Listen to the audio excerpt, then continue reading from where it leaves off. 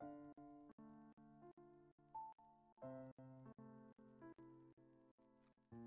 you.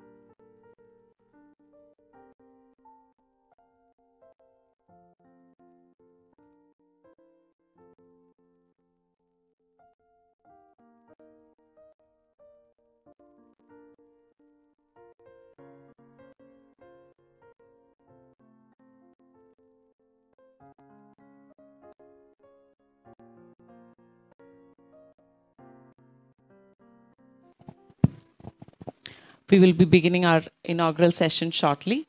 Our esteemed guests have arrived. I request all our participants to kindly applaud when they arrive.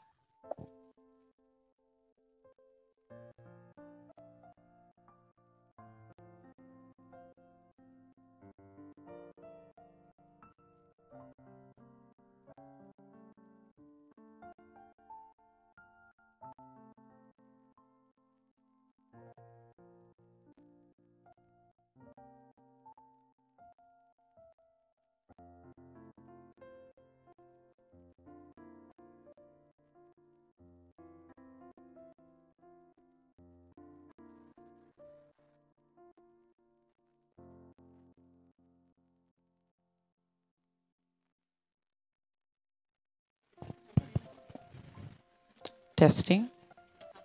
Mic testing.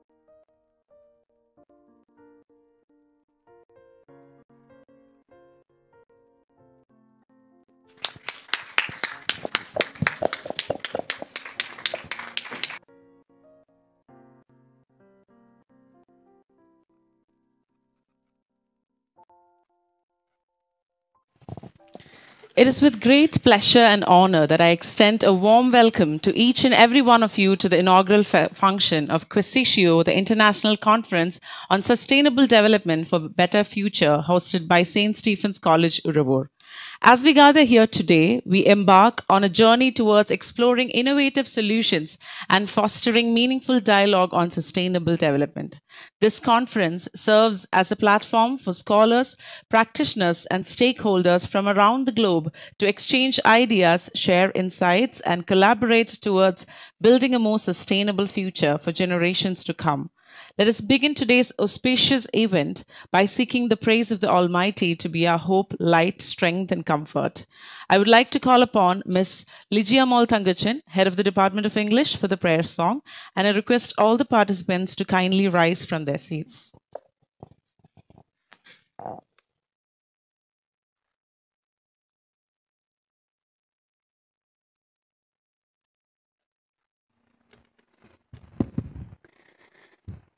പുലരിയിൽ വിരിയും സുമം സന്ധ്യയിൽ പൊഴിയും ദ്രുതം. ക്ഷണികമെങ്കിലും അനുപമം അഴകിലവയൊരുക്കിടും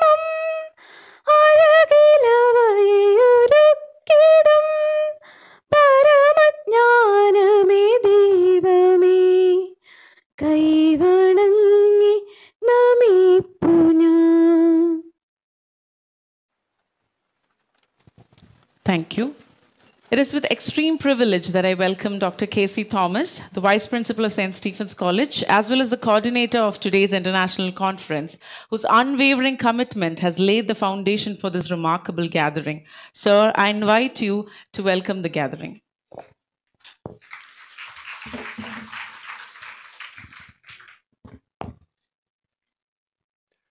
Good morning to each and everyone. Respected President of the session, Dr. Stephen Matthew, the Principal of the College. Honorable Chief Guest, Sri Shamchand IFS, Protector of Immigrants, Ministry of External Affairs. Respected keynote speaker, Professor Dr. Muhammad Hatha from Cochin University of Science and Technology.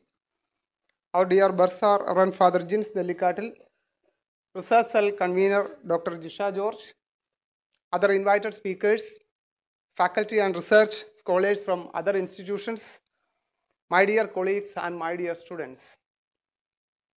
It's a great honor for me to extend a warm welcome to each and everyone to this Quaesitio 24, the International Conference on the Sustainable Development for a Better Future, being conducted under the auspices of the Research Cell and the IQAC in association with the Mahatma Gandhi University, Kottayam. These days, the term sustainability and sustainable development is being popularly used. Discussions on the conflict between man and nature, climate change, energy crisis, food insecurity, etc., are growing everywhere. As, father, as the father of our nation says, earth provides enough for each one, but not everyone, every man's uh, every man's need, but not any man's greed. The selfish behavior of each one of us actually led to the present depletion and pollution of the environment.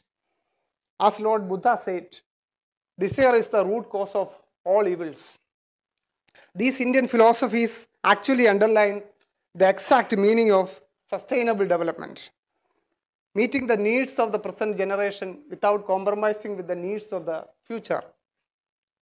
The term sustainable development was first used in the Brundtland Commission's report, Our Common Future. In 1968, the term tragedy of commons was first used by Garrett Hardin in a science magazine, which warned the reckless use of environment that leads to uh, depletion and pollution. The 1972 United Nations Conference on Human Development in Stockholm was first the first world conference to mark the environment as a major concern. Thereafter, a number of international conferences and Earth summits were held under the auspices of UN, like Rio Earth Summit, Cancun Conference, Kyoto Protocol, Copenhagen Conference, Paris Treaty, and the recent COP28 UN Climate Change Conference in Dubai, UAE. The 2030 Agenda for Sustainable Development, with its 17 SDGs adopted by UN member states in 2015, emphasized a holistic progress. In this context, Quaesitio 24 gathers scholars, researchers, and practitioners to explore innovative solutions for sustainability. It fosters interdisciplinary dialogues and collaborations towards a more equitable world. Now, it's a great opportunity for me to welcome the distinguished academics gathered here.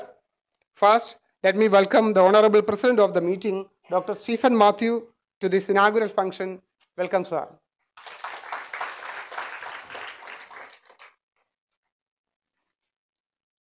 It's time to welcome our chief guest, Sri Shamchand IFS. He's an officer of the two- two- 2015 batch Indian Foreign Service, presently acting as protector of immigrants in Trivandrum.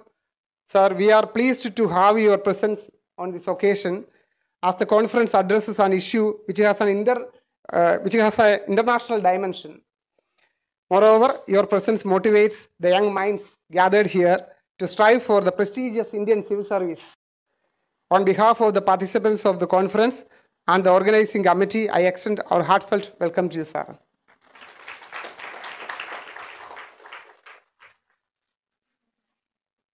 Now we have another eminent scholar among us, Professor Dr. Muhammad Hatha, who will be delivering the keynote address on this occasion.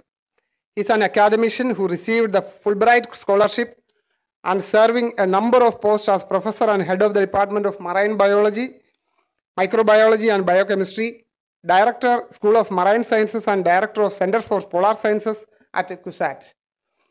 Dear sir, your expertise in the field of environment and sustainability will enrich our knowledge and inquisitiveness. On behalf of the participants and organizing committee, I extend a warm welcome to you, sir.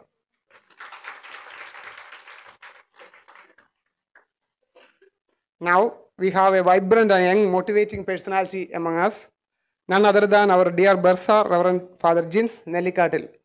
He is always with us, who proved his dedication and love towards this institution since 2020. I welcome dear Father to this function.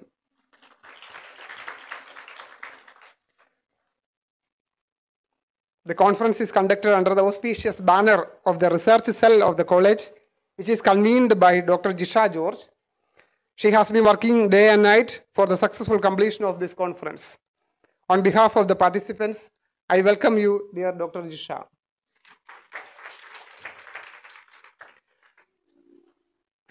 Now we have eminent invited speakers from various parts of the world. I extend a warm welcome to you all to this conference. We have scholars and faculty members from various institutions, including St. Stephen's College. I welcome you all to this function. Last but not the least, the student community who can question today and shape tomorrow will be the most beneficial community from this conference. We are organizing this program mainly focusing on the student community. So I extend a warm welcome to these young minds.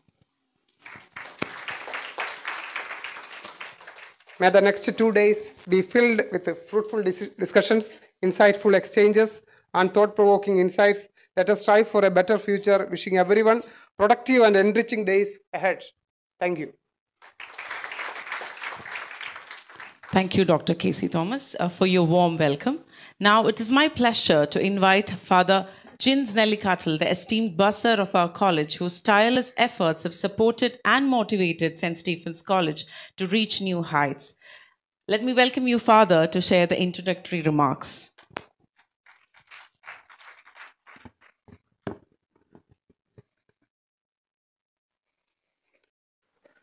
Respected Chair of the Section, our dear Principal, Dr. Stephen Matthew, our distinguished Chief Guest, Sri Shyamchand C. IFS, Dr. Professor Muhammad Hatha, dear teachers and my dear friends, a very good morning to all. It is both an honor and privilege to stand before you today to address the vital topic of sustainable development for a better future. In a world facing unprecedented environmental challenges and socio-economic disparities, the concept of sustainable development has emerged as a beacon of hope and a pathway towards a future where prosperity is not at the expense of our planet or its people. Sustainable development at its core embodies the harmonious integration of environmental preservation, social equity, and economic progress. It recognizes the interconnectedness of these pillars and acknowledges that true progress cannot be achieved without addressing each aspect holistically. The imperative of sustainable development is clear. Our planet is under immense strain, facing threats such as climate change, biodiversity loss, pollution, and resource depletion. Concurrently, millions around the globe continue to grapple with poverty, hunger, inequality, and lack of access to necessities such as clean water, education, and healthcare. Yet, amidst these challenges lie opportunities for transformation and renewal. Sustainable development offers a roadmap, a roadmap that champions innovation, collaboration, and collective action. It calls upon us to rethink our relationship with nature, to embrace more equitable economic models, and to prioritize the well being of both present and future generation. We have seen glimpses of progress, communities transitioning to renewable energy sources, business adopting circular economic principles, governments implementing policies to protect ecosystem and promote social inclusion. But we cannot afford complacency. The urgency of the moment demands that we accelerate our efforts and scale up solutions. As we gather here today, let us recommit ourselves to the pursuit of sustainable development. Let us be catalysts for change in our communities, workplaces, and beyond. Let us seize this opportunity to shape a future where prosperity is truly sustainable, where every individual has the opportunity to thrive, and where our planet flourishes for generations to come. Together, we have the power to create a better world, one built on the principles of sustainability, equity, and resilience. Let us embark on this journey with determination, compassion, and shared vision for a brighter tomorrow. ഞാൻ ഈ introductory speech അവസാനിപ്പിക്കുന്നതിന് മുമ്പ് രണ്ട് കാര്യങ്ങളോട് സൂചിപ്പിക്കുവാണ്.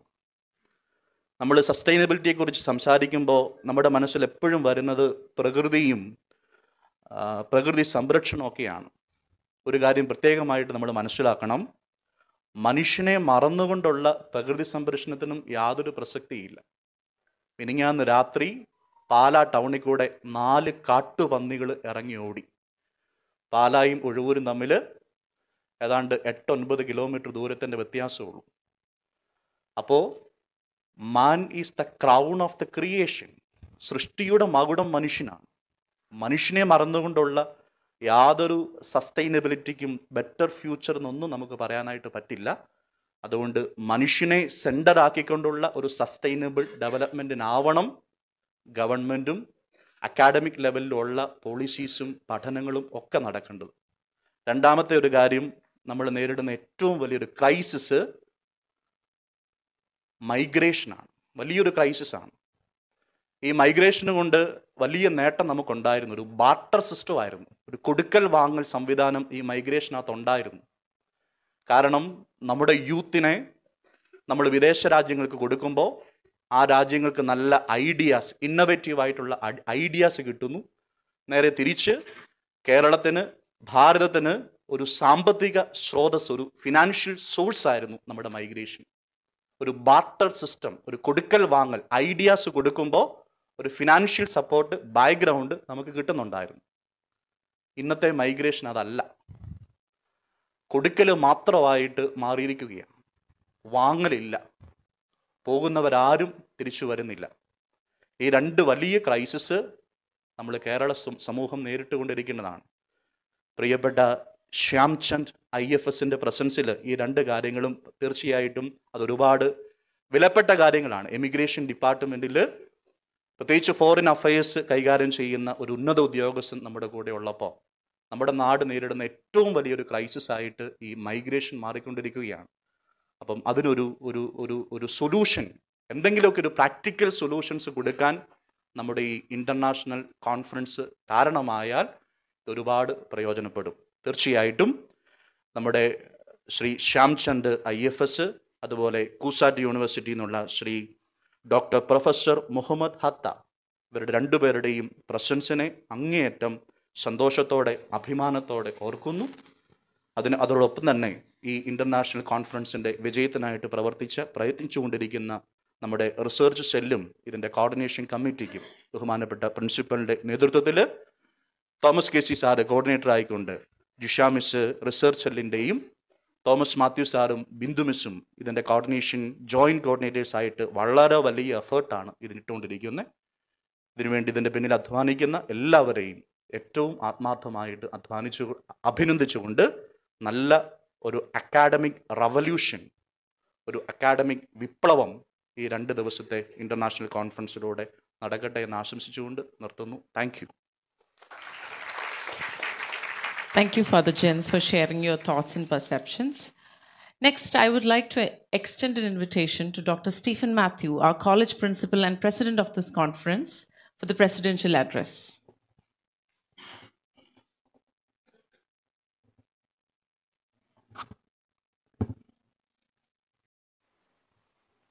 most uh, respected chief guest, Sri Shyamchand C. Dr. Professor Mohammed Hatha, our Bursar, Reverend Father Jins Nellikatil, various dignitaries in the dais, dear colleagues and participants.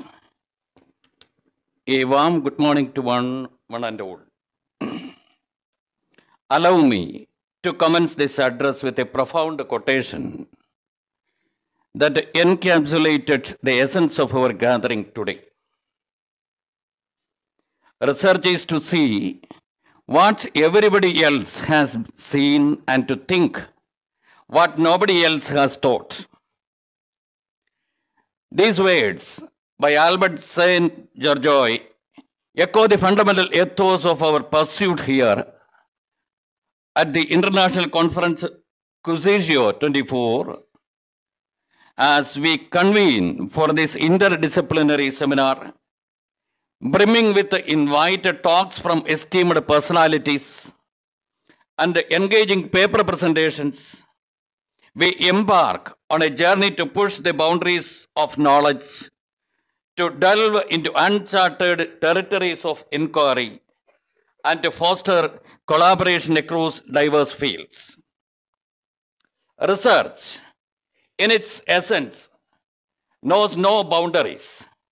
It is not confined to the realms of a single discipline, but flourishes at the intersection of various fields of study. It is the interdisciplinary approach that propels innovations, sparks creativity, and unravels solutions to the most complex challenges of our time. In an era where global issues demand multifaceted solutions, the significance of interdisciplinary research cannot be overstated. It is through this synthesis of diverse perspectives that we unearth novel insights and pave the way for progress. As we gather here at our esteemed institution, St. Stephen's College, Uzhavoor, let us take a moment to reflect in its rich legacy. Established in 1964, our college has been a beacon of academic excellence, nurturing generations of scholars and visionaries. From its humble beginning, St. Stephen's College has been recognized for its efficiency by the NAAC with an A plus grade with a CGPA of 3.39. This acc- accolade is a testament to the unwavering commitment of our faculty, staff, and students towards advancing knowledge and fostering academic excellence. Ever since, this institution is striving to evolve into a hub of intellectual inquiry with research at its core. I feel immensely honored to welcome and put on record our gratitude to our esteemed resource persons, notably Shyamchand C. IFS, the protector of immigration, who will inaugurate this academic endeavor, and Dr. Muhammad Hatha, the head of department in marine biology at CUSAT, who will deliver the keynote address. Mr. Chan's illustrious career and expertise in his field serve as an inspiration to us all. His insight into the complexities of immigration and border security are invaluable as we navigate the global landscape. Dr. Hatha's groundbreaking research in marine biology underscores the importance of persevering our oceans and marine ecosystems. His address promises to enlighten and inspire us to safeguard our natural resources for future generations. I extend my heartfelt gratitude to the management, the Archeparchy of Kottayam, and our dedicated Bursar Reverend Father Jins Nellikatil for their unwavering support and commitment to our institution's progress, and also our coordinator, Dr. Thomas K.C., and joint coordinators. It is through their vision and leadership that we continue to thrive and excel. I must also commend our faculty and staff for their tireless efforts in guiding and um, mentoring our students. Their dedication to academic excellence ensures that our students receive the best possible education and are equipped to make meaningful contributions to society. And to our students, I applaud your achievements and your unwavering dedication to academic excellence. You are the pride of our college, and I have no doubt that you will continue to excel in your chosen fields and make us proud. As we embark on this two day journey of knowledge exchange and collaboration, let us remember that our collective efforts have the power to shape the future of humanity. May this conference serve as the catalyst for progress and development, and may all the participants find fulfillment in their endeavors. I extend my best wishes to all the participants for a fruitful and enriching experience. May your presentations be effective, your discussions insightful, and your contributions invaluable. In the words of Mahatma Gandhi, the future depends on what you do today. As we conclude this gathering, let us remember that the seeds of progress we plant today will blossom into a brighter future for generations to come. With a dedication, collaboration, and a commitment to excellence, we can chart a course towards a world enriched by knowledge and understanding. May the insights gained and the connections forged during this conference propel us towards a future where innovation knows no bounds and where the pursuit of truth reigns supreme. Together, let us strive towards a future where knowledge knows no bounds and where our collective pursuit of truth leads to the brighter tomorrow. Thank you all, and may our collective endeavors lead us to new horizons of discovery and growth. Thank you. Thank you, Stephen, sir. John Quincy Adams, the sixth US president, once said, If your action inspires others to dream more, learn more, and do more, and become more, you're a leader. In that regard, it is our absolute honor to have among us today a true leader of our generation. We have Sri Shyamchand C. IFS, Protector of Emigrants, Ministry of External Affairs, Government of India, today as our chief guest. To introduce our honorable guest, let me welcome Dr. Navita Elizabeth Jose of the Department of English.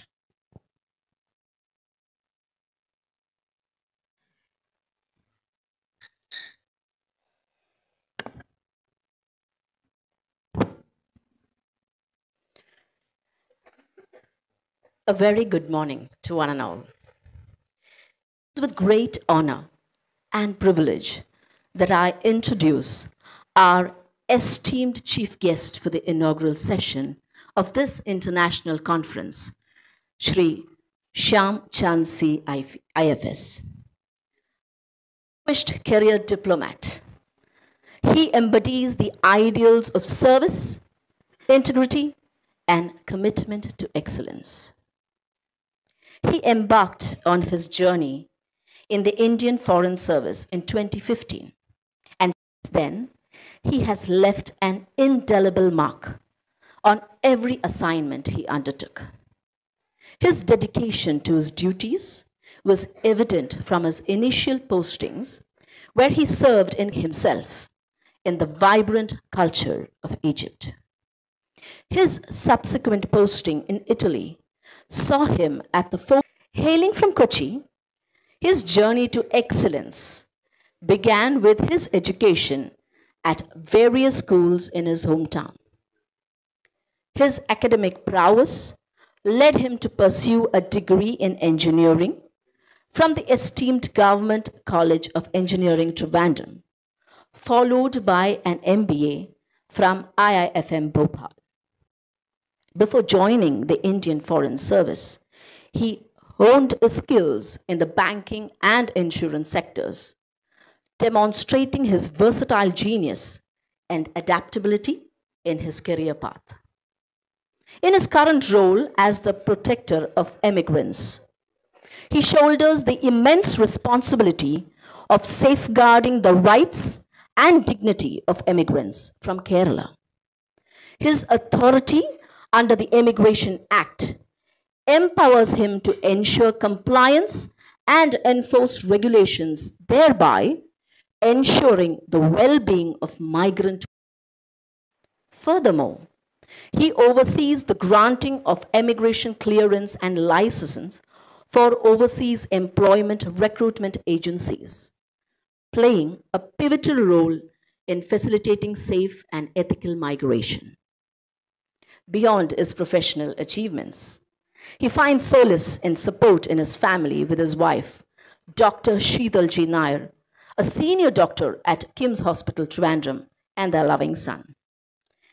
As we gather here today, we are privileged, sir, to have you grace us with your presence. Your exemplary career and unwavering commitment to service serves as an inspiration to us all, sir. Dear audience, join me in extending a very warm welcome to our dear guest, Shri Shyam Chand C. IFS, as we embark on this journey of knowledge and collaboration. A warm welcome to you, sir. Thank you.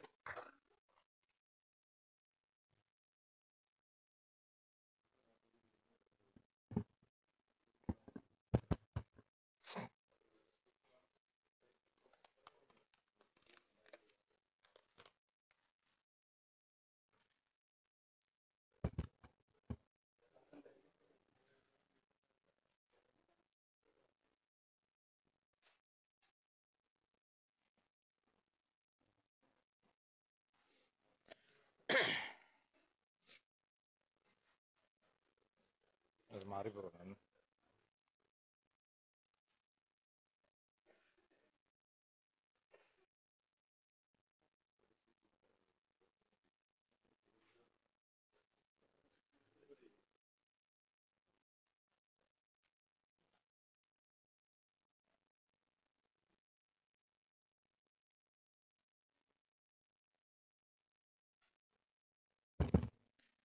Good morning, everyone.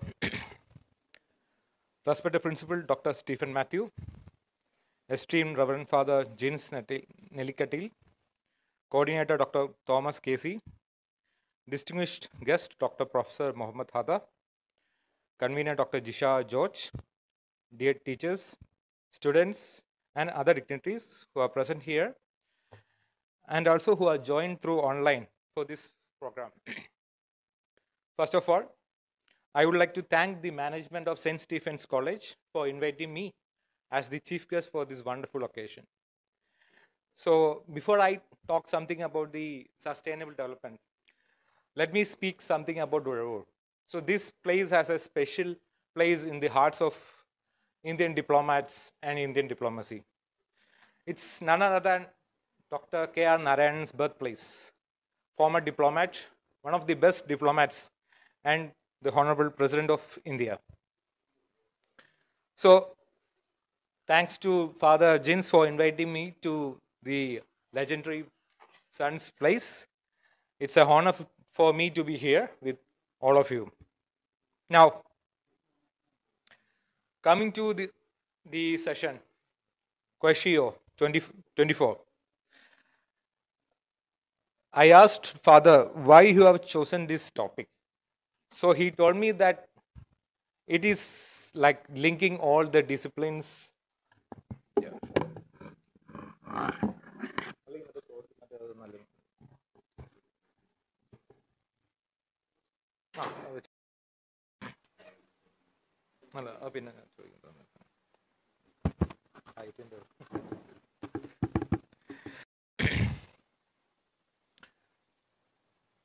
So sustainable development like it has a multi-dimensional approach, multidisciplinary approach.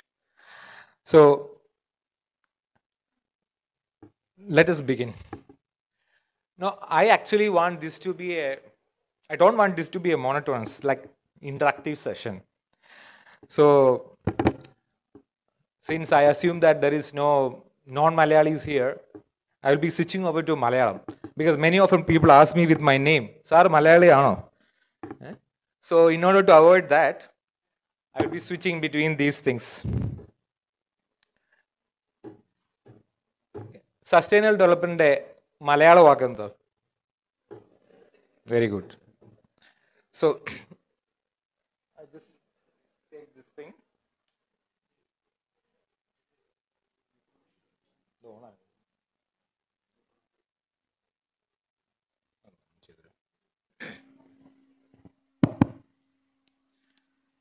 എന്തുകൊണ്ട് നിങ്ങൾക്ക് സസ്യങ്ങൾ development വേണം? Why this topic is important for you ഏ?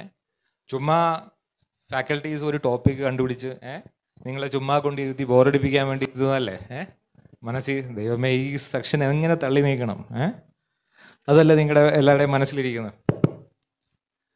So ഞാൻ sustainable ഡെവലപ്മെന്റിനെ കുറിച്ച് മാത്രമല്ല I mean അതിനെക്കുറിച്ച് അല്ല സംസാരിക്കാൻ പോകുന്നത്. കാര്യം there are many brilliant academics guys who are coming after me to give A lecture on these things so I will tell you what എങ്ങനെ what is government going doing for sustainable development what we have to do as a society and how it is going to impact our lives that is the most important thing we should know എന്തുകൊണ്ട് ഒരു സുസ്ഥിര വികസനം അല്ലെങ്കിൽ sustainable development what is the need for that it's the social justice for the future generation നമ്മുടെ ഭാവി തലമുറയ്ക്ക് വേണ്ടി ഉള്ള ഒരു ഒരു വിഷൻ കൂടിയാണ് സസ്റ്റൈനബിൾ ഡെവലപ്മെൻറ്റ് പക്ഷേ there are some pros and cons for these things നമ്മൾ സസ്റ്റൈനബിൾ ഡെവലപ്മെൻറ്റ് ചെയ്യുമ്പോൾ തന്നെയും we should also take into consideration what factors guides നമ്മുടെ രാജ്യത്തിൻ്റെ റിക്വയർമെൻറ്റ് എന്താണ് how is that going to impact you and the people outside this auditorium ഇപ്പം it's a multi faceted implications എന്ന് പറയാൻ കാരണം ഇതിൽ എൻവയോൺമെന്റ് വരുന്നുണ്ട് ഹ്യൂമൻ ഹെൽത്ത് വരുന്നുണ്ട്. Environment health human health climate change ഇപ്പം നമ്മളെ ഏറ്റവും കൂടുതൽ അഫക്റ്റ് ചെയ്യുന്നതാണ് ടെമ്പറേച്ചർ കഴിഞ്ഞ ഒരു രണ്ട് മൂന്ന് മാസമായിട്ട് we are witnessing sudden surge in temperature in Kerala നിങ്ങൾക്ക് തന്നെ ഫീൽ ചെയ്യാം. It's because the climate pattern is changing why we are emitting more greenhouse gases and because of that global warming and related things are affecting us so ആ ഒരു കോണ്ടെക്സ്റ്റിൽ this topic is very important for us and academic wise also ഒരുമാതിരി എല്ലാ streams of courses you take like science economics law everything has some kind of application for this sustainable development also diplomacy So I'll be talking about what how diplomacy and sustainable development are linked at the last part. so why we have to take sustainable development as a serious thing? Before that, you should understand the requirement of our country. We are soon going to become the third largest economy in the planet. Currently, we are the fifth largest economy by nominal GDP by 2027 we are estimated to become the third largest economy only behind united states and china so we have to grow and we have to grow sustainably that's a difference അപ്പോൾ we have എങ്ങനെ grow ചെയ്യാം that is the main thing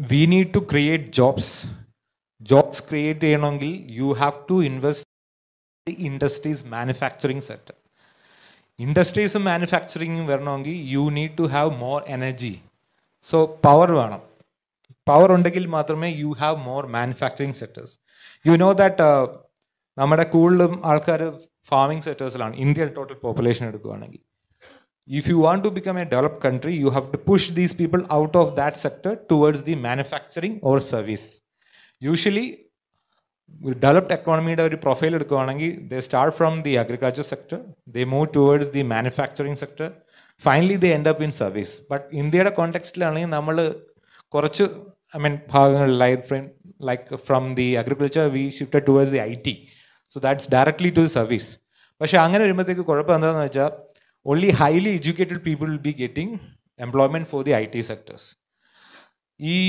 factory workers കൂടുതലും like diplomas അല്ലെങ്കിൽ plus two കഴിഞ്ഞവർക്ക് they are not getting any qualified or regular income stream jobs അപ്പോൾ അതിനു വേണ്ടിയാണ് V should be pushing for more manufacturing so manufacturing jobs വരണമെങ്കിൽ you need to have more energy infrastructure and other related facilities energy is the most important thing. You take China, like 1979, where it was one of the poorest countries on the planet. Now it's the second largest economy on earth. How come? Because it shifted from the agrarian sector to the manufacturing sector. They opened up their economy. So as they opened up the economy, companies started pouring in, foreign direct investments came, it became the manufacturing hub. അത് ചുമ്മാ companies വന്നതല്ല how they came they regulated the sectors I mean government control എടുത്ത് കളഞ്ഞു like what did in nineteen ninety one അപ്പം എന്തോ പ്രശ്നം എന്ന് പറ്റിയാൽ four that they need more energy അപ്പോൾ they start constructing thermal power plants gas guzzling stations and everything coal import ചെയ്യേണ്ടി വന്നു അങ്ങനെ so of course they prosper പക്ഷേ they were not following the sustainable development path അവർ ആ energy ഡിമാൻഡിന് വേണ്ടി they started using more and more call fuelled power stations gas thermal stations so what happen in effect China is now the largest polluter on the earth അപ്പം you need to ask this question നിങ്ങളുടെ ജനങ്ങളെ prosperity ആണോ നിങ്ങൾക്ക് ആവശ്യം അതോ environment concern ആണോ this is what all politicians, bureaucrats, diplomats, brains like stuck there. Like, what should we do? There should be an equilibrium system. we should have that like we need development, but we also need to take care of the environment. So അതിനൊരു sustainable path നമുക്ക് കൊണ്ടുവരണം അപ്പം otherwise you will have an effect ഇപ്പം climate ചേഞ്ചും ബാക്കിയുള്ളതൊക്കെ വരുന്നത് അതിന്റെ ഭാഗമാണ് സോ ഇതിന് പല ഇഷ്യൂസും ഉണ്ട്. കാര്യം പറഞ്ഞാൽ if you don't develop also നമ്മളിപ്പോൾ സസ്റ്റൈനബിലിറ്റി മാത്രം നോക്കിയിരുന്നിട്ടും കാര്യമില്ല. Because our is a poor country like നൂറ്റി നാൽപ്പത് കോടി ജനങ്ങളുണ്ട്.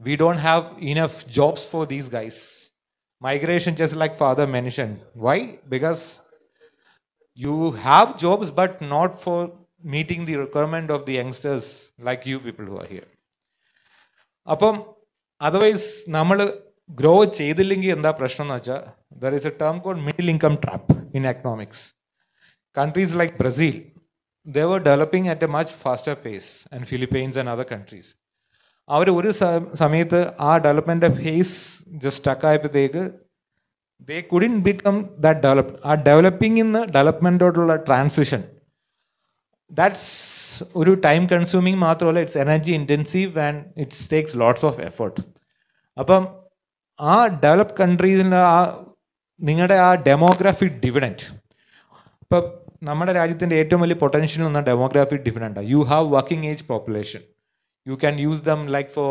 manufacturing service at I T science technology everything aged എക്കോണമിയിലാവുമ്പോഴത്തേക്ക് they have some limitations അപ്പോൾ ഇന്ത്യയിലെയും ചൈനയുടെ പ്രശ്നം എന്ന് പറഞ്ഞാൽ ഇപ്പോൾ ഉള്ള generation medium age if you take it is like eleven twenty eight twenty nine something like for India ചൈനയുടെ ആകുമ്പോഴത്തേക്ക് ഇറ്റ്സ് ലൈക്ക് തേർട്ടീസ് ബാക്കി എല്ലാ കൺട്രീസിലും is like forties and fifties like four late thirties തൊട്ട് തുടങ്ങും നമ്മുടെ ലക്ഷ്യം എന്ന് പറഞ്ഞാൽ before our society get aged we have to become a developed country otherwise will be stuck in the middle income trap that is the issue അപ്പോൾ അതുകൊണ്ട് we have to grow so the model which we are focusing now is days is green economy like low carbon emission use of electric vehicle use recycled materials. Now not using or limiting the use of plastics. നിങ്ങൾക്കറിയാം ഇപ്പം ഒരു trend ആയിക്കൊണ്ടിരിക്കുകയാണ്. Electric vehicles Tesla എത്ര പേര് കേട്ടിട്ടുണ്ട് Tesla ടെസ്ലയെ കുറിച്ച്? Okay who is the C of Tesla so it's a innovative ideas ഒരു ഐഡിയയിൽ കൂടെ കൊണ്ടുവന്ന ഒരു കമ്പനിയാണ് this things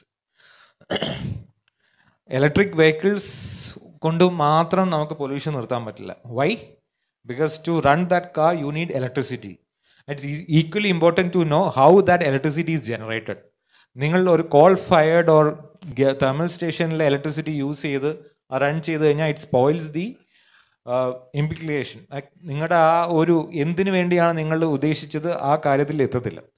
So we have to focus a sustainable development we need energy ആ എനർജി എങ്ങനെയായിരിക്കും? സോളാർ പവർ റിന്യൂവബിൾ സോഴ്സസ് അതിൽ നിന്ന് കിട്ടുന്ന അല്ലെങ്കിൽ ഗ്രീൻ ഹൈഡ്രജൻ ഇതിൽ നിന്ന് യൂസ് ചെയ്തിട്ട് വേണമുള്ള എനർജി വെച്ചിട്ട് വേണം നമുക്ക് നെക്സ്റ്റ് ഒരു ഇൻഡസ്ട്രിയൽ റവല്യൂഷൻ ഹാപ്പൻ ചെയ്യണം ആൻഡ് ഞാൻ പറഞ്ഞു ഈ സസ്റ്റൈനബിൾ ഡെവലപ്മെന്റ് ഒരു uh, പ്രശ്നം എന്താ പറഞ്ഞാൽ it's for especially for India നമുക്ക് അങ്ങനെ ഫുള്ളി സസ്റ്റൈനബിൾ ആയിട്ട് ചെയ്യാൻ പറ്റുമോ? Is there some restrictions on India for doing those things നമ്മുടെ ഇഷ്യൂസ് എന്ന് പറഞ്ഞാൽ we are a growing economy and for growing we need energy നമുക്ക് ഓയിൽ ഇല്ല ഗ്യാസ് ഇല്ല we are importing these things only we have this polluting call So coal is a polluting fuel and it's also emits greenhouse gases and all those things.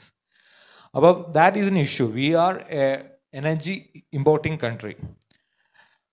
അതിൻ ഒരു constraint ആണ് because we have to grow so we have to take into consideration those things പിന്നെ ഈ പൊല്യൂഷൻ്റെ issues ഉണ്ട് നിങ്ങൾക്കറിയാം ഡൽഹിയിലെ പൊല്യൂഷൻസിൻ്റെ ഒക്കെ impact എന്താണ് it will affect the human health health then climate linkage ഈ ക്ലൈമറ്റ് ചേഞ്ച് കാരണം ഇന്ത്യയിലും നിങ്ങൾ ഉത്തരാഖണ്ഡിലെ ഫ്ലഡ്സ് ഒക്കെ നിങ്ങൾക്ക് ഓർമ്മയില്ലേ what's happening the is all related so sustainable development V have to focus on those things and now it's time that we have to act. Now, let me uh, tell you another thing. have you ever wondered whether there is any connection between sustainable development and foreign policy of any country? Have you thought about these things? Diplomacy and sustainable development are both interlinked. See, we need energy to sustain our growth and there are many multiple foreign factors which affect that like you know the recent ukraine war which is happening. So there was this pressure from the western countries led by us that india shouldn't import russian oil. So we told fine then give us cheap oil. Because russia was willing to offer us cheap oil and we need oil. So what we do as government of india officials is that we do what is best suited for our country and our citizens we can't afford to buy oil for $100 per barrel. We need to sustain our economy at a $60 or $65 if russia is willing to provide us for that $65 we are going to buy from that. And it's not only that. Imagine that if you are not purchasing from russia what will happen to the international market? Russia's oil get stored just within their territory and you have to go to the gulf countries. So automatically the price will increase it's not only for india even for the european countries. So they also need to pay higher amount. So we told our european guys see it's even better for you guys because if you if we also stop purchasing from russia the international price will rise. So you guys also need to pay much for the oil which you are purchasing. And we are not like anti-west or pro-west country. We we are non-west. Like my boss dr jaishankar sir says like we are a non-west country but we are not anti-west. And we are no pro-us or pro-russia. We are pro-india. For diplomats. So as an ifs officer the first thing that comes to me is like india. If any policies we do it's india matters and everything else is secondary. So now coming to that tricky questions. Why you think this sustainable development is linked with foreign policy many often when we negotiate it in the international forums like un and other places. Now you have recently seen other like cop 26 we all knew that this emission problem is there and climate change is affecting all of us. So you, we have to reduce this thing. So these european countries and western countries like us and other countries are putting pressure on us. Like india can't emit this much uh, pollutions or gases outside this is not only affecting you this is impacting their society so we told wait a second. You guys have developed you guys have developed through this industrial revolution by emitting more gases. In fact us was the biggest polluter until recently when china overtook us so they got developed. They used all the coals and gases, all they already emitted all pollutions, everything, and they have become a developed country. Now they are lecturing us that, hey guys, you now it's time for us to save the planet, so you shouldn't use these uh, fossil fuels uh, for emitting, uh, producing these things. We told that, of okay, fine, we are willing to restrict those things, but you guys should give us the technology, the clean energy technology for creating green uh, green powers for that. But that also most of the developed countries are unwilling to give. Why? They, they, say that it's patent regime. These technologies have been developed with intense research. Millions of dollars have been going to these things. So we can't give this technology to India and other developing countries. Sorry that you have to pay for that. So we told that is not fair. There should be some justification or justice if we have to achieve this target that we have to bring down the emission below the uh, level which we have decided in the COP26 meeting. So negotiations are still going on. So we told that as a committed society, a committed country, a, a respected country, which we believe that uh, will have a huge impact on other countries and societies of the world. We by 2070 we are planning to become a net zero emitter of uh, emitting country. But we also need technology. So it's a tricky thing. We have to negotiate with the Western countries. We also need to tell them that, see, we need to also grow. We need to also become a developed country. We have a huge population. So that energy is very required. And if you guys are telling that we are polluting, better give us the technology. So the negotiations are still going on. And uh, what suits best for India, India government takes the decision accordingly. And so it's a basically West, Western's double standards that see we have developed now when we are going to develop they're talking about pollution. Where was this pollution when 50 years back? Okay at that time they burned the gases everything they have done oil spills over many places us was single most country which has i mean single-handedly responsible for creating all kind of emissions. The climate change which you are currently facing is because of those greenhouse gases which have been emitted for the past 50 60 years. India and china have started emitting only for the last 20 years or so. Of course but there is increase in that emission but we are taking more concerned effort to restrict those things.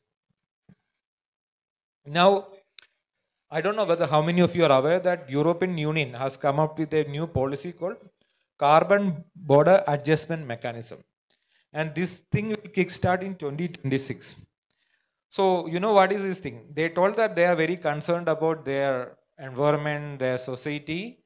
So even those products which are exported to europe they should have low carbon emission. But the catch is that we are energy intensive industry based country. Most of you know like 70 percentage of india's power come from thermal power. So the products like steel aluminum and other uh, automotive equipments these are energy consuming things. So obviously they will emit carbon. So after 2026 i mean starting january 1st 2026 when we start exporting these things like for example steel from tata or SAIL or somewhere then the European Union will put some taxes on these things, telling that this is high carbon content. So India has lodged a strong protest against these things in WTO and also with the European Union. In fact, my colleagues was uh, negotiating with them uh, few few weeks back, and uh, they told that uh, we categorically told them, see, how how come these countries become developed like Europe, Japan, Korea, United States? It's based is because of the export driven economy. They they exported a lot, and once your export starts increasing, it's related reflected in your GDP growth rate. Just it is what's happening in China. China became the second largest economy just because their exports boomed dramatically and they are now the biggest exporter in the world so it's proved that only export driven and 90% of the chances that export driven countries are the ones who have been able to prosper and give a meaningful dignity life to the, their citizens. So we have to also export. So if the European Union come up with some restrictions saying that, see, this is against the sustainable development part, uh, you can't do this, but we have to counter these things. Of course, we are also concerned about these things, but then, then we tell them that you, give, you need to give us technology so that we can adapt and we have, like, we cut the emissions for the steel manufacturing or these aluminum or other manufacturing processes. So India's this energy intensive and trade export industries will have a consequence if we didn't deal with these things. So that's why I'm telling you that sustainable develop, development and diplomacy will go in hand in hand. We have to grow in a meaningful manner, but without causing harm to the developments. Now, uh, how many of you follow India's foreign policy? Please എത്ര പേർക്ക് interest ഉണ്ട് foreign പോളിസിയിൽ one one കൈ is the two three കൈ പൊക്കാൻ മടിയാണോ അതോ? Okay so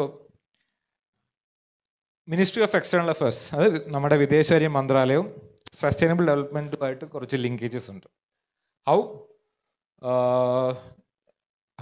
എത്ര പേര് ഇന്റർനാഷണൽ സോളാർ അലയൻസിനെ കുറിച്ച് കേട്ടിട്ടുണ്ട്? I S I international solar alliance അത് ഇന്ത്യയുടെ ഒരു പെറ്റ് പ്രോജക്ട്സ് ആണ് അത് സോളാർ എനർജിന്ന് നമുക്ക് ഇറ്റ്സ് ലൈക്ക് എം ഇ ആണ് one of the main ministries which is actually handling these things we have partnered with many countries and through that like solar panels and solar energy based industries അല്ലെങ്കിൽ ആ system generate ചെയ്യണം so through that we R cutting the carbon emission And we also have another thing called CDRI, Coalition for Disaster Resilient Infrastructure. ഈ climate change കാരണം നമുക്ക് നമുക്കറിയാം പല ആക്സിഡൻസും ഇൻസിഡൻസും ഹാപ്പൻ ചെയ്യുന്നുണ്ട് ഫ്ലഡ് വരുന്നുണ്ട് സീ ഇറോഷൻ വരുന്നുണ്ട് അപ്പോൾ അതിനെ റെസിസ്റ്റ് ചെയ്യുന്ന ഒരു ഇൻഫ്രാസ്ട്രക്ചർ നമ്മുടെ കൺട്രീസിൽ കുറവാണ് ഡെവലപ്പ് ഡെവലപ്പിംഗ് കൺട്രീസിൽ അപ്പോൾ എം ഇയുടെ ഒരു ഇനിഷ്യേറ്റീവ് ആണ് ഈ പറഞ്ഞ സി ഡി ആർ ഐയും ഇന്റർനാഷണൽ സോളാർ അലയൻസ് പിന്നെ നമ്മുടെ പ്രൈം മിനിസ്റ്റർ ലോഞ്ച് ചെയ്തുകൊണ്ട് one sun one world one grid project അതായത് നിങ്ങൾക്കറിയാം sun it's twenty four hours but നമ്മുടെ ഭൂമിയുടെ ഒരു ഭാഗത്ത് സൺ കാണുമെങ്കിൽ മറ്റേ ഭാഗത്ത് കാണത്തില്ല. So when sun shines in one part it's like if you can connect the international to a solar grid അപ്പോൾ ഒരു സ്ഥലത്ത് സൺ കിട്ടുന്ന ആ എനർജി വെച്ച് തന്നെ internationally will be getting these thing so twenty four hours, seven days, 365 days a year, you will be getting this power. So that's a concept which MEA also put forth. നമുക്ക് പല alliance ഉണ്ട് കൺട്രീസുണ്ട് ഫ്രാൻസുമായിട്ടുണ്ട് ഈ ഈജിപ്റ്റുമായിട്ട് U A ആയിട്ടുണ്ട് ഈ international solar അലയൻസും അതുപോലെ തന്നെ C D R A green grid initiatives so these this is what government do government of India is actually very concerned about our society and our environment. So as part of these things, even the uh, last G20 summit which happened in Delhi, uh, Prime Minister was very keen to push these things, and he even told that that uh, sustainable development will be one of the big agendas in the coming years in India's foreign policy and also domestic policy. So that's how it matters your life and everything and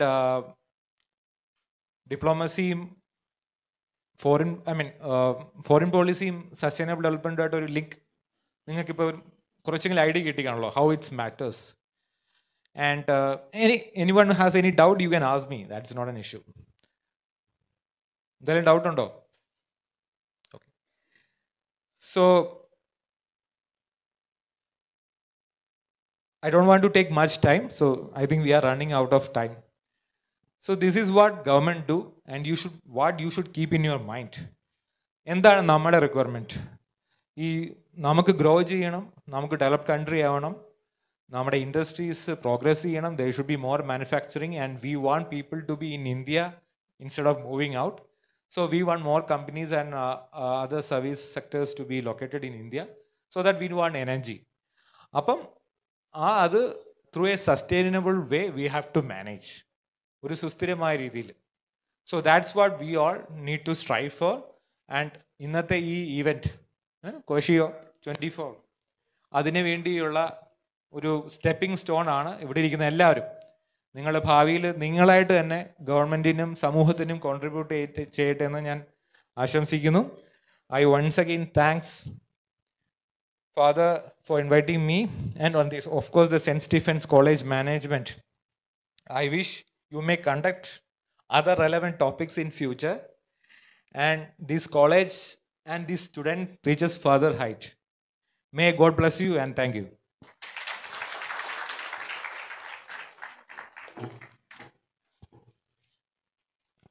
So I invite you for the lamp lighting ceremony.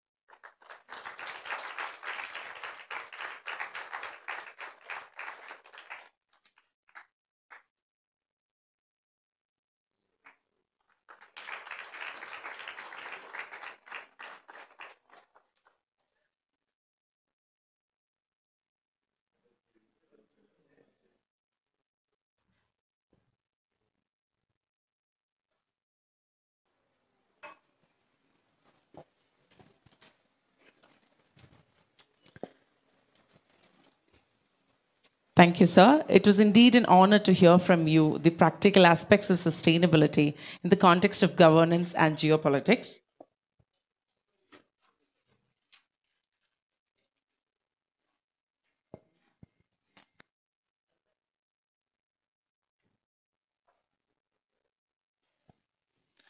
We have among us today an exceptional academician, a Fulbright scholar, and a researcher who has left an indelible mark in the world of academia. To introduce our esteemed keynote speaker, who is Professor A. Mohammed Hatha, Professor and Head of the Department of Marine Biology and Microbiology and Biochemistry at Cochin University of Science and Technology. I welcome Dr. Thomas Matthew, the Head of the Department of Physics.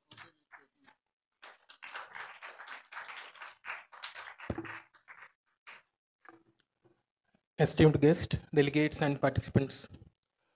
It is with great pleasure that I introduce to you a distinguished figure in the field of environmental microbiology, Professor Mohammed Hatha. He is currently the, currently the professor and head of Department of Marine Biology, Microbiology, and Biochemistry at CUSAT, Kerala. Dr. Mohammed Hatha took his master's degree in marine biology from uh, marine biology CUSAT and PhD in environmental microbiology from Bharathiar University. He started his career in industry as the head of quality assurance division of a leading seafood and processor Seafood Processor and Exporter Company. He was instrumental in getting the US FDA A listing for the company. Later, he shifted to uh, teaching and research and taught in various universities in India and abroad. Uh, In 2012, he was awarded with Fulbright Scholarship and worked as Fulbright visitor, visiting scholar at Michigan State University, USA, and gave series of lectures at different universities and research institutions in USA. He has more than 190 research publications to his credit. We welcome you, sir, to deliver the keynote address.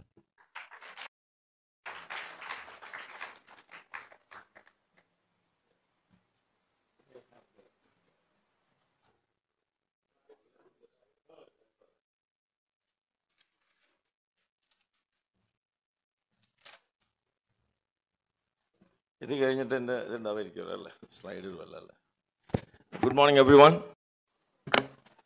Honorable uh, President Dr. Uh, Stephen Matthew, Bursar uh, Reverend Father uh, Jins Nellikatil, esteemed Chief Guest Sri Shyamchand IFS, Protector of Emigrants, Ministry of External Affairs, Government of India, Dr. Thomas Casey, Dr. Jisha George, and my dear friend uh, Sinsi, uh, she is from our department. She took a PhD from our department. I'm extremely happy to be here uh, today uh, addressing you about uh, you know sustainable uh, development. Uh, in fact, you know it's a very very very very key thing.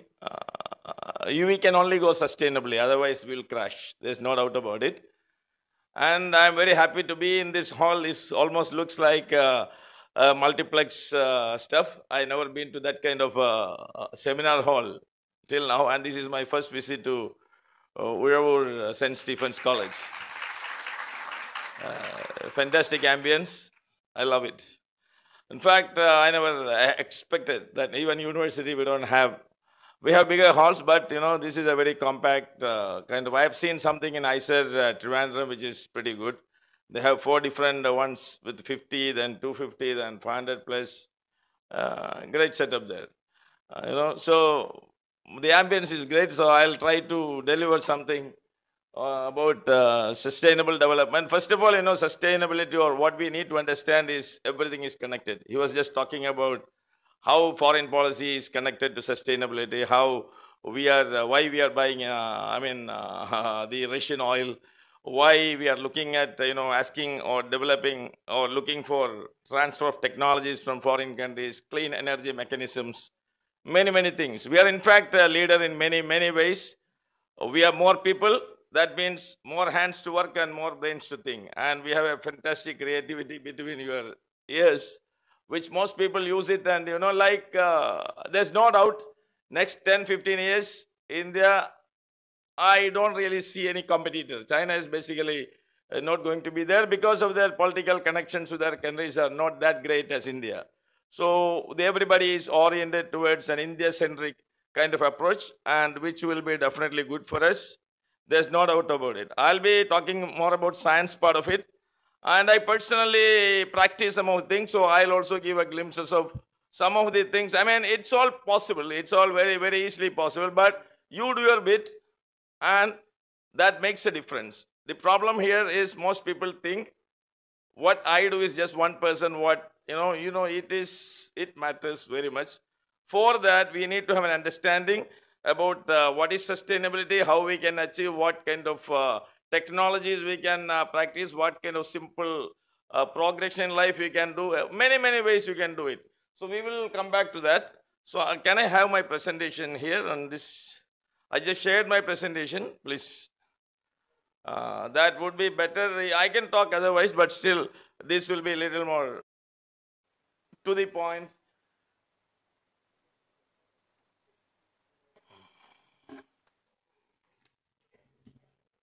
Yeah, I'll also like to, I, I'm more interested to move around and talk uh, than uh, staying stationary, which is really not, uh, it's okay, I can manage, but still this is little more comfortable.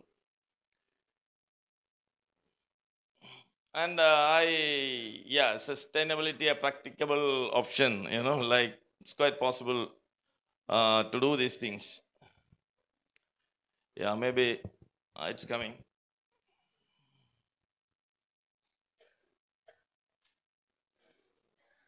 Yeah.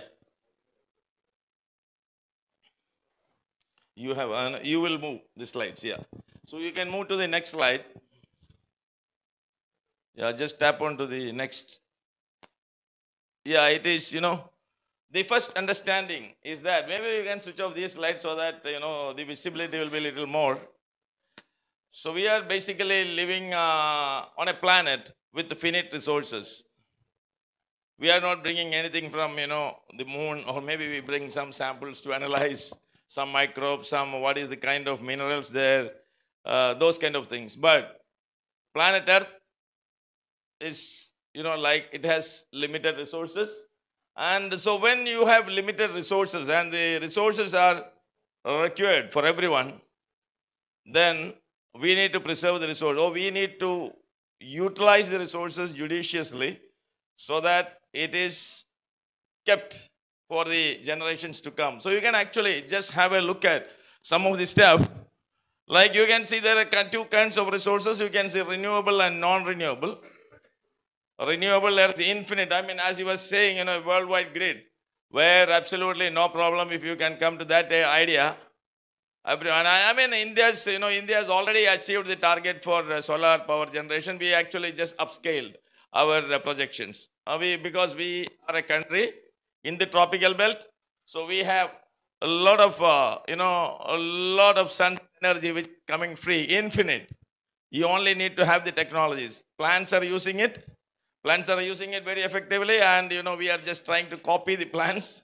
And we have a kind of cells, photovoltaic cells, which is converting sun's energy to power. So we have wind energy, which is again, Suzlon is a leading, uh, leading uh, wind power, uh, wind power turbine manufacturer in the world. Leading. I'm not just joking. Suzlon is a leading company in the world. Uh, you know, then uh, these are all infinite because you always have sunshine, you always have wind. Because if there is a there is a variation pressure, the, the air starts moving. Then you have another things like forest. You can actually grow forest. You can cut them, use them, judiciously use it. You can regrow them. So it's a renewable kind of thing. You have fish, you have soil, fish in the ocean. If you if you practice sustainable capture, you can maintain the fish there always. The thing is that you are capturing small fish also, those no, not have reached the size of reproductive age. You are capturing them. You are uh, non-selectively, you are targeting them. You are resorting to, you know, kind of uh, destructive fishing practices. So you have shortage of fish. Otherwise, you have a lot of fish. Fish will continue to grow because ocean is two-thirds ocean. A lot of water body there. This lot of water body can sustain the fish, but we are actually, as the and some of uh, the initial speakers they said, the greed will crash. Everything is there. You know, when there is exam, what, what, level you require and what level you harness from the from the natural thing that matters. Then you have agriculture. You are actually producing. We are actually leading in many of the agriculture production scenarios. We are producing. We are producing many of the you know food stuff for the world. We are leaders. We have a lot of cattle. We have a lot of agriculture. We are basically agriculture-based country. The monsoon is the biggest thing in India. If monsoon is good, economy is good, stock markets are up, everything is fantastic because India is primarily an agri-driven country, agri-economy. So that is the thing. And you know, when you come to non-renewable, this is where the problem lies. You have non-renewable because fossil fuels, which are actually coming from organic material buried in the in the under the ocean or under the sediments, you take them out, you you burn because it's a very convenient form of energy. So you still use it, but emits a lot of CO2, which has its own problems. And you have non-renewable finite resources like iron ore, bauxite, diamonds, gold, uranium. If you look at India, India is actually acquiring aluminum and other uh, lithium uh, know, fields in Argentina, in Latin America, many places in Latin America, because our require, projected requirement is very high. We have limited resources. We are big. We are going to Australia. We are going to Latin America. We are going to many parts of the world seeking for material. Oh, no, I mean, we are, you know, leasing or we are actually acquiring many, many fields across the globe. Projecting, uh, that's what I said, because We have the numbers. We are 1.42 billion, and that 1.42 billion is a big number. So the requirement is very high. The development is going to be very high. There's no doubt about it. We are going to do that path. Next slide. And you can see, you know, the sustainable development. There is a sustainable development conundrum, you can say. It's not possible easy. Whenever there is a development, whenever you grow, there is a there is a generation of waste. It be it fossil fuel waste, be it human waste, be it other kind of uh, waste, industrial waste. Whenever there is development, there is a generation of waste. So sustainable development is definitely a development and sustainability is always in contradiction. So there is a great uh, difficulty to achieve that, but it is achievable to a great extent. May not be in a hundred percent perfect scenario, and perfect basically it never exists. Perfection is a kind of you know theory because once you then reach perfect, then you're dead. You're not thinking anything further. So it's just a just a kind of finish we are saying about perfection. It is not, you know, a kind of static a point. So here, so environmental, you need to have sustainable development, you need to have social progress. If you our people are poor, you tell them don't cut mangroves. If they don't have firewood, what they will do? They'll cut. You tell them there is don't capture small fish. They have nothing. They just go to the water and capture it. Definitely, you can't stop it. So social progress is mandatory. Economic development is mandatory. It's equitable economic development. Equitable. Everybody is getting, everybody getting the fruits of economic development of India. That's very, very important.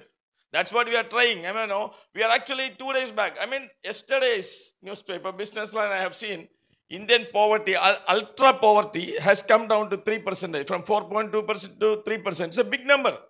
It's a big number actually. So we are trying to achieve that. And you know, then environmental protection enhancement. You you live in harmony with nature. You can definitely. I mean, father was telling about you know like uh, the man is the superior. That's very true. Man is the only species which is having the creativity almost equal to God, or maybe God has created him with that kind of creativity and you know that kind of imagination. So he manages things. But the thing is that it is it is not a kind of right kind of understanding going into people. You know, even Madhav Gadgil was telling there is no harm. You kill the wild boar, you eat it. It is a fantastic meat. It's a fantastic protein supplement. What's the harm? Because the population need to be adjusted. Population need to be balanced by itself. When that balance goes, there's a crash. In human case also, we can actually anticipate some crash at some point of time if we go like this. But many countries stopped growing. Many countries, as he said, Europe, US, Canada, most places either stagnating or they're all dying population. India or Southeast Asia, growing population. So naturally, their old age people increasing. Naturally, the growth is not going to take place and we will be growing. And also, we now we have 25, 40, maybe the maximum number in our population, but you know that also will change after maybe some 15, 20 years, then there's a change. Because many people don't want to marry, many people not interested in having children, they uh, see children as a liability. All those things are nice, may be an advantage at some point of time, but it's not going to be an advantage forever. Things will change. So here, all these things happen together, then you have what? Sustainable development, which is not really a very easy thing. It is definitely going to be a tough thing. Going next slide. So actually, a UN or United Nations, we said the big body, they see there is development. There is because our constant aspiration is to develop. There's no doubt about it. We want to develop. We want to become a developed country. Many countries become developed and they used, as you said, rightly said, they use a lot of gas guzzling, you know, vehicles, uh, I mean, uh, coal powered uh, things, many things. Even per capita carbon emission is very high in US. There's no doubt. Only thing collectively, India and China is putting more carbon. But per capita, I am putting only this much. Uh, or an Indian is putting only this much. But a US person is putting almost this much. But their numbers are much, much less. So when, when it comes to numbers, I said the number matters always, right?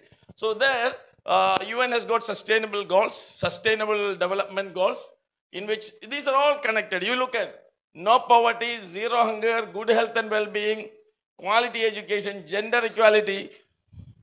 Everything is, you know, connecting from one point to another. And you have clean air and sanitation, affordable clean energy. This is what we are, you know, we are developing in a big way. Decent uh, work and economic growth. Industry, in- this is again, we are actually one of the best startup innovation, I mean, startup ecosystem is in Kerala. That's what Swedish-based people were telling. India, Kerala has got a fantastic uh, startup ecosystem. We are actually, an innovation, I, I kept some other slides in not in this presentation, maybe they are in my system. Bill Gates was there with a chaiwala day before yesterday. And Bill Gates was with another person. You know, like we have creating a kind of uh, a kind of uh, just a box. That box carries everything for in case of a landslide, in case of flood, in case of a natural calamity. It has got you know medical kit. It has got other protective wear. It has got uh, you know lot of stuff detectable you know on the spot detection uh, kits, many things. And he was saying, in India, innovation is everywhere, from chaiwala to the other end, everywhere. You know, people, you know, very creative people. We do that. Actually, we are doing so many things, right? Only thing we have a lot of people, but you know that people will be our demographic dividend. The people are the major, major resource for us. We are the human resource capital of the world. So all these things, we are working in uh, life below water, life on land, and many things, right? And partnership to achieve the goals, international partnerships. Next slide. So you can actually six transformations to achieve sustainable development. If you look at one is education, gender, and inequality. You have to target that. Very, very important. Educated people can go somewhere, do something, live. And you know, basically, the gender equality, Kerala, it is pretty good, but it is not so in many other places. And you know, those things. And health, well being, and demography. This is another thing we have to, that we are, we have challenging. I mean, even central government is not really funding as much. Maybe Kerala is doing better. Kerala's uh, Human Development Index is almost as good as the best of the Western Europe. But if you look at, uh, I mean, uh, last budget, I felt in education and health sector, the, the, the percentage is actually slightly less. So I really have some concerns on that. Energy decarbonization, sustainable industry. We have uh, EVs coming up. You know, Tata Motors is a leading EV, and there are several tech. I mean, Mahindra. So many people coming into EV market, and they're uh, producing a lot of fantastic vehicles, cutting down uh, fossil fuel. And you have, uh, as I said, solar power. We have already achieved target. Wind power. This time, lot of thrust on wind power. We will achieve that. We have uh, background on that. And sustainable food, land, water, and ocean. This is very, very important thing. We'll come back to that later. Sustainable cities and communities, where you need, you know, urban-centric uh, transport, non-polluting transport systems, mass transport systems like metro, like BRTS, bus rapid transit systems. All those things, you know, transferring people peacefully, large number of people peacefully with low carbon emission to uh, their destinations. Then digital revolution, we are doing fantastic. Digital revolution, you see, you see, you are uh, getting an email. At the end of the email, they say, don't print if you don't require a copy. You think before you take a print. You are sending so much material, everything is digitalized. You are doing a lot of transaction. Earlier days, you go to a bank, give the, you know, slip to get the money, not doing anything. You are transferring money here, there, everything. You do a lot of online commerce. Everything is digitalized. Material consumption is basically reduced a great extent by digitalization in many, many ways. I'm just citing a few examples. Go to the next slide. So you can, this is the same thing only where I have given the text there. Uh, this is uh, image, education, gender inequality, health, well-being and demography, energy decarbonization. This is uh, uh, wind power, solar, you can see, and this is uh, transformation of sustainable food, land, water and oceans. This is sustainable cities and digital uh, innovations. Go to next slide. See, components of nature. This is, we have, see, living, non-living. The, no, the, the point where we miss as a people is we are very intimately connected to the non-living. See, if there is no air in this room, or if the air is sucked out, all that. If the air pollution, air is polluted, so much effect. I mean, Delhi, you know how many occasions they shut down. Airport shut down, industry shut down, school shut down, people are not going anywhere. It is, we are talking about air, we are not seeing it even. I'm, I have a lot of air in- front of me. I'm not seeing it, but I can feel it by just doing this. If that air is not good, there's a problem. Water. If it is polluted water, you have a lot of issues with your health. If you are pumping so much pesticides and fertilizers into the soil, they come back to you with much more venom through your food chain. But people are not realizing it. People are just dumping many, many things into the into the oceans, into the backwaters, into the places. They feel that the nature is not telling them anything, and it will come back to them with much more venom. The issue here is we are just part of nature. Though we are intelligent, we creative, we need to understand that we are just part of nature. We cannot grow beyond the whole. The whole is all encompassing everything. We cannot grow, overgrow that one. How can I overgrow my hand alone? It is not possible. It will be a big, big problem. Right? I am a whole person. I, my growth should be organic, normal. If I just with lot of muscles on my left hand, it will be uh, a kind of imbalance is there, right? So we are intimately connected to this. Our well-being is closely associated with the health of the environment. According to WHO, 24% of deaths worldwide are linked to avoidable environmental factors. We need clean air to breathe, clean water to drink, and toxin-free places to live. This is where sustainability or sustainable development comes into picture. We grow, we develop, mandatory growth happens. Then, how you grow? How you grow without polluting these non-living entities or minimizing the pollution to the non-living entities? Then you live better. Next slide. So man is, you know, man is a product of nature, a part of the universe. The universe is operated under exact natural rules. You are not doing anything. And I also tell you one thing the nature, we are all saying that ഭയങ്കര പ്രകൃതി സംരക്ഷണം പ്രകൃതിനെ സംരക്ഷിച്ചുകൊണ്ടാണ് നമ്മളെല്ലാവരും ജീവിക്കേണ്ടത് C പ്രകൃതി എന്ന് പറഞ്ഞാൽ ഞാൻ വളരെ ലോക്കൽ കട്ട് ലോക്കലാണ് ഞാൻ നാട്ടിൽ തന്നെ താമസിക്കുന്നത് മലയാളം മീഡിയത്തിൽ പഠിച്ച ആളാണ് but when I transact science I would like to transact in English. That is the only issue. Uh, I can very well go to Malayalam. That is my mother tongue. I learned in Malayalam medium. അപ്പോൾ അവിടെ നമ്മളെല്ലാം പ്രകൃതി സംരക്ഷണം എന്ത് ഭയങ്കര സംഭവമാണ് പ്രകൃതിനെ സംരക്ഷിക്കണം പ്രകൃതിനെ നിങ്ങൾ സംരക്ഷിച്ചാലും ഇല്ലെങ്കിലും പ്രകൃതി അതിന്റെതായ സ്വതസിദ്ധമായ രീതിയിൽ പോയിക്കൊണ്ടിരിക്കും നിങ്ങൾ അവിടെ ഉണ്ടാവില്ലെന്ന് മാത്രമേ ഉള്ളൂ നിങ്ങൾ ഉണ്ടോ ഇല്ല എന്നുള്ള പ്രകൃതിനെ സംബന്ധിച്ചാൽ no concern whether human being is there or not it's not a concern whether human beings are suffering or not it's a not a concern because പ്രകൃതിയുടെ അത് ഒരുപാട് സാധനങ്ങളുണ്ട്. ഓൾ കണക്റ്റഡ് എക്സിസ്റ്റൻസ് ആണത്.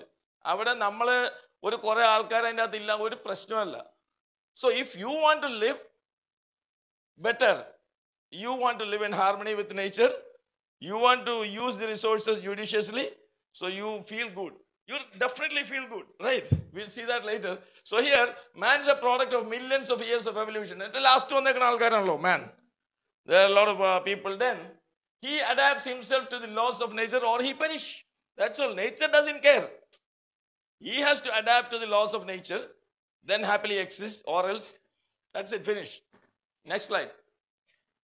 Yeah here seven environmental uh, you know sustainability examples i have put. This involves conservation of land freshwater oceans forests and air sustainable forestry water management sustainable agriculture efficient lighting right then sustainable uh, construction you heard about green buildings renewable energy a lot of uh, sunlight uh, i mean uh, tidal energy wind energy so many stuff is there zero waste right zero see i'll tell you this is a big thing this is what the country as a whole trying to evolve. We wanted to become zero waste or circular economy. Circular economy means waste from one industry goes to another industry as a resource. From there, whatever waste comes to another industry. Because nature, if you look at nature, nature offers solutions for everything. If you look at nature, if you don't interfere, there is nothing called waste. One organism's waste is another organism's nutrient. Everything is recycled perfectly.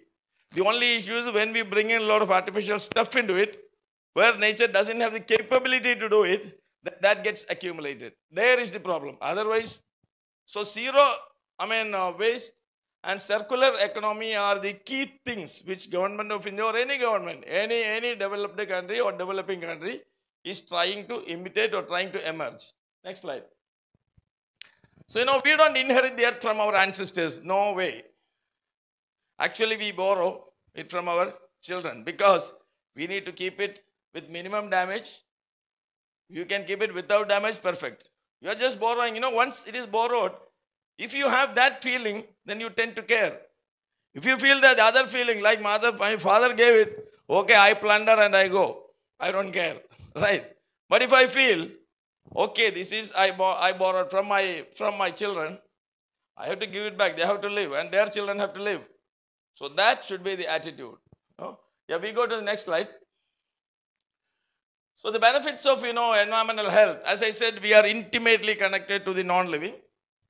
Cleaner air quality, cleaner water, reduce the hazardous waste, increase access to healthy foods, safer outdoor environments for adults and children. You feel good.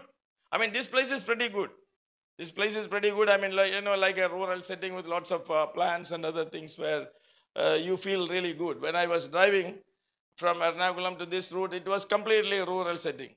Now I'll go, but Kerala, of course, everywhere, anywhere, you know, you peacefully go, then you can enjoy. You peacefully go, you stop and you look at the trees, you breathe the fresh air, you look at the canal, just blessing, right? You feel blessed. Improved population health, safer outdoor environments, and improved health quality. We go to the next slide. Yeah. Sustainable farming practices are required to manage our farms.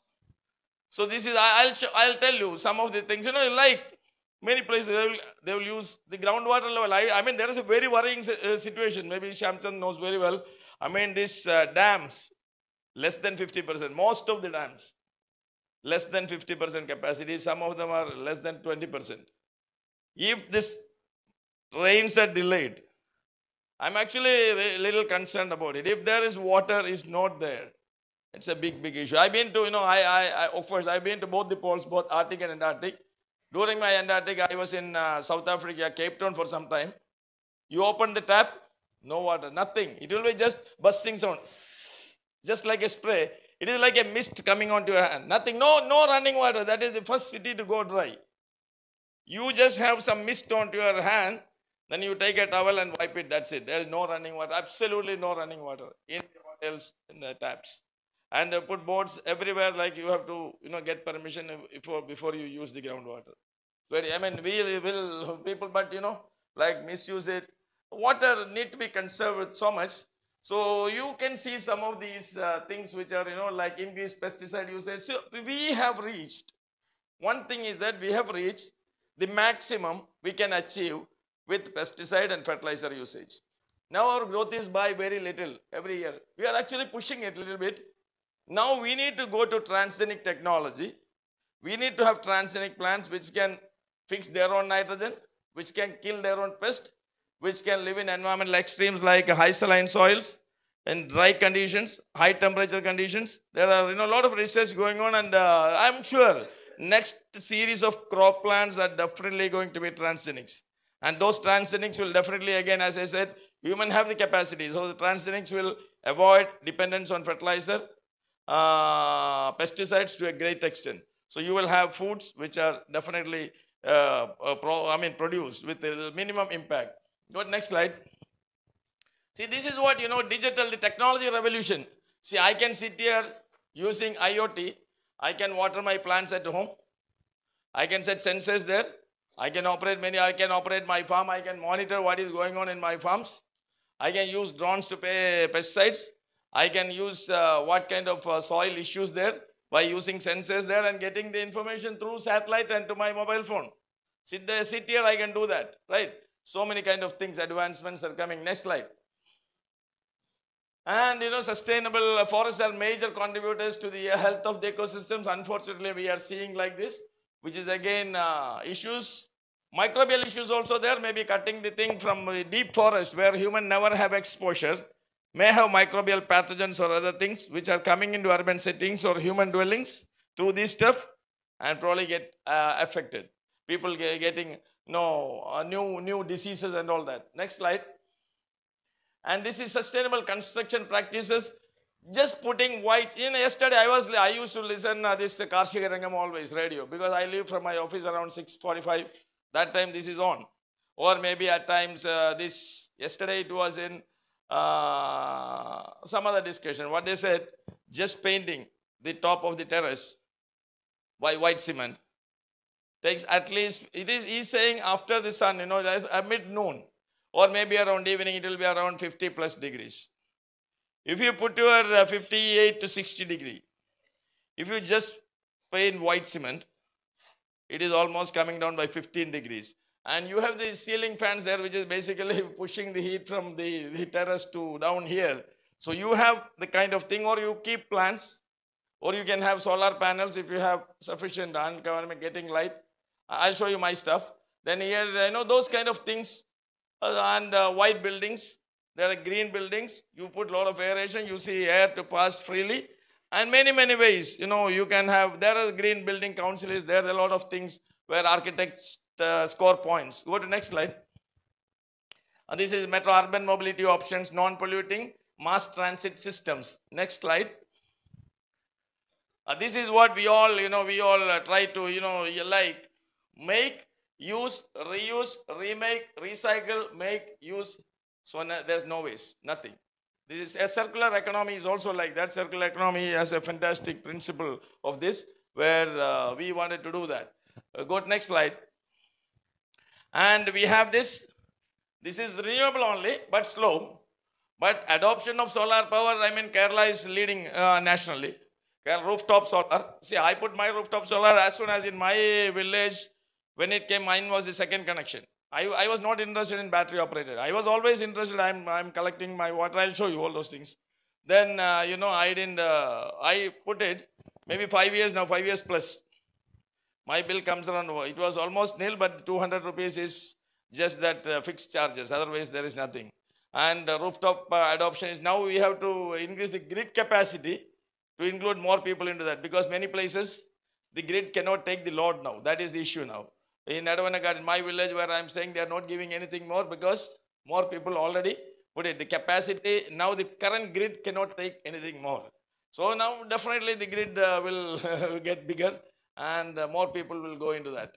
And go to next slide. Geothermal, you know, if you look, uh, if you go to last slide, you go to place like Iceland, where I mean it is almost more than 60% just geothermal energy because they have volcanic and a lot of geothermal uh, sources there and all these uh, renewable energy sources. Go to next slide. So role of the society in sustainability, the single most important factor. That is why we are talking to students. The students are the most powerful instrument of change, the most powerful people who are going to change the future of the country or a place, wherever you are. That doesn't matter, wherever you are. So you need to be educated. You need to be, you know, given the right kind of, uh, you know, ideas or right kind of perception about development, right kind of perception about uh, consumption, right kind of perception about our personal living or personal usage of resources, all those things. So they are the most important uh, factor, single most important factor. And as I said, you need to do this. You need to see, you know, global warming is a, is a phenomenon, global phenomenon. But why, if I put, if I make my car EV, I am using my bit. I'm doing my bit. Many people doing that. See, the atmospheric systems are all connected.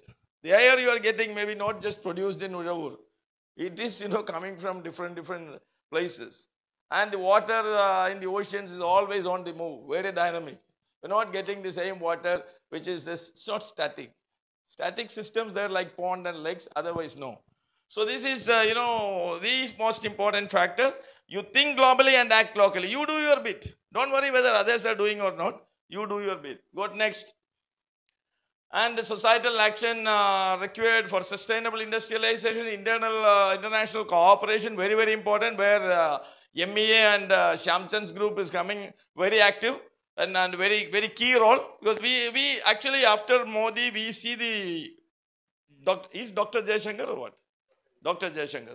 He is the very prominent figure. Always, you know, discussing in various forums. India's, uh, I, I, I was interested, I put my hand only but half because I thought you meant the students. I used to track Indian uh, foreign policy, which is very important. And international foreign policy, I read mostly BBC. I don't read much local because BBC gives me a lot of insight into what is happening I just read for five, ten minutes. I have three papers at home, but I read hardly. Hindu is there, but still I read less. Uh, but I, on digital, I mean, internet, I track BBC. Every day morning, I start looking at that. Get five minutes reading in the BBC gives me a picture of what is going on across the globe, which is very, very standard, very high quality, reliable news you get. So waste recycling, wastewater treatment and reuse, many countries and you know, and now Singapore maybe not having wastewater, everything is almost potable quality water because they are a very small country, just 25 kilometers and they have no water, fresh water, all gray and other stuff is converted into fresh, almost like drinkable quality. What next slide? Sustainable living, what we can achieve, certain things. Reduce CO2, you can use EV. Use a cloth line, run full loads when you run the washing machine. Because you get optimize, you optimize, whatever you use, you optimize. So that you are not putting it a second time. You optimize whatever, wherever you can. Then it makes a big difference reusable drink containers like you know i as in school of marine science department of marine biology we have 200 300 glasses stainless steel glasses immediately i took as hod i just started buying i said no nothing like that you just take this and serve it and you wash it even if you give 200 rupees to a person to wash and clean it is good no problem he will get something but you will stop throwing at least 200 250 now, after each event right uh, recycle and reuse use less energy uh, this is quite possible by being nature friendly. I'll show you. Reusable stopper, shopping bags, shorter showers. Even becoming vegetarian is a good idea to reduce CO2 emission. Because if you want to eat meat, the animal has to eat grass at the first place and only 10% conversion. You need 1000 kg grass to have 100 kg meat. But 1000 kg grass is, you know, straight away you're getting. And if you wanted to go higher up in the food chain, again it is next level, only 10% conversion. So you need a big base there. And growing such amount of plants is indeed a lot of water, lot of energy, lot of fertilizer, lot of stuff. So being vegetarian is definitely a good idea. Uh, I'm non-vegetarian, omnivorous. Uh, but, you know, I love vegetarian, but I eat a lot of fish. Meat, uh, I prefer uh, mutton sometimes. Uh, chicken almost no. I don't like chicken somehow. I, I don't like it because it's a very bland kind of meat, nothing else. Even beef is better to me. Okay. Then you go to next slide. So here, you know, pro-environment activities. What we can do becoming a pro-environment person, you know. See, go light on plastic, especially single-use plastic. This is this is the biggest problem. Plastic is a fantastic. I am never against plastic. Plastic is a great stuff. Without plastic, we cannot live. If you completely phase out plastic, no trees will be there, nothing will be there. Plastic, you see in this room, maybe more than 60 70% plastic only. It is highly, very good, durable, recyclable, long lasting, no rust, nothing. But if you all carry one small bag, you know, carry bag, single use, that is a problem. It will clog waterways, it will pollute soil, it will pollute everywhere. It's a big, big problem. So always carry a reusable bag. There are many varieties. This is a Sangeeta bag. They have thousands of designs. Uh, so you have given a jute bag for the conference. I noticed it. That's good. Uh, sort uh, plastic and dispose of carefully. Never mix organic waste, kitchen waste with plastic carry bags. That is a big problem. People put it inside and then throw and it will not even get mixed with the soil. It just ferment inside, giving a lot of smell. You cannot just go nearby. Next slide. Yeah, bag it, jute bag, cloth bag, whichever you want, right? Next. Yeah, carrying capacity is there. I mean, any system has got a, or a capacity beyond which it will crash. So that we need to know. Next slide, which is determined by availability of food, water and other things. And these are the major uh, threats to biodiversity. All people know this. We'll go to the next slide. I'll just quickly finish now. Yeah, I just wanted to come to my personal experience. Uh, some of I said I'll share some of my personal thing. I, I don't want to boast anything. Just sharing some simple ideas, which is if you are interested, you can practice. Uh, there is, it's uh, always your action should be the product of your conclusion. Never, you know, be a good listener, not be, you know, a slave to anybody. You just listen, you just imbibe ideas, You assimilate in your brain and then you take action, right? So this is myself and my teacher. I mean, since he's uh, PhD boss, since he, since he's busy with WhatsApp. See, this is this is this is your teacher, Sarama Miss, and myself and uh, Sarama Miss in Lakshadweep. I used to take the students to Lakshadweep, which is almost a near pristine environment where they can see the coral reefs and other things. So pure nature is most refreshing. We go to you know Munnar, we go to other rainforests, this that, so many places. Go to next slide. I'll just show you some of the places. Yeah, this is myself and my master students. Maybe three four years back. Some of them are doing PhD there. I am here somewhere, right? And the others are my students, now spread across different parts. Maybe some three, four years back. Uh, next slide.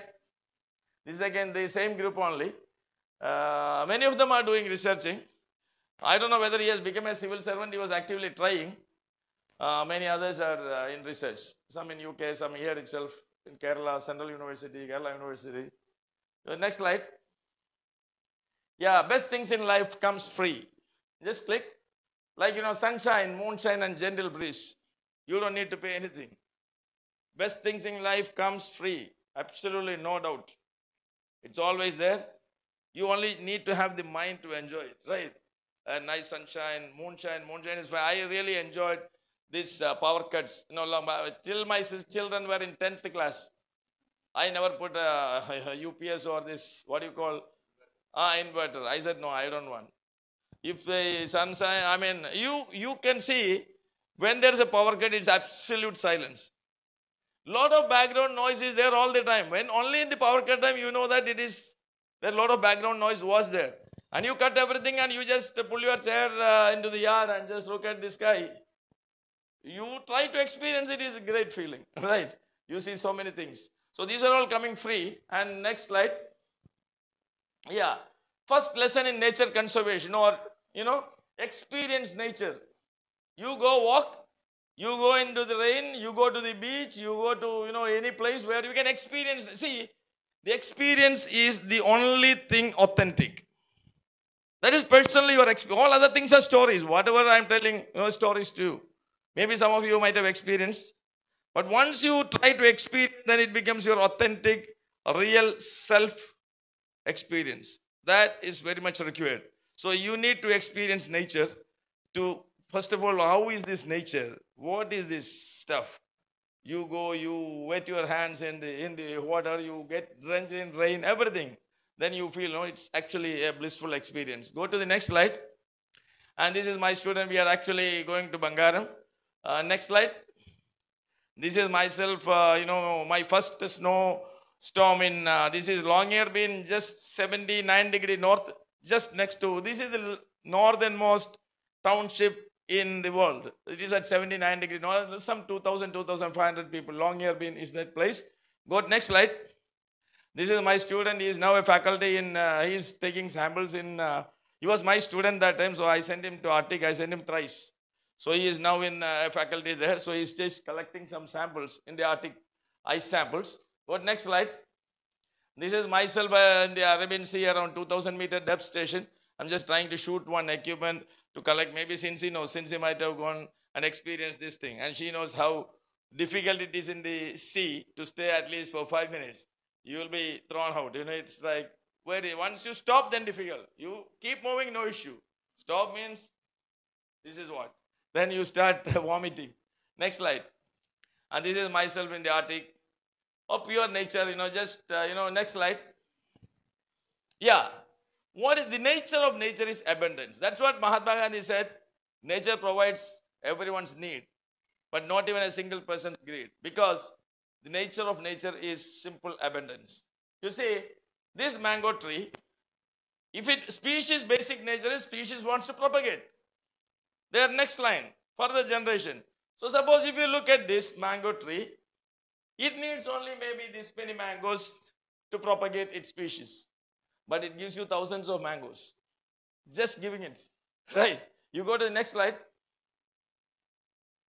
Next slide you see.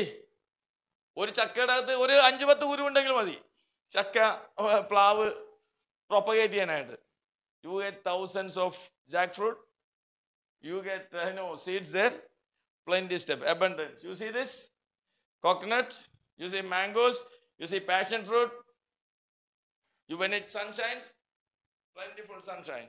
When it rains, plentiful water. When it breezes, beautiful. You feel blissful, right? It's just the nature of nature is simply abundance, nothing else. Go to the next slide. This is my place. This is a lot of water at home. So my wife and my brother and all, uh, ഇക്ക ഈ വെള്ളമൊക്കെ കെട്ടിക്കിടന്ന ആൾക്കാർക്ക് വരാൻ ബുദ്ധിമുട്ടാണ് Ikidaka Ranges, Nyaman, nothing doing. I am staying here. If they wanted to come, they can come in summer also. I am not going to drain anything, but I know the value of water. The water will remain here.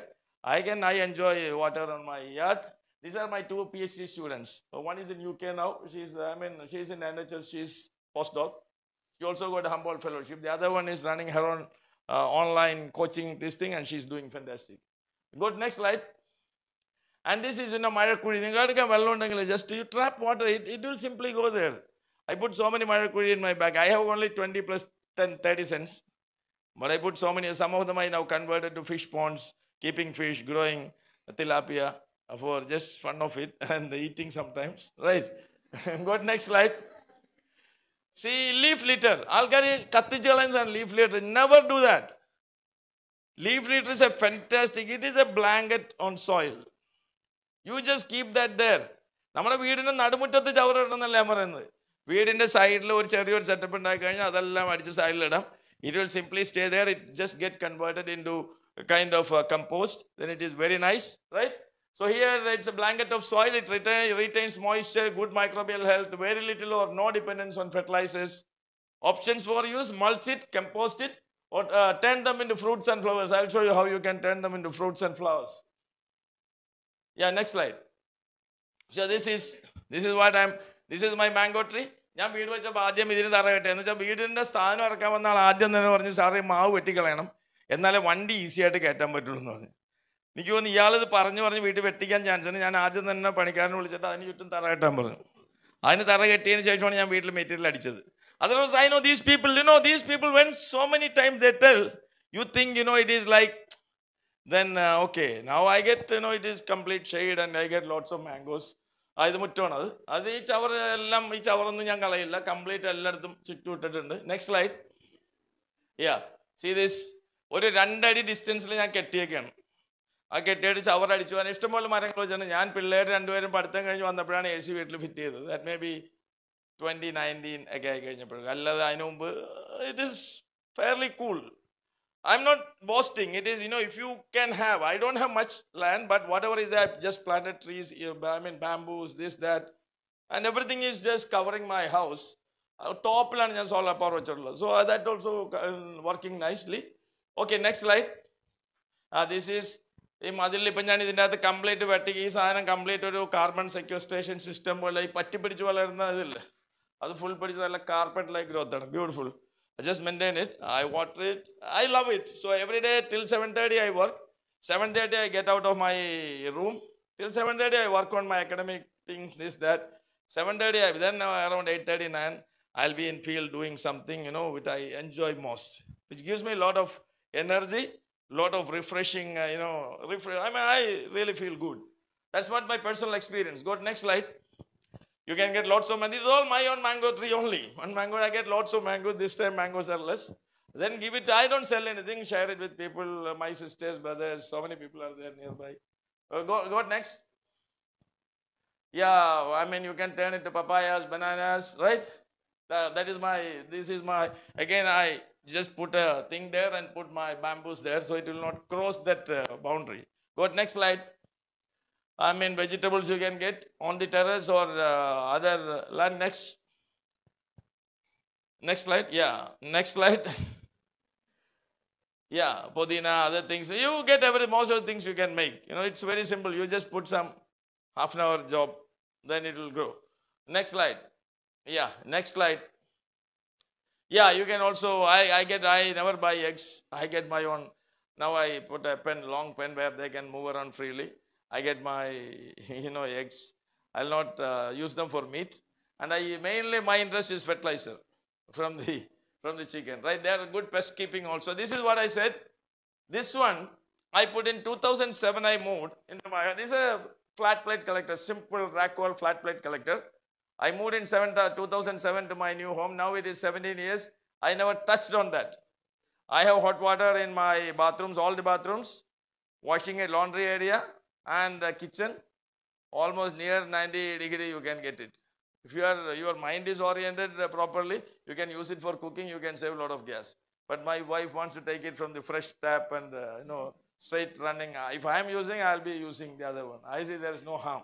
Okay, and this one I put it in now five years plus and uh, 3 kV. I, that time I put 2.42 lakhs. I was not worried about the kind of economics and other things. I just wanted to use technology. That is what my, I'm very much a science person. I love science. I practice science. Very many things I do and most things are working beautifully. Just you need to understand and do it. I didn't go for subsidy and all that because I felt subsidy people sometimes give low quality stuff. Then I just did it. And it is working fantastic. Even last month bill was some 220 rupees. Out of his 200 is just, uh, you know, for the fixed uh, meter charges and other things. Go to next slide. So here, ultimate solution is you connect with nature as far as sustainability is concerned. Solutions are self-contained in nature. I told you, know, because we are only copying nature. Your eyes are autofocus. You have many, many things, you know, like your sense of smell, your many, many systems. You are only trying to imitate those systems to do the job for you, if that fails. So the nature is, as I said, zero waste system, which we are all trying to, you know, like uh, imitate. So then be aware that we are only part of nature. Try to grow as part of nature, then it becomes a blissful experience. Our life and health are essentially connected to elements of nature. And elements of nature responding to us very powerfully. Don't miss, feel the pulse. Do not miss the pulse of nature. When you connect with the nature, you know, Amo, that is that's something going wrong there, right? Do not miss the pulse of planet Earth. Go to next slide. So take home message is get close to nature, wonderful place to boost your imagination. Just ഇത് നിങ്ങൾ നോക്കിക്കോ നോക്കണ്ടെന്നൊന്നും ഞാൻ പറയാനല്ല ഒരു കുറച്ച് നേരമെങ്കിലും ഇതൊക്കെ മാറ്റി വെച്ചിട്ട് ചുമ്മാ just just walk around open your eyes walk around look at things then you see many, many, you know, many, many interesting stuff. Uh, live easy. Life, you know, it's like it just happen. It will just happen. You don't need to complicate life. Live easy.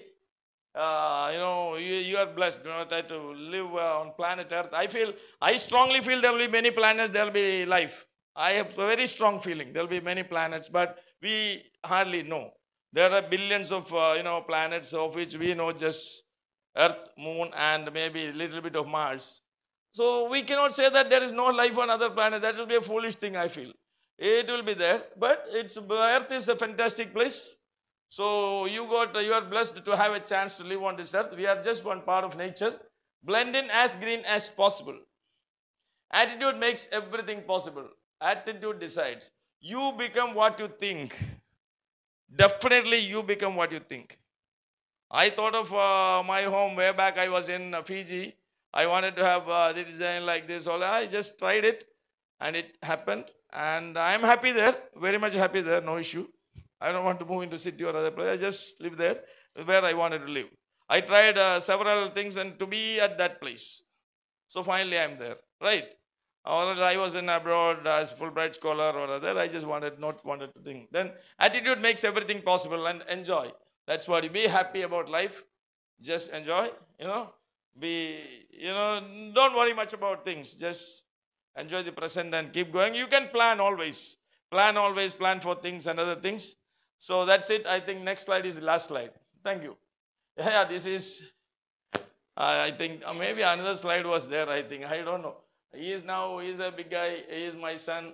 Uh, he is my, these two are my brothers. He did from IIT, then he got a scholarship from Cambridge, and then he's, he's doing pretty good. My son is, uh, I did in IISER, and now he's doing his MS in uh, US, UT Dallas. The other guy is doing now plus one. All that big plus two, right? So I'm very close to them. So next slide, I think. Yeah, that's it. Uh, finished. Thank you.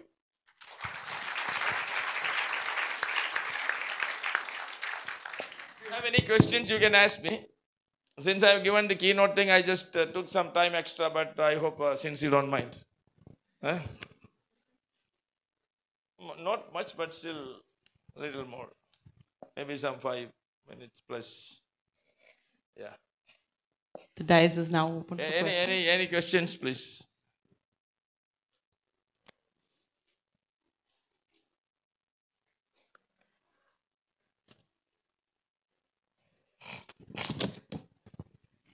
No questions. Thank you. If you have questions, no issue. I mean, like I prefer people ask questions, uh, you know, to the, I mean, uh, in the public, then uh, it becomes useful to everyone. If you ask in person, you know, like, then you only benefited. But if you ask in the crowd, then several people are benefited. So I welcome that.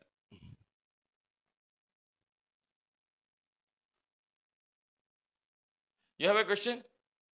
Somebody lifting his pen, so I thought you have a question. No. Yeah, you have a question, please. Glad.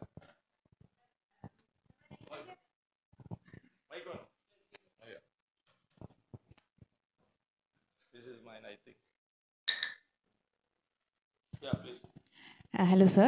My name is Asha. I'm an assistant professor from Department of Zoology. Sir നേച്ചറിനെ conserve ചെയ്യാൻ ഒരുപാട് steps sir തന്നെ follow ചെയ്യുന്നുണ്ട് കണ്ടതിൽ ഒത്തിരി സന്തോഷം ഇപ്പം എന്റെ വീട്ടിലാണെങ്കിൽ പോലും ഞങ്ങൾ പല കാര്യങ്ങളും തീരുമാനിക്കും ഇങ്ങനെ ചെയ്യണം നേച്ചറിന് ഉപദ്രവം ഇല്ലാത്ത രീതിയിൽ സസ്റ്റൈനബിൾ ആയിട്ടുള്ള കാര്യങ്ങൾ ചെയ്യണം എന്ന് വിചാരിക്കും പക്ഷേ ചെയ്യാനുള്ള സമയത്ത് നമ്മുടെ കൺവീനിയൻസും നമ്മുടെ ബാക്കിയുള്ള നമ്മുടെ പ്രിവിലേജ് നോക്കി നമ്മളത് ചിലപ്പം ചെയ്യാൻ മടിക്കും. എനിക്ക് തോന്നുന്നു ഓൾമോസ്റ്റ് എല്ലാവരുടെയും ഒരു അവസ്ഥ അത് തന്നെയായിരിക്കും. ആ ഒരു മൈൻഡ് സെറ്റ് മാറ്റുക എന്നുള്ളതാണ് ആദ്യം വേണ്ടത്. അതിനെന്താ ചെയ്യാൻ പറ്റുക?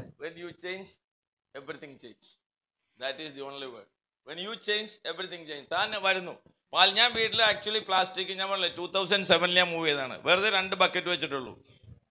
വെറുതെ രണ്ട് ബക്കറ്റ് വെച്ചിട്ടുള്ളൂ. പ്ലാസ്റ്റിക് ഒരു ബക്കറ്റിലിടും മറ്റു സാധനങ്ങൾ പേപ്പറും സാധനമൊക്കെ ഇപ്പുറത്തിടും ഇത് നിറഞ്ഞു കഴിയുമ്പോൾ കെട്ടിവെക്കും കെട്ടിയ വൈഫും വളരെ കൃത്യമായിട്ട് അത് പുള്ളിക്കാരി ഭയങ്കര പക്കയായിട്ട് ചെയ്യും. പ്ലാസ്റ്റിക് മാനേജ്മെന്റ് പക്കയായിട്ട് സോർട്ട് ചെയ്ത് എടുത്തു വെക്കും.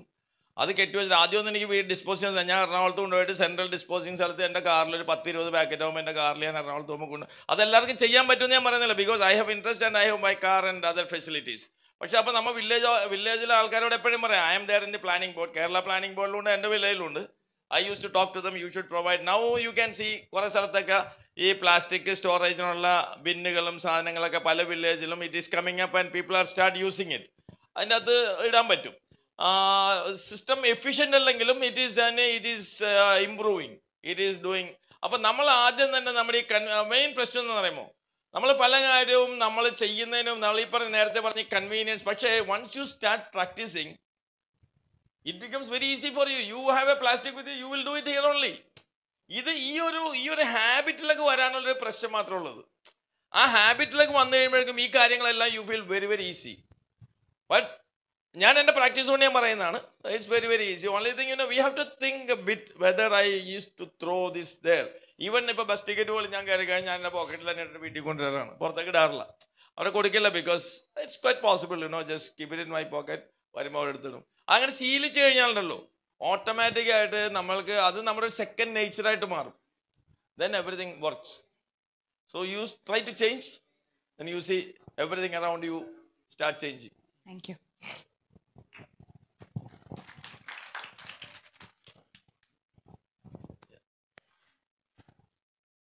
Please, yeah. Finish, yeah, yeah, okay. Thank you. Dr. Professor Mohammed Hatha, for enlightening us with your words of wisdom put across in such simplicity. We hope each of us here will draw inspiration from your valuable tips. St. Stephen's College is extremely honorable.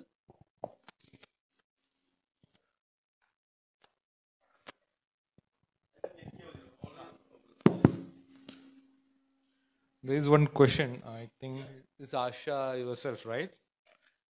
Already Professor answer പറഞ്ഞു തന്നു but I just add on to what he meant. Yeah. She was asking like this is a question. It's a good question she asked. Whenever we mention sustainable development, the discussion holds on a global or national level. I believe it's rather important to host this discussion in the grassroots level from our homes. This movement has come to be made practical from our homes. What is your thought on this as a government official? So this is the question from Miss Asha, Department of Zoology. So sir പകുതിക്കുള്ള answer പറഞ്ഞു കഴിഞ്ഞു.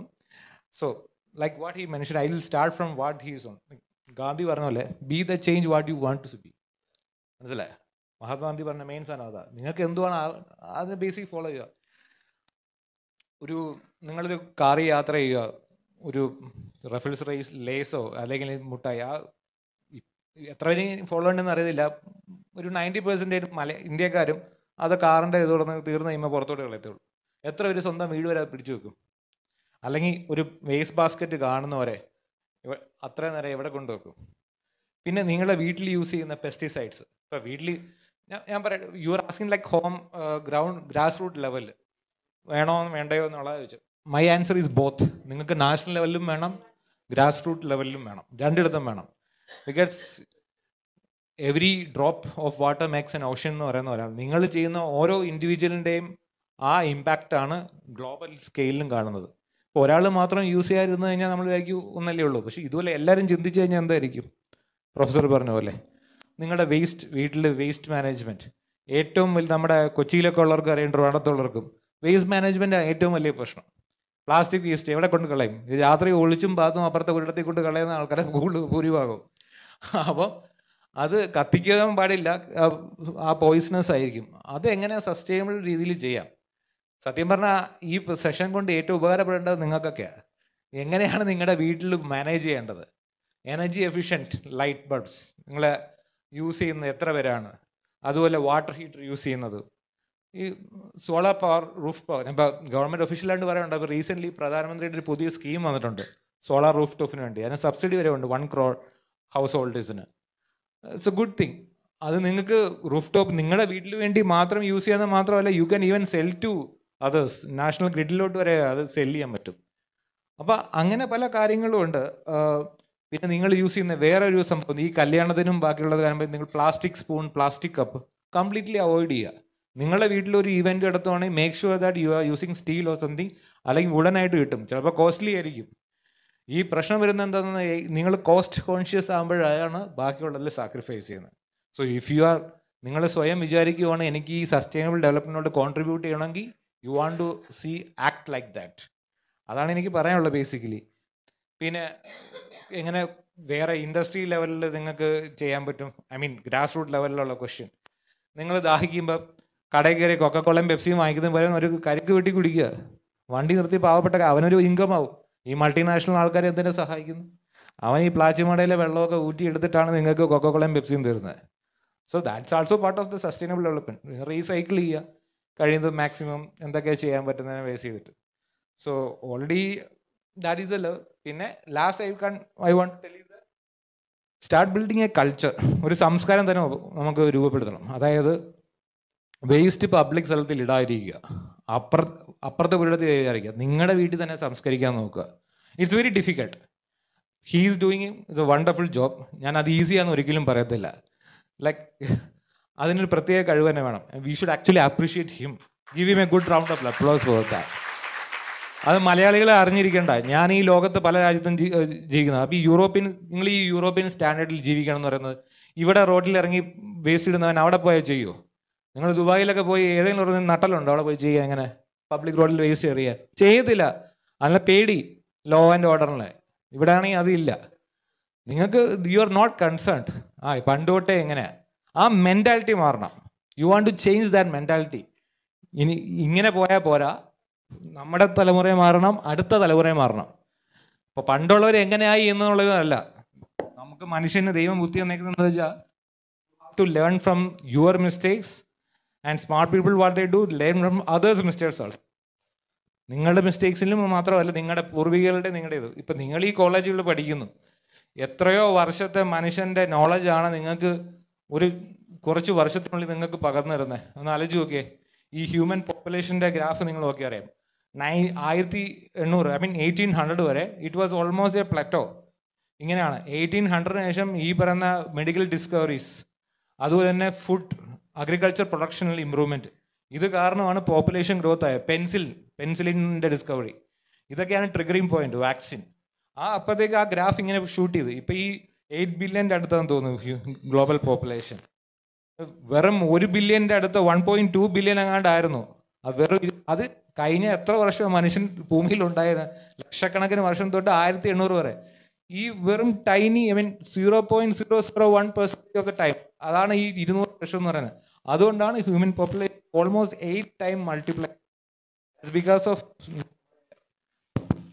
ആ നോളജും ആ medical ഫീൽഡിലെ പുരോഗതിയും അതുപോലെ തന്നെ അഗ്രികൾച്ചറിൽ പട്ടിണി ഒരു പരിധി വരെ മാറ്റാൻ പറ്റി. അതുകൊണ്ടാണ് ഈ പോപ്പുലേഷൻ കൊള്ളുന്നത് അപ്പോൾ വി ഹാവ് ടു അത് ഈ റിസോഴ്സസ് എക്സ്പ്ലോയിറ്റ് ചെയ്യുന്നതിൽ ഒരു ലിമിറ്റേഷൻ ഉണ്ട്. അപ്പം ഈ ഗ്ലോബലി ഞാനിപ്പോൾ സംസാരിച്ചു ഓരോ ഷന്റെ കാര്യങ്ങളും നമ്മുടെ ഗ്രീൻ ഹൗസ് എമിഷൻസിനും ബാക്കിയെല്ലാം. അത് ഗവൺമെന്റ് ചെയ്യുന്നുണ്ട് ഇന്റർനാഷണൽ ലെവലിൽ പക്ഷേ നിങ്ങൾ ലെവലിൽ ചെയ്തില്ലെങ്കിൽ it won't be a suck ഇപ്പം യൂറോപ്യൻസിന് ചെയ്യാവുകയാണെങ്കിൽ വൈ ഡോണ്ട് യു യു എസിൽ അവരുടെയൊക്കെ ഒരു മെന്റാലിറ്റി എന്ന് പറഞ്ഞാൽ തന്നെ അവരൊരു വേസ്റ്റ് കിട്ടിക്കഴിഞ്ഞാൽ അവൻ അടുത്തത് എവിടെ ആ ട്രാഷ് ബിന്ന് നോക്കി നടക്കും.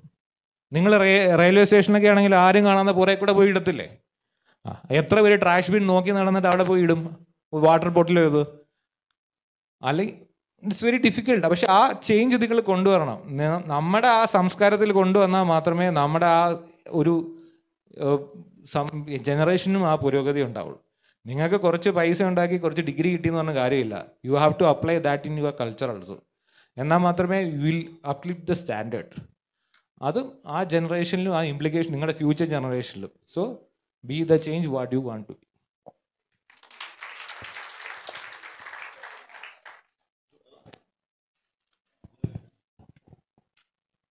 Sir, I want, sir, I want to know uh, what government is doing for uh, solar vehicles. Yeah. Do we get any subsidy for uh, buying and using solar vehicles? Uh, sir told that he is uh, using solar panels and government is also uh, doing so many things for solar panel people, using people. So in future, what will be the role of solar vehicles? I want to know that. Thank you, sir.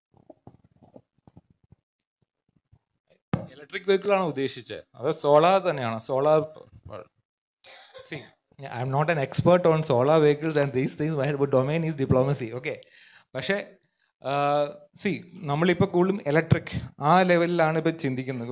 Because solar panel വെച്ച് നിങ്ങൾക്ക് ഒരു car use ചെയ്യുകയാണെങ്കിൽ അതിൽ restrictions കാണും. കാരണം രാത്രി ഓടിക്കണമെങ്കിൽ you have to store the energy so best please it out so best possible solution is that now for mass production ഈ solar vehicle എന്ന് പറഞ്ഞാൽ ആ കമ്പനി ഉണ്ടാക്കുന്നതിനും പ്രോഫിറ്റ് ആയിരിക്കണം. So is thinking that way ഒരുത്തനും ചാരിറ്റി വേണ്ടിക്കല്ല business പറഞ്ഞു Tesla ആയാലും ടാറ്റ ആയാലും എല്ലാവരും അവരുടെ പ്രോഫിറ്റിന് വേണ്ടിയാണ് ചെയ്യുന്നത് but that to in a efficient manner അപ്പോൾ മാസ് പ്രൊഡക്ഷൻ ചെയ്യുമ്പോഴത്തേക്ക് ഇപ്പോൾ ഇലക്ട്രിക് വെഹിക്കിൾസ് ആണ്.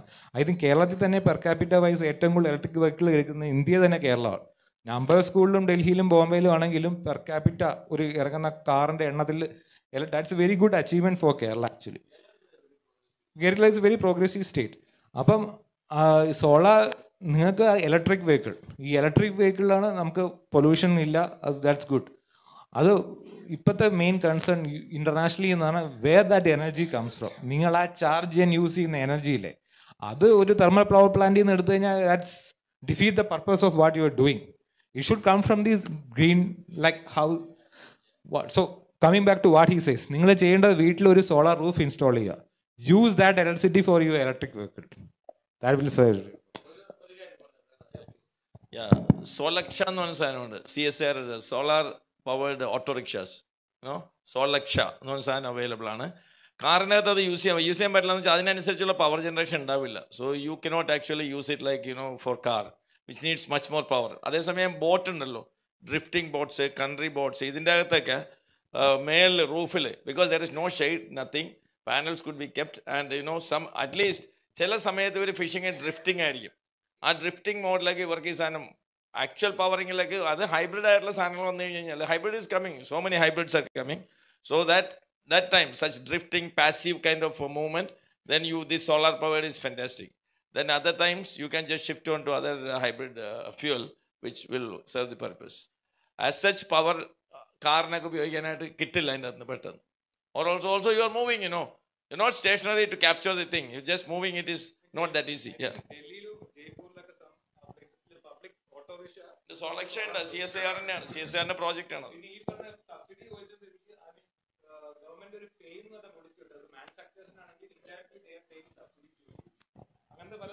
Already it is subsidise government ഇത് പ്രൊമോട്ട് ചെയ്യാൻ വേണ്ടി ഓൾറെഡി ഇലക്ട്രിക് വെഹിക്കിളും ബാക്കിയെല്ലാം സബ്സിഡൈസ് റേറ്റിലാണ് തരുന്നത് അവരുടെ അംബീഷൻ എന്ന് പറഞ്ഞാൽ പത്ത് കൊല്ലം കഴിയുമ്പോൾ ഇതെല്ലാവരും നിങ്ങൾ എടുത്തു കൊടുക്കുമ്പോഴത്തേക്ക് പിന്നെ ആ സബ്സിഡി പോകും പിന്നെ you have to that is the basic അത് യൂറോപ്പിലും സബ്സിഡി കിട്ടുന്നത് every കൺട്രിയിൽ one thing is they want promote electric vehicle system. ഇപ്പൊ തന്നെ ലോകത്തിൽ ഇത്ര നാൾ ടെസ്ലയായിരുന്നു ഏറ്റവും വലിയ കമ്പനി ഇപ്പൊ അതിനെ ഓവർകം ചെയ്ത് ബി വൈ എന്ന് പറഞ്ഞ ചൈനീസ് കമ്പനിയാണ് it's big that's biggest electric vehicle manufacture അവരിപ്പോ ത്രെട്ടാ ഈ യൂറോപ്യൻ കമ്പനീസിനും American കമ്പനീസിനും because they are capturing the market in European union ഇന്ത്യയിൽ വരാൻ സമ്മതിച്ചില്ല. ഞങ്ങൾ നമ്മൾ പ്രൊട്ടസ്റ്റ് ചെയ്ത് കാര്യം ഗാൽബാൻ ഇഷ്യൂ മറ്റേ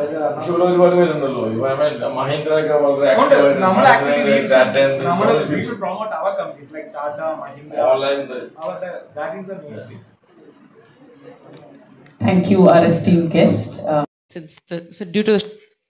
due to the shortage of time, we will be moving on to the next session.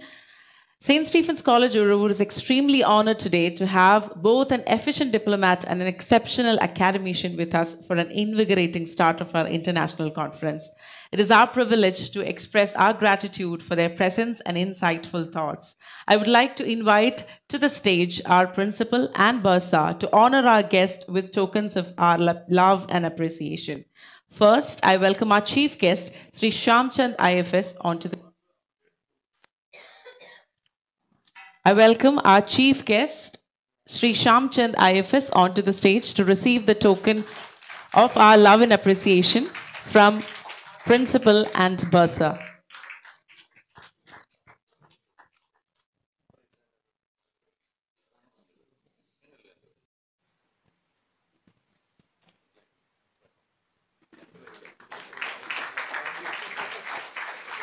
Thank you, sir, for the pre- your presence in St. Stephen's College, Uzhavoor. Now, may I welcome our keynote speaker, Dr. Professor Mohammed Hatha, on stage.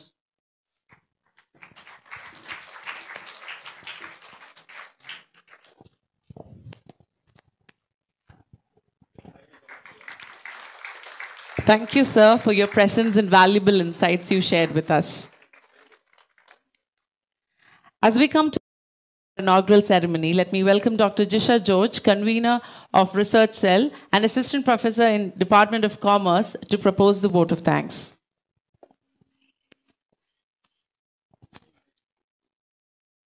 honorable dignitaries on the dais, respected participants, dear colleagues and students.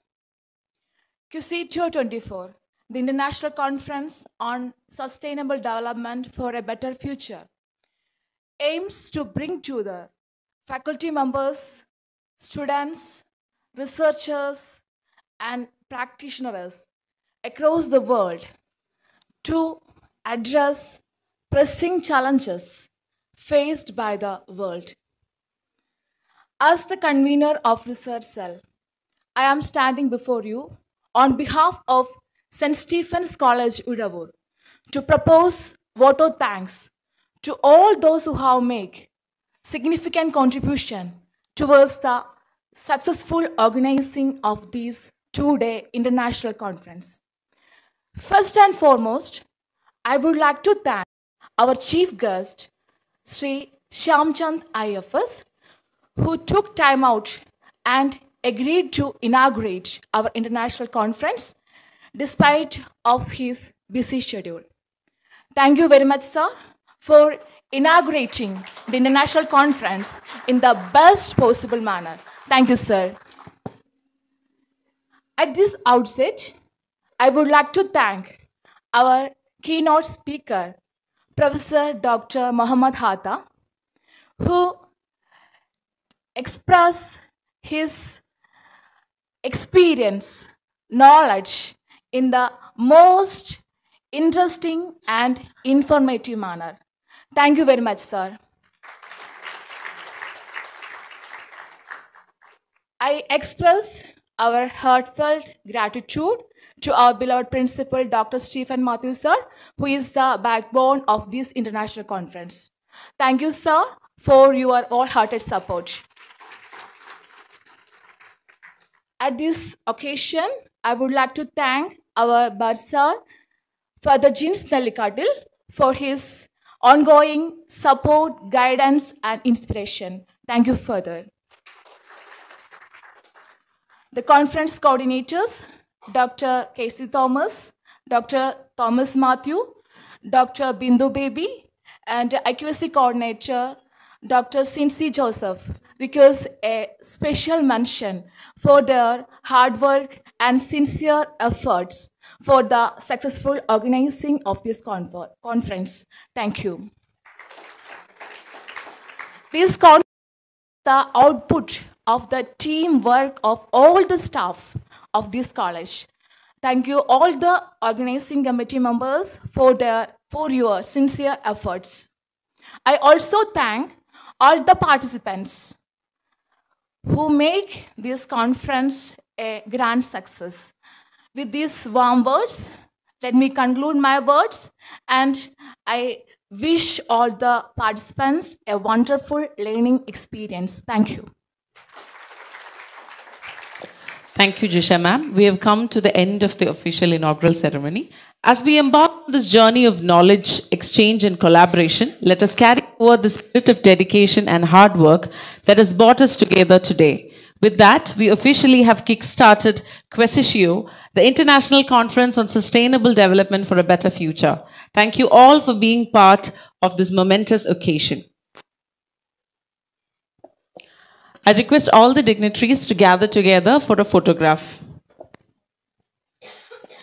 And I request all the participants to raise from their seats so they can be also part of the photograph.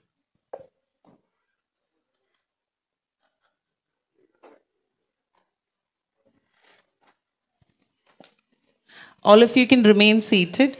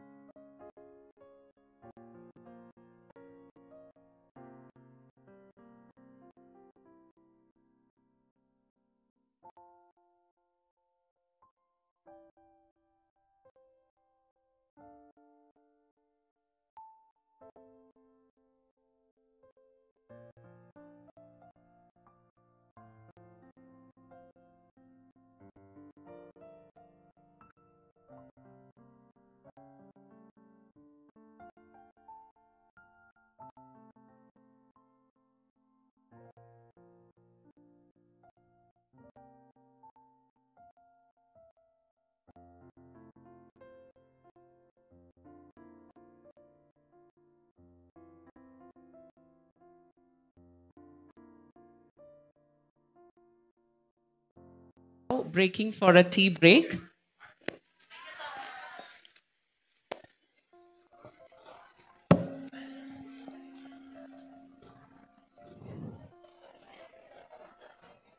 I request all the participants to report back in Edu Theatre for the second session after 10 minutes. Tea and snacks is made available for you outside this educational theatre near the hallway.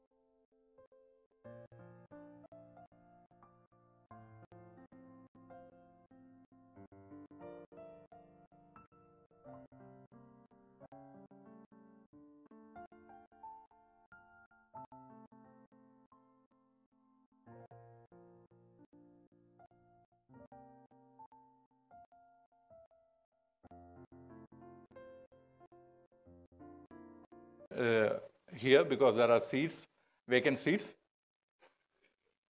Please come and occupy these seats. I request all the students to please come forward and fill the front seats.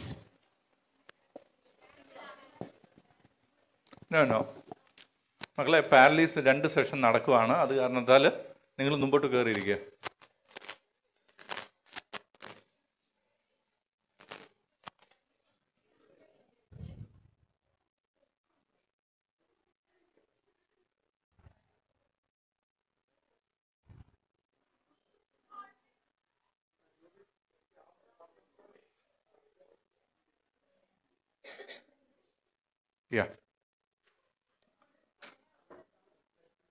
Distinguished it's my esteemed honor to introduce a luminary in the field of development economics, Dr. Rajesh Kenoth.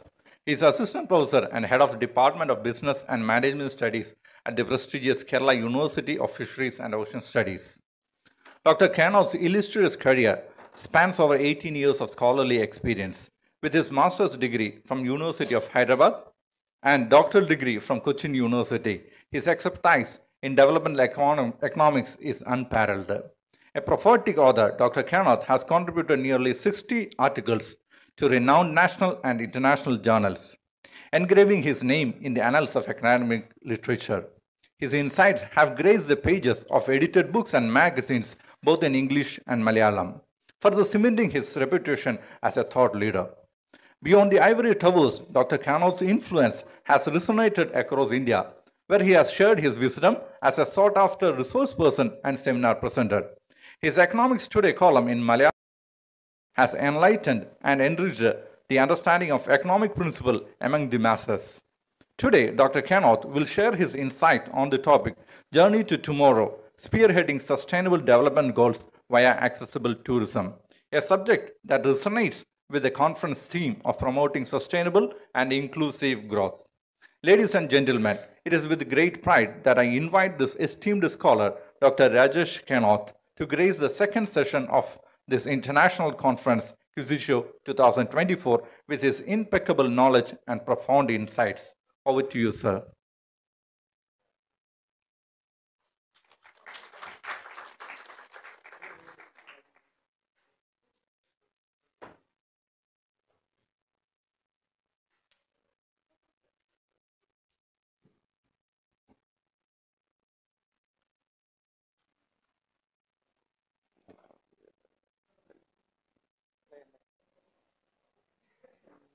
This one.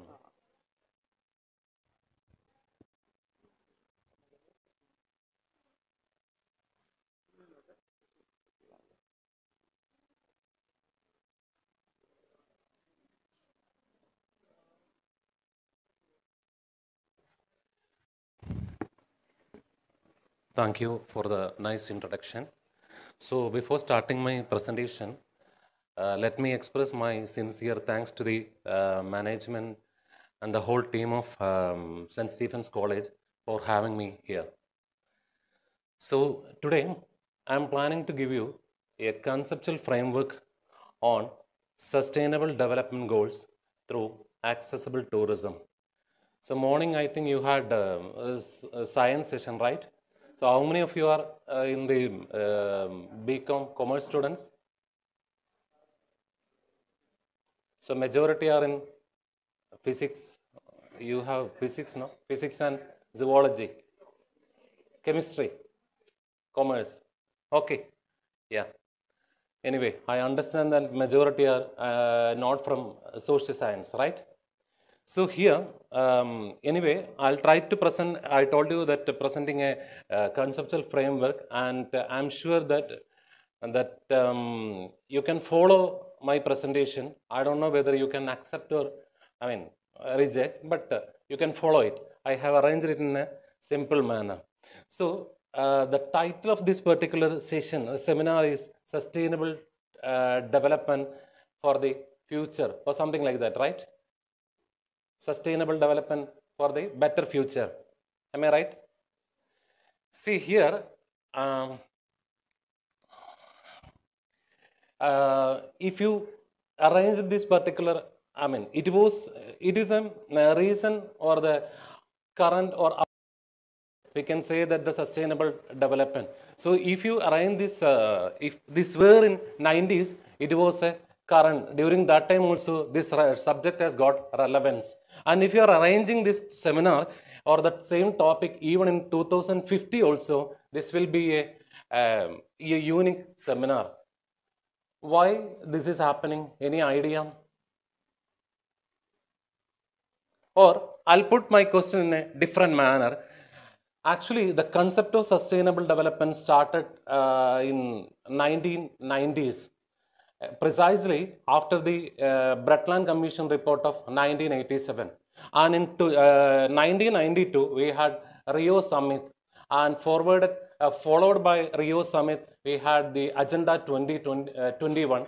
Then in Johannesburg 2002 Summit, again we uh, we were we had this uh, Millennium Development Goals, and in after uh, 15 years, in 2015, UN uh, gave emphasis on or the another design another concept called uh, Sustainable Development Goals, and I'm pretty sure that by the year after 2030, again UN will be coming up the similar development goals.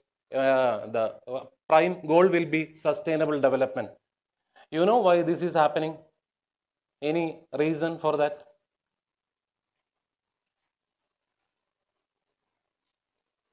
Because in uh, today as well as in tomorrow you are going to have going to listen so many sessions on sustainable development. It is very easy to preach sustainability and it is very difficult to attain sustainability. That is the major difference. Preaching is very very easy but in order to attain sustainable development individually we have to change. So here in that way i am just introducing a small concept. So moving on to my topic here this time the goal of sustainable development 2020 if you carefully watch that goal to end poverty and hunger in all the forms and dimensions to ensure that all human beings can fulfill their potential in dignity equality and healthy environment by 2030 and earlier versions of sustainable development where we gave much more emphasis on human development and as well as the environmental sustainability. But apart from that when it is coming to the 2015 or we are in 2024 we are thinking much on the concept called dignity equality and more or less a healthy environment. Then here i wish to introduce a certain kind of people no, uh, generally they are known as vulnerable people. So who are the people generally called as vulnerable? So I, I don't want to go to the details. Here, among the vulnerable people, I wish to take only one category that is called people with disabilities. And technically, we call at present the political uh, uh, correctness because of the political correctness we are using. It is uh, not disabled, differently abled uh, uh, people. I'll show in order to for a better clarification. I'll show a small video. Can you can you minimize it?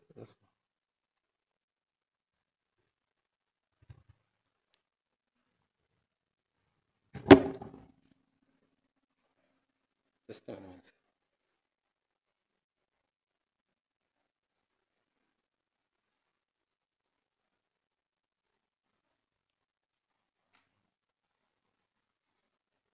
This hall is looking like a multiplex theater.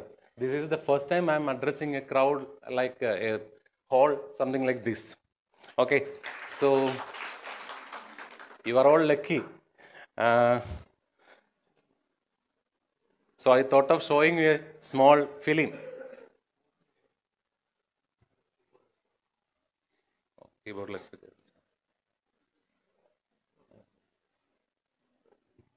Yeah, video, okay. okay.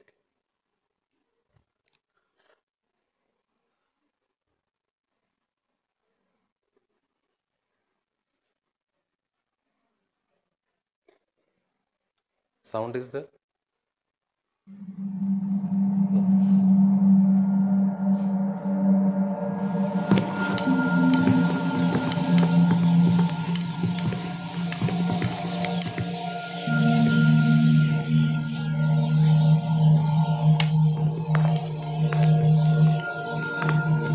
Sorry, we are not considering the disabled for the auditions. You're mistaken. The performer is him, my brother. I'm here just to cheer.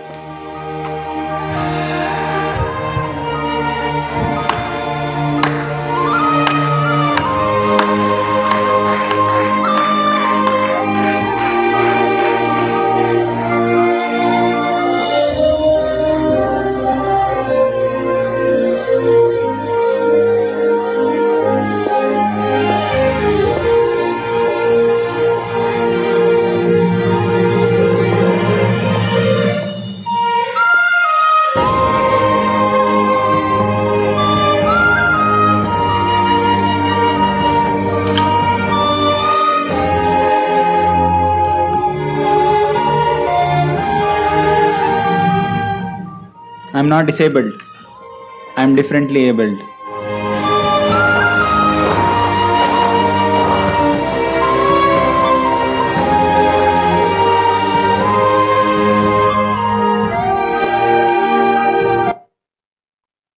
So what you understood overall? abilities different, disability is something different, right? Then uh, why I showed this uh, video means basically you just imagine uh, how our society is considering these disabled people. I hope majority of uh, almost of uh, all of you are belong to Kerala, right? Malayalis. Here we are calling, we are in order to identify a particular person, we have some names, right? Even though these people they have names, we are calling them with their disability. I'll give you a popular example. There is a movie called Kunyi. Uh, many of you might have watched that movie, right? So that is the disa- disability part. And if a particular person is having any problem with his own leg or something like that, we used to call him as uh, or something like that. Depends upon the locality. That name or the uh, that usage will be different. So have you ever think of actually it is our duty to include all those people and disability here uh, i have shown only one video that is only the regarding blind. And disability is totally a different concept. I'll give you one more uh, videos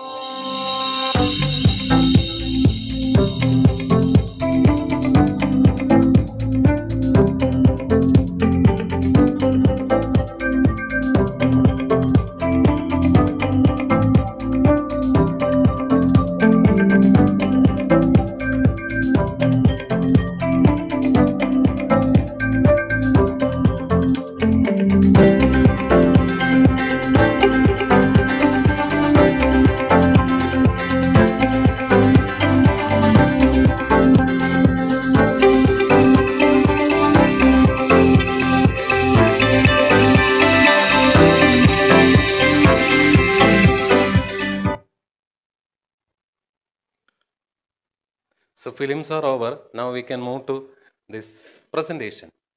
Then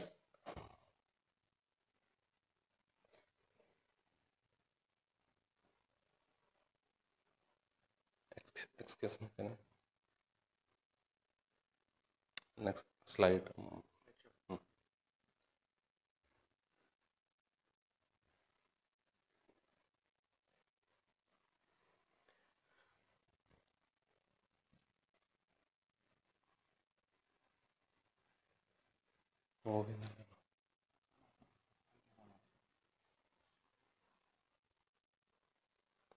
So here I just want to mention about our attitude, how we are considering the disabled people. While entering this college, I was just thinking whether if a I mean disabled person is there, how he can move into the uh, college. Even not only the I mean the problem is not with this particular college. Almost all institutions across India, across especially in Kerala as well as in India, the foreigners are much far ahead in this case. So we are not considering even our bus, train, everywhere. There is no ramp.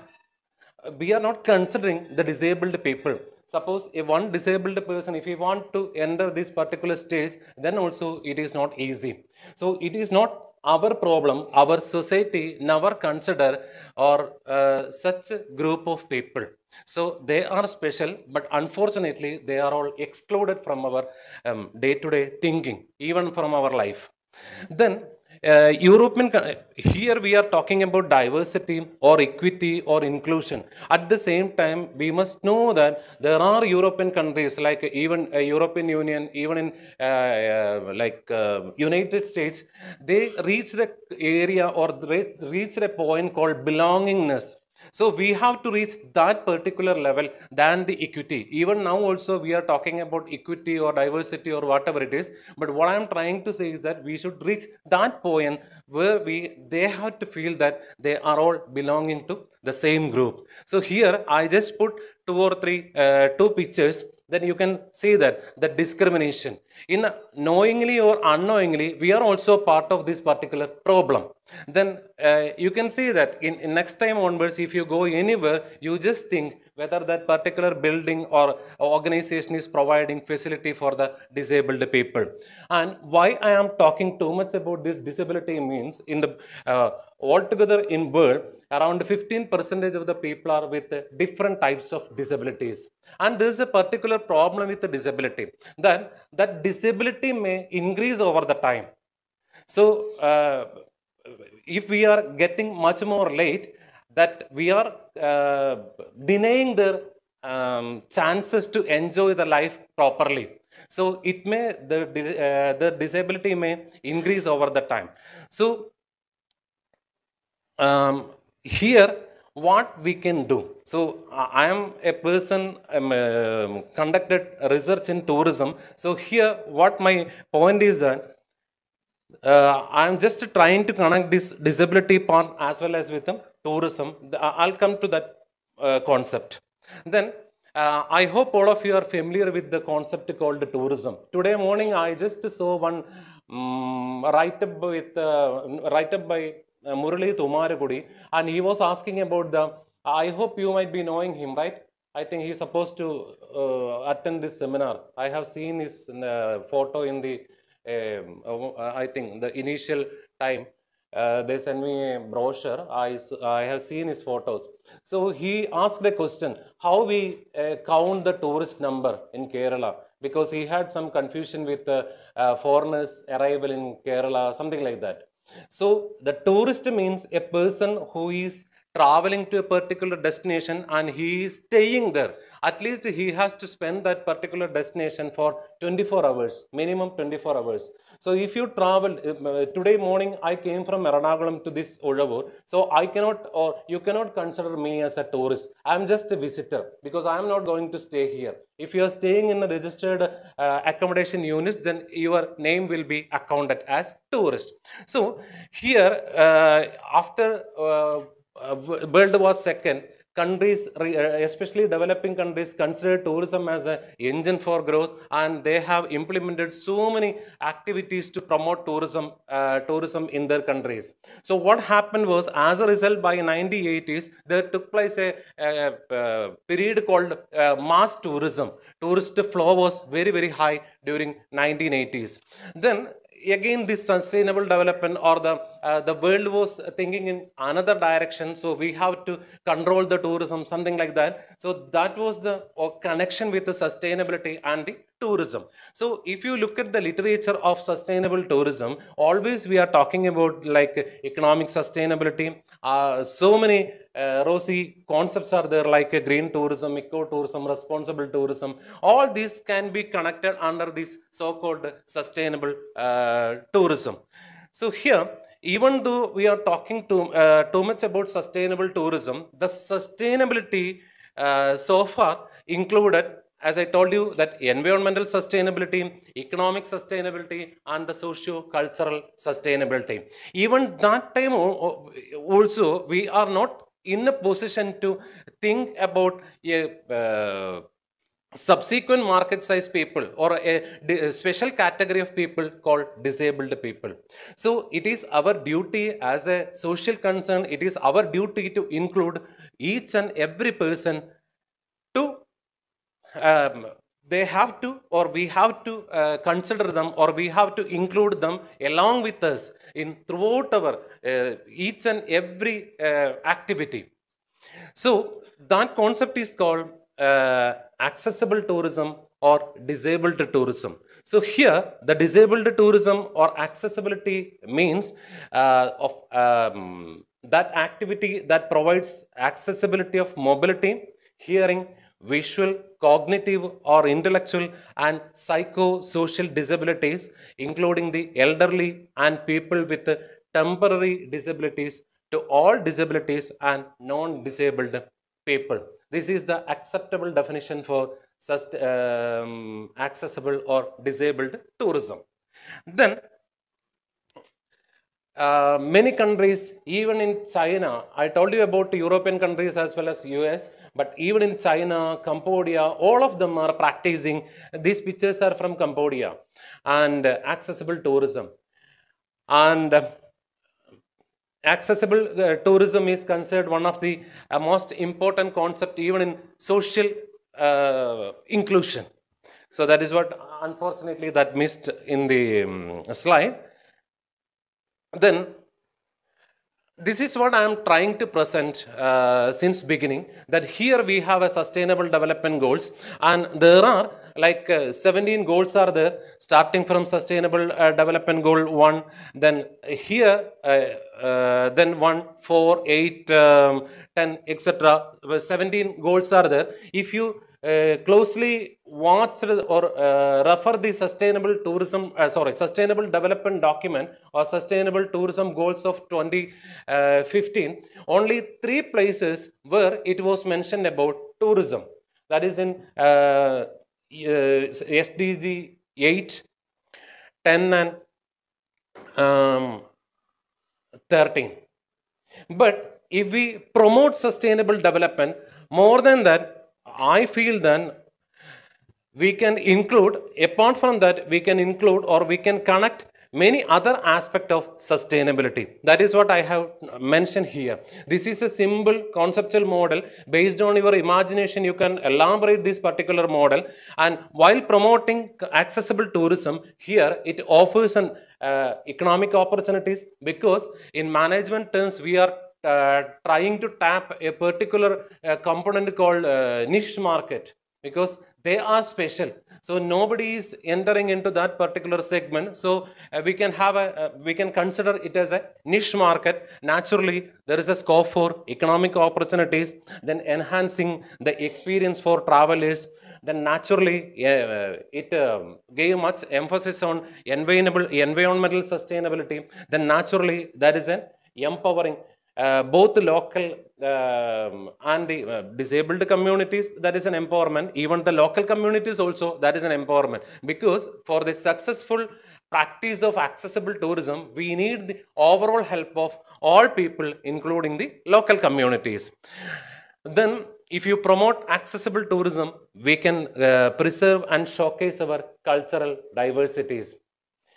So uh, altogether, so my conceptual model says that if you promote uh, accessible tourism, on the one hand, we can meet the goals uh, um, uh, proposed by sustainable development goal. At the same time it gives an, uh, an adequate source or adequate um, solution for inclusive tourism development model. Then uh, moving to the some practical experiences if you uh, look at the um, accessible tourism in india um, in agra is the one place known for accessible tourism where the taj mahal and other uh, historical monuments have they got the facilities to accommodate all kinds of people. But uh, except that even delhi metro it is with the um, uh, facilities that can accommodate disabled people. And now that concept is uh, in india it is getting much more uh, people are much more aware of such needs. So that changes are there, but we are far behind comparing the rest of the nations. So why it is important again, uh, our population, if you take the population around 2.68 crore of Indians, that was in 2011, that number might have increased, are in India, they are considered as disabled citizens. And this, at the same time in Kerala, that percentage is almost similar, 2.6 percentage of our total population is uh, around 3.4 crore people. So we, um, there are disabled people in India across, even in Kerala also, we have disabled citizens. So in order to accommodate all people, so we have to encourage what we call the accessible tourism facilities across our cities. Or in another way, we have to uh, say that we have to uh, uh, redesign our existing tourism facilities in order to accommodate all these people. And then, actually, Kerala was the yeah uh, one state in India. We declared accessible tourism uh, destination in the year 2019 that we are uh, the government agreed that we will be providing accessible uh, to people with disabilities and elderly by the year 2019 declaration was there and he uh, actually we have taken some initiatives for that we have uh, received some international uh, awards also then um, in Kerala, altogether, 66 destinations are rated, or according to official statistics, they are all uh, 66 destinations are with um, accessible tourism facilities. This, yeah, these are the destinations available in uh, Kerala with um, accessible tourism facilities. I'll then what do you mean by accessible tourism facilities in Kerala? Uh, there is a saying that statistical uh, or official estimations are there, reality is there. I'm now I'm talking about the official conditions or the statistical part. So here, if we have accessible toilet, then uh, we can call it as accessible toilet means uh, the there will be special arrangements for disabled people then pathway then ramps then um, uh, yeah these are the statistics that we observed from a particular destination. I'll come to that. And um, uh, then touch screen kiosk then normal wheelchair and signage. If we have all these seven uh, components or seven facilities in a particular destination, we can call that particular destination as an access, uh, accessible tourism destinations. And we have conducted one study to check this particular uh, system is working or not in order to understand how effective, I mean, accessible, efficient, accessible tourism facilities are there. So uh, I have a scholar. She is basically uh, a deaf. So she is working on this particular subject, and we conducted one uh, small case study at um, a place called um, Azhikode Munakal uh, Beach, where it was very difficult to get uh, what we call the sample because we were uh, finding out, uh, trying to find out some disabled people. And um, altogether, we conducted a study. It is not yet published. We have sent it for publication. Some of the observations from that findings is, is One is the people, basically, they are satisfied with the ramp facilities. Then, where accessible rain shelters are there, wheelchair accessibility is there, but uh, tourists are uh, that uh, pathway are not that much efficient. That means in the particular locality there are certain breaks. Officially there are pathways, but there are certain breaks. Then, so what we understood that the individuals with the different types of disabilities such as locomotor, vision and hearing impairments suggesting that tailored amenities and communication support services are vital for enhancing communication support sorry tailored amenities and communication support services are vital for enhancing overall accessibility and satisfaction during uh, tourism experiences. But the major problem is that uh, technically or officially though there are why we have selected this uh, uh, Thrissur Azhikode Munakal beach was Thrissur district is known as one of the better district uh, in the accessible tourism uh, literature. So out of the Thrissur districts, this is the one of the non um, accessible tourism destination. That is why we have selected this particular destination. But even though the, the maintenance part was uh, highly insufficient. And they don't have, we couldn't find out sufficient number of trained staff in that particular uh, locality. And uh, again uh, the disabled people they need i told you in the beginning that uh, disability means they have to get proper information because some people are uh, blind or some people are deaf. So we have to provide somehow we have to provide accurate information. Unfortunately such uh, facilities are also less in that particular destination. So what i am trying to say is that see ideally sustainable tourism uh, sustainable development or the uh, accessible tourism can promote sustainable development. But here in kerala we have launched certain initiatives. Unfortunately uh, we have to cross or we have to uh, travel a lot towards that direction technically we have launched all such facilities but in practically we are far behind in reaping the correct benefit of sustainable development. Okay that is all about from my presentation. So now you can ask me any questions. I'm happy to uh, give you my reply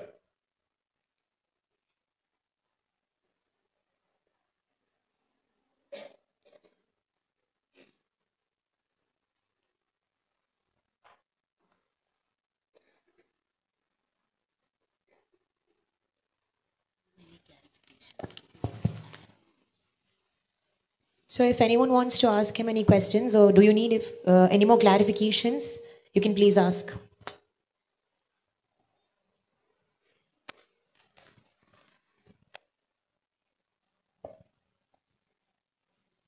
Thank you so much for the presentation. It was very good. Um, I just wanted to understand. So, from the presentation, it's very clear that Kerala has taken a lot of interventions to uh, enable, you know, um, um, tourism, accessible tourism. I just wanted to understand if Kerala has also taken steps or any interventions to enable responsible tourism. Yeah, it is there. Uh, Kerala has taken so many steps, not only in responsible tourism, even in ecotourism, and uh, every initiatives are there. Initiatives are there, but how far it is practiced is the question. Same as accessible tourism. We have officially 66 destinations are there, but in some of the destinations, nothing is there. Only name is there. Namesake reforms are there. That is not the solution for uh, sustainable development. So, what would be, you know, some examples of providing for a responsible? I'm working in the government sector, so I have some restrictions. Okay. I have shown you now uh, that um, list. Maybe I missed the, that part. I came in a bit late. uh, how can I, uh, 66 destinations are there. And that destination was the best destination out of the 66 destinations. And even that destination also, there are so many issues. Then you can just imagine what about the situation in other destinations. In many of the destinations, nothing is there to see.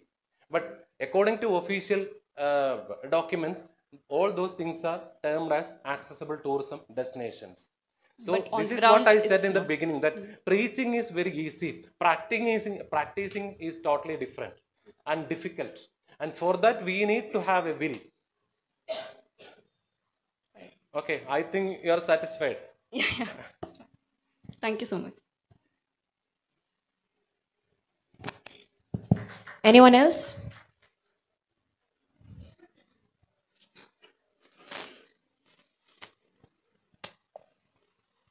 Uh, my name is Susan Abraham. Uh, I think uh, yeah, from your presentation, what I've understood is that uh, when it comes to accessible tourism, what uh, the mindset of Kerala generally is that if you provide ramp facility or facility for using wheelchairs, then your concept of accessible tourism has been achieved. At least that is what I've understood from your presentation. Ca- uh, Am I right in that aspect? Yeah, because ex- when you exactly. have people with, uh, who are deaf or who are blind, uh, how do they, uh, how, how, what accessible facilities can you provide for them? I think that is very low in the list of priorities. I- Exactly. uh, yeah, okay, I just wanted to. Thank you. And any more questions?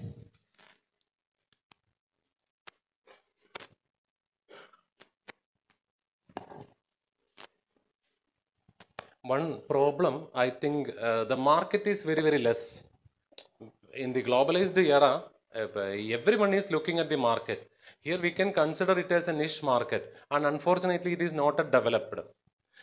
And in everywhere, if one particular destination is uh, arranging such a facility, that is not a solution because the bus and train and the entire buildings, what you said is exactly right. So uh, nowhere it is disabled friendly. So that is the one major challenge. So now the colleges they have to construct one lift and other things. If the government uh, college is having two storied or three storied, uh, because otherwise they won't get the NAAC accreditation. Because the main purpose is uh, if you want to get the NAAC accreditation, you have to set up a lift. The purpose is meant for, I mean, that lift is meant for the disabled people. But uh, yeah, that ramps, the construction of ram, all what we call in Malayalam, we can call it as a, um, vadibad, there is a word, no? It is almost something like that. Sir, I have a doubt. uh, I'd like to know what are the steps taken by the state government with regard to privatization of tourism? Uh, this is an indirect question to uh, sustainability. Uh, what I have felt is that uh, it is the pure uh, nationalization of the tourism. That is, in the being in the government sector is the sole reason for the, I won't say pathetic, but for the poor uh, state of tourism in Kerala. Actually, in uh, Kerala tourism, tourism uh, government is doing a, just a catalyst role. They are not doing, uh, even though they are running some uh, hotels under KTDC and all, uh, government is not a major player in tourism development. And now they are openly encouraging the private players into this market. So it is not a nationalized style. In Kerala, uh, even in Kerala also, private players are playing the private sectors are playing the major role. That is the another issue with accessible tourism because when the private sector they are looking for the market, they are looking for the people. Accessibility tourism, the altogether in Kerala, 10 lakh uh, people are there with uh, different types of uh, disabilities. So they are they may not be much more interested to uh, encourage them, but it is the duty of the state to interfere in the market. sir, Without you- state uh, yeah. intervention, I don't think that accessible tourism, that accessibility is possible. Have you felt that uh, privatization is a good way for attaining 10% uh, sustainability in tourism? No, uh, did I say that? Uh, no, no. Have, have you felt? Uh, No, no. See, basically, I support privatization to certain extent, not fully, because if you, uh, there are so many examples. You just go to the uh, Kochi city, you can see how they are utilizing that uh, nearby lake and other things. So I didn't say that. But in uh, being an economist person, uh, to certain extent, I support privatization. Uh, yeah, thank you, thank you, sir.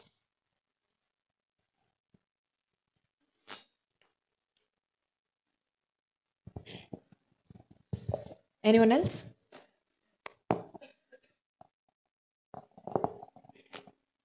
So we are wrapping this up. Thank you, sir. Thank you for your time and effort and also for your vital knowledge and perspectives that you've shared with us today. And once again, I thank you on behalf of St. Stephen's College. Thank And- you. Thank you. Now it's time for lunch break. The lunch will be served in uh, Charigot Hall, and everyone has to assemble back here sharply at 1.30. And you have washroom facilities near library and media room, uh, physics department, which is on the top floor, and also near chemistry department. So once again, it's time for lunch break, and thank you all.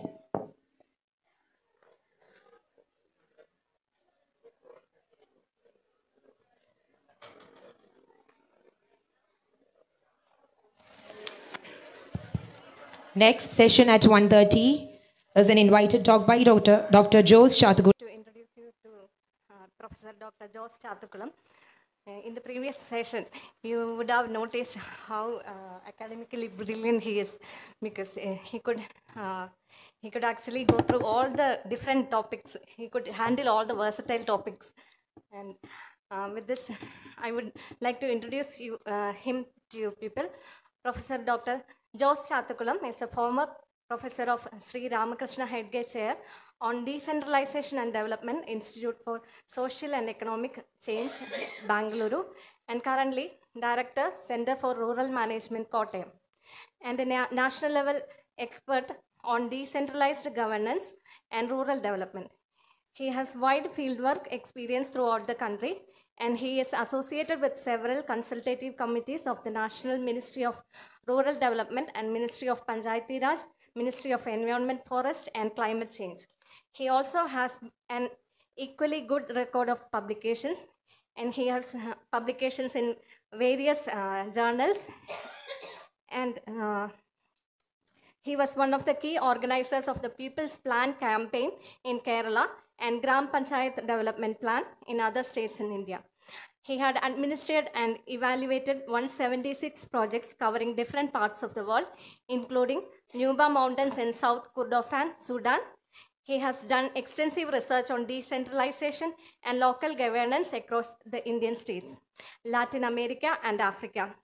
And he is an expert of devolution index, which is used to compare the rate of decentralization across the Indian states. Recently, he has co-edited two books, Challenges to Local Governance in the Pan- Pandemic Era, Perspectives from South Asia and Beyond, and Deepening Democracy, Comparative Perspectives on Decentralization, Cooperativism, and Self-Managed Development. With this brief introduction, I would like to uh, hand over the session. Over to you. Oh, thank you. Nice of you.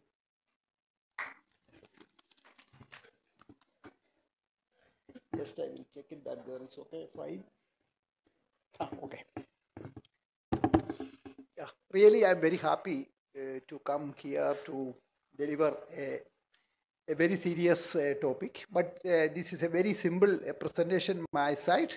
I also would like to thank uh, your uh, respected teacher of this particular college for giving her nice words and introducing me. What I will try, um, I will try to talk to both English and Malayalam. That will be, yeah, convenient for me and uh, convenient for the students. I think some people maybe from outside the state also what I told. See, this is actually localizing sustainable development goals.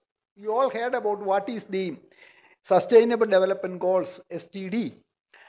Uh, the, the, the issue is that there you see the Prime Minister of our country, uh, Mr. Narendra Modi, or the Prime Minister or President of any of the, the uh, countries in the world, they can have make an uh, see signature and agreement.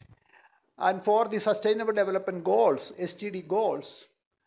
But the real problem is that there when really we want to achieve the sustainable development goals my point is that there something we have to do at the local level. Local level means a local level where we are staying at the local level. A local level in your college also. I am I am here is a very very uh, see, reputed college uh, under the Mahatma Gandhi University or in the state. Here my submission is that there if you want to attain the sustainable development goals, definitely lot of things you have to do at your college level. A lot of things we have to do at our village, even our parish, our temple administration, even our household and at the individual level. That is what they are. The localizing, that means you try to localize the sustainable development goals at different levels at the local level. Individual level, family level, neighborhood level, education institutions, whatever may be. That is actually the meaning of local sustainable, localizing sustainable development SDD. And this is actually some of the narratives from Kerala. I have taken only a few cases. Yeah. ഇപ്പം നിങ്ങൾ നിങ്ങൾക്കൊരു clarity വന്നിട്ടില്ലേ sustainable development goals localise ചെയ്യാന്ന് പറഞ്ഞാൽ international ലെവലിൽ national ലെവലിൽ നിൽക്കുന്ന ആ കൺസെപ്റ്റ് നമ്മൾ അവിടെ നിന്ന് പിടിച്ചെടുത്ത് വന്ന് നമ്മുടെ ലെവലിൽ നമ്മുടെ കോളേജിൽ നമ്മുടെ ഫാമിലിയിൽ നമ്മുടെ പാരീഷിൽ നമ്മുടെ നെയ്ബർഹുഡിൽ ഇൻഡിവിജ്വൽ ലെവലിൽ ട്രൈ ചെയ്യുന്നതിനെയാണ് ആ. ആ ആ ആ okay okay okay so I will will that. So that is actually the, the, the localizing sustainable development goals. Okay, fine. Yeah. See, you look into that there. Sustainable development goals are prescribed as the answer to address the development challenges in various countries, including India. We all know that there, our country is also a signatory of the SGD 2030 and has offered its strong commitment. And internationally, we have a very good reputation in the sense that there we have a very strong commitment as far as the SGD is concerned. We can see that there we have a lot of national level, the national level flagship programs and national development, and that we actually very correlated, interconnected with the that we can reflected in the sustainable development goals. You see that there in the India, at the at the national level and at the provincial or state level we have a number of flagship programs. And that uh, flagship programs you see the guidelines the operational details of the flagship programs. That flagship programs we can see that there the SGD main uh, the the objective of the SGD is also reflected in the sustainable in the our flagship programs See, what is actually the, the actually the flagship programs? You take the MGNREGA, NREGA, National Rural Employment Guarantee Scheme. The National Employment Guarantee Scheme is designed in such a fashion, we can see that there some of the sustainable development goals are already inbuilt in our uh, the National Rural Employment Guarantee Scheme. We have a number of flagship programs and each uh, flagship programs we can see that there the, the objectives of the STD is inbuilt, is grafted in such a fashion. That is what there, for instance, uh, the flagship programs of the Government of India, such as I already mentioned that their national, uh, the National Nutrition Mission, National Health Pro, uh, Protection Scheme, and we have the aspirational district and very recently our prime minister inaugurated the, the aspirational blocks also. In some in some blocks in kerala also under that aspirational blocks programs. How the potential to address the challenges highlighted in the sustainable goals. The centrally sponsored programs i already mentioned that there the the national rural employment guarantee scheme. You you, you know that there are a lot of women folks are working at the panchayat level under the national employment schemes are directly or indirectly aligned with the sustainable development goals. Yeah, with the principle of you all talked about the cooperative federalism, uh, the states are primarily stakeholders in ensuring the success that we have to examine. Localization of STD is a central, is the is a central importance in ensuring the success. What I already mentioned that there, if you want to achieve the sustainable development goals, we have to localize the sustainable development goals. That is actually the very important. SDG goals needs to be translated into policies and local levels. See, that is what we have to do there. It is not at the international level Okay, fine. State, national level is okay, fine. State level, but really, what is happened there? We have to translate the major idea and vision of the Sustainable Development Goals in our local level. Yeah.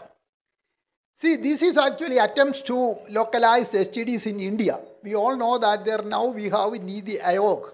Earlier, it was known as the Planning Commission. Uh, the, the nodal agency for coordinating and monitoring the sustainable development goals in India, we have Niti, Niti Aayog at Delhi. Niti Aayog periodically conduct reviews on STD adoption and reach out the states and union territory. Niti Aayog is actually a think tank of the countries concerned. And the Niti Aayog actually what happened, they used to uh, monitor and conduct serious reviews. What is happening in each state, how much they have succeeded to address the sustainable development goals. First document, 2080, the Niti Aayog released, very important document, it is known as Sustainable Development Goals India Index Baseline Report 2080. STD India Index, another one 2020, 20, 20, uh, 2020, it is not 2001, 2021, 2021 is a mistake actually. So this will be available in the internet. You just click that there, uh, the STD India Index baseline report 2080 and after that there are a few reports. You will get that there what is the picture as far as India is concerned, how much we have succeeded, things there. The STD India Index is a single measurable index to map the progress of states and union territories towards 2030 SDGs. It's document the progress made by the states and union territories towards implementing the uh, at uh, 2030 and target. Niti Aayog published a report also localizing STD early lessons from 2090. Apart from that, uh, the Niti Aayog also published an important document that is what the localizing the sustainable development goals early lessons from uh, uh, 2090. You see, you see that there how much serious this country is uh, in, in actually getting the success under the SDGs. That is why these two important documents, some of you can just click that there, the Niti Aayog. Then you will get that their publications. You just click that there, the STD India Index or the localizing STDs early lessons. You will get a lot of interesting informations on things there. Okay. Yeah, attempt to localize again uh, the same thing there, localize STD in India. For Niti Aayog, localization in terms of STD refer as a process of recognizing subnational level context. See, national level we know that there at the at the Delhi level we say national, all, all the countries, but subnational means uh, Kerala is uh, under uh, the national level, so subnational things there, Tamil Nadu, Karnataka and all things there. We have a national questions and subnational level means at the, at the state level. Niti Aayog assert the subnational government, especially those at state, play an important role. So the point is that they're based on the STD India Index, baseline report uh, 9080, and localizing STD, early lessons I already mentioned that they are 9020. Niti Aayog focus on localizing localization is limited to state and union territories and to some extent at the district level. It only refers limited attention to the on the significance of the localization of STD at the grassroots level. You see, my first critique is that there, you see these two documents, the point is that there these documents talks localization of STD means at the state level. That is what there the, the is concerned. But in some uh, context, they mentioned about at the district level. But the point is that there, we, we all know that there, at the district level, uh, uh, we, we see state level and district level is not going to address the entire problem. We have to say that there, what is sub district level? What is at the grassroots level? What I mentioned that there, uh, at, the, at the village level, at the individual level, at the household level, so the point is that there the Niti Aayog document has certain limitations in the sense that there only limited attention it has made the localization of STD at the grassroots level. You know where is the grassroots? Is with us at the at the grassroots level, at our locality level. No evaluation and assessment on the present status and performance of locali- localizing STD at the grassroots level has been attempted. There are only passive references in the localization of STD at the grassroots level involving local government. Local government means very particularly what is happening in the Grama Panchayat. Niti Aayog focus is largely on the subnational government, what I mentioned at the state level, rather than the local government. Okay. Yeah. Empowering local government is one of the solid strategies for ensuring community ownership, integration and localization of STD at the grassroots level. We all know that there our constitution has recognized the fact that their decentralization is the answer for some of the major problems as far as the country is concerned. Because of that, our constitution also made that the local justice and local economic development in consultation with the people, then only we can address the issues.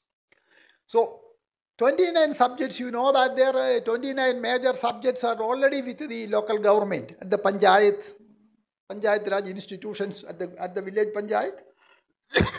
and some other subjects are with our municipalities and corporations. It is there. That is what there, the local government. Many of the STD targets are within the purview of these functions listed in the constitution. You see, constitution in the Indian constitution in the 11th schedule, we see that there, there are number of subjects. What I mentioned that there as far as the Panchayat are concerned, 29 subjects and 18 subjects are with the urban local government. But these subjects are also the subjects related to the SGD uh, goals. That is what there. So the, we have a ministry at the Delhi, uh, Delhi level. It is known as the Ministry of Panchayat Raj. MOPR means Ministry of Panchayat Raj has been advocated to integrate STD, Sustainable Development Goals, with GPDP. GPDP means Grama Panchayat Development Plan.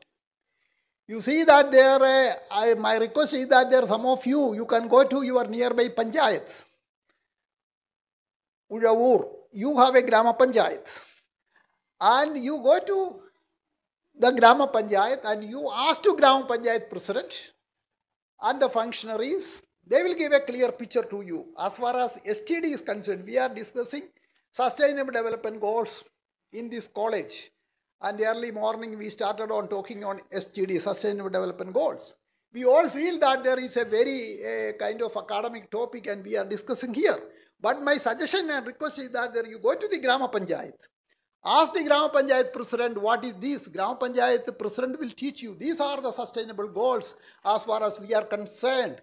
And we are doing all our activities uh, to address the sustainable development goals. And in your Panchayat, also have an important document. It is known as GPDP, Grama Panchayat Development Plan. They have prepared a plan. And that plan is known as the Grama Panchayat Development Plan. So that Grama Panchayat Development Plan, you can see that there all the sustainable development goals are directly or indirectly, it is there in the uh, GPDP. That is what there. Okay. yeah. GPDP process supported by the Ministry of Panchayat has created a conducive atmosphere, condition, uh, conduct, see, uh, the conducive atmosphere and condition for the Grama Panchayat to integrate the STD in the development action plan. Yeah, they have a particular uh, agenda for doing that. You see, this is important. Attempt to localize uh, the STD, STD goals out of these 17 STD goals, what we can, we can see that the Ministry of Panchayat Raj at the Delhi level has identified 13, 1 3 uh, goals, sustainable development goals, where it could intervene at the grassroots level. Those selected STDs are. These are the, uh, yeah, 13 STDs. Number goal 1, no poverty, zero hunger, you can read that there good health and well-being, quality edu- education, quality equality, uh, no gender equality, clean water and sanitation, clean affordable energy. You see, morning I got a chance to chair one of the technical sessions. Uh, in that technical session, there were actually four presentations. If you ask me, can you put that presentations under the Sustainable Development Goals? I can say that there the first paper presentation uh, topic was something on the one paddy and one fish farming in Kuttanad. That topic you give to me and you ask me there, how can you integrate with the Sustainable Development Goals that particular topic? I can say that they're out of no poverty. That, that actually no poverty, that is what the development, uh, GP, uh, the, the uh, development goals, sustainable development goals one. It is that very much there. That project is for addressing uh, the issue of poverty, addressing the issue of hunger and good health and well-being and number of things, things there. So in your college also you can say that there number of SDG goals are also involved in the entire process of this college. You can say that their quality education, you can say that their gender quality, uh, yeah, reduce inequalities, decent work. So the my point is that there when when you people can work that they're out of the 17 SDG goals, how many SDG goals are already you are going to address directly or indirectly? For any action you can relate with the uh, sustainable development goals. That is what they are. As far as the local government, the panchayat are concerned, these are these issues they have taken and they have started addressing things. I will give you some concrete examples on some panchayats. Yeah. this actually expert group has prepared a report on the local localization of uh, uh, sustainable development goals in the PRIs means Panchayat Raj institutions. Uh, it already gives a gives a framework for localizing the implementation of sustainable development goals through capacitating local governments. That is an important point. See, capacitating local government.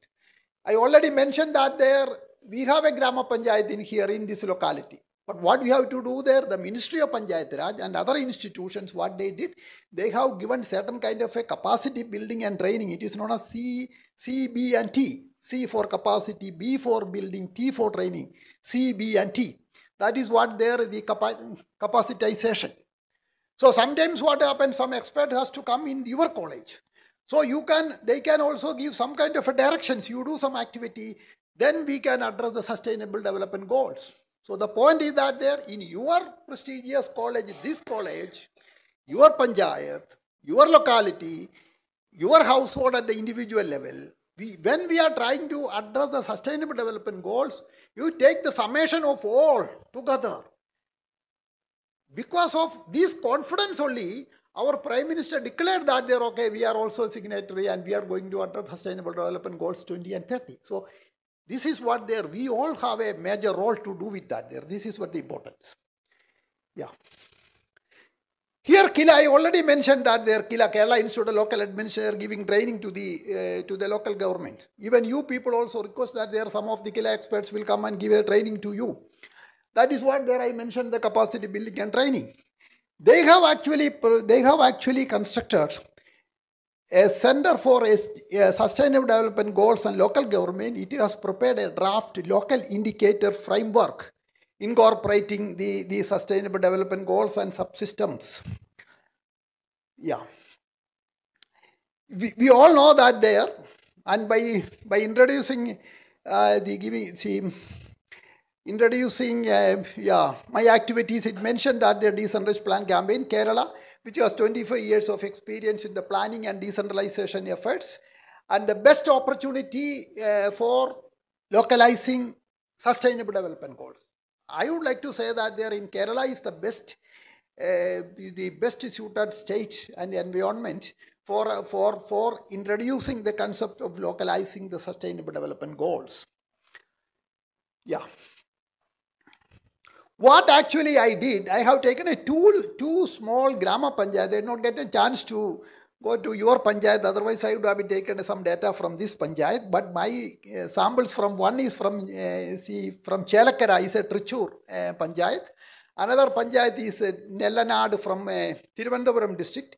These two Panchayat I have taken. I collected some data.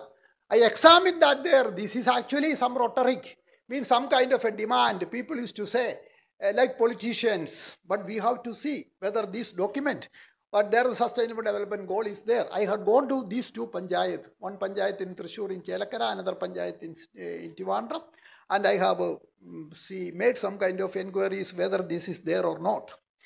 Yeah. This is actually one panchayat I have taken from the Trichur district and another panchayat from the um, uh, from the Thiruvananthapuram.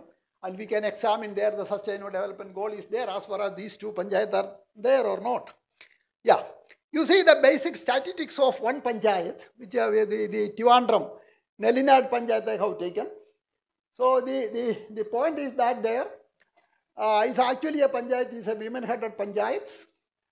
And the OSR means, uh, you know what is OSR? OSR means own resource, own source, own source revenue. That panchayat is so powerful in the sense that their, their panchayat could generate own income is 1.9 crore rupees. If I go to UP or Bihar or some other Indian states, I say that there their Gram Panchayat in Kerala could mobilize this much of amount as own resource, OSR, own source revenue. It is difficult to believe that panchayat, but this is a situation there. You can see this is the case, the total total project and everything is there.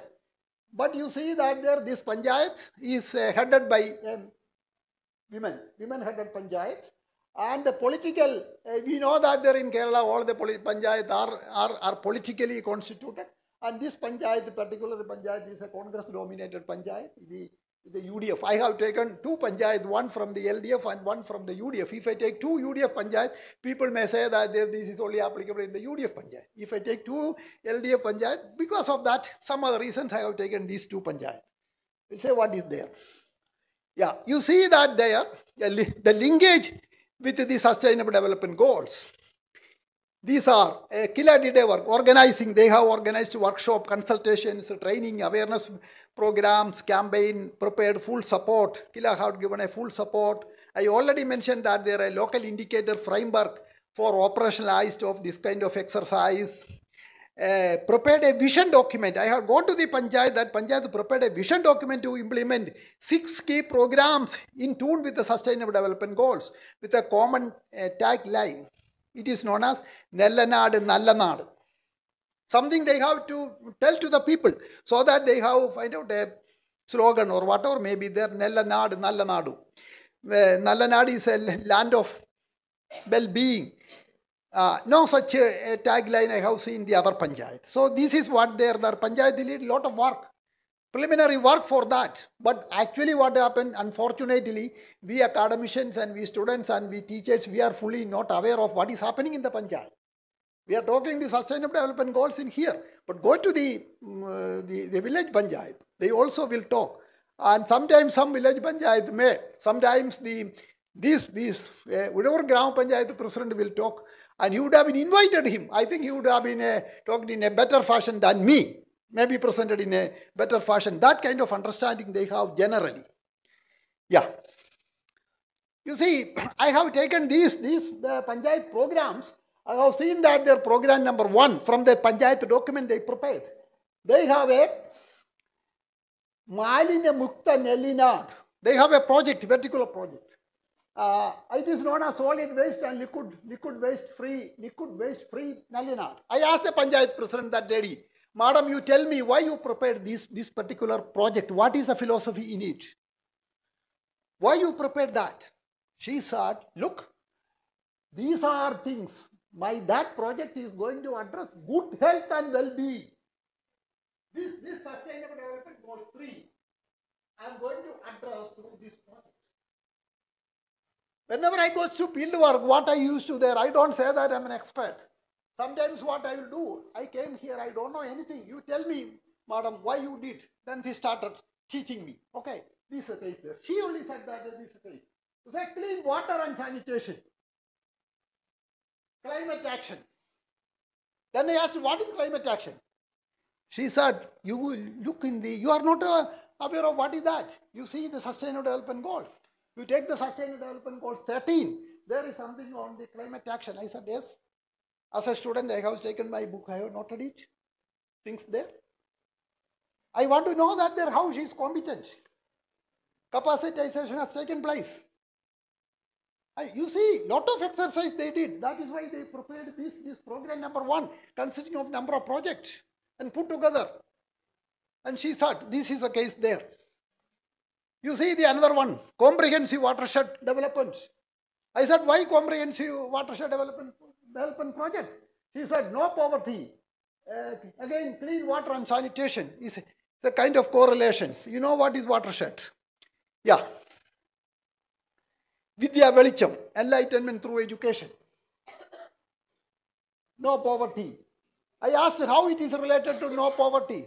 She could explain directly or indirectly. Uh, quality of education, reduce inequalities. Yeah, Panchayat level Sahitya Academy.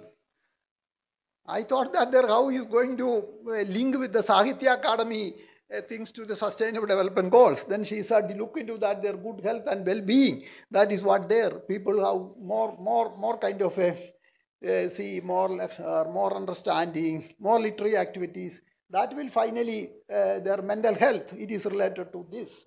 This is the way what they did it there. Panchayat Sports Council. Again, good health and well-being.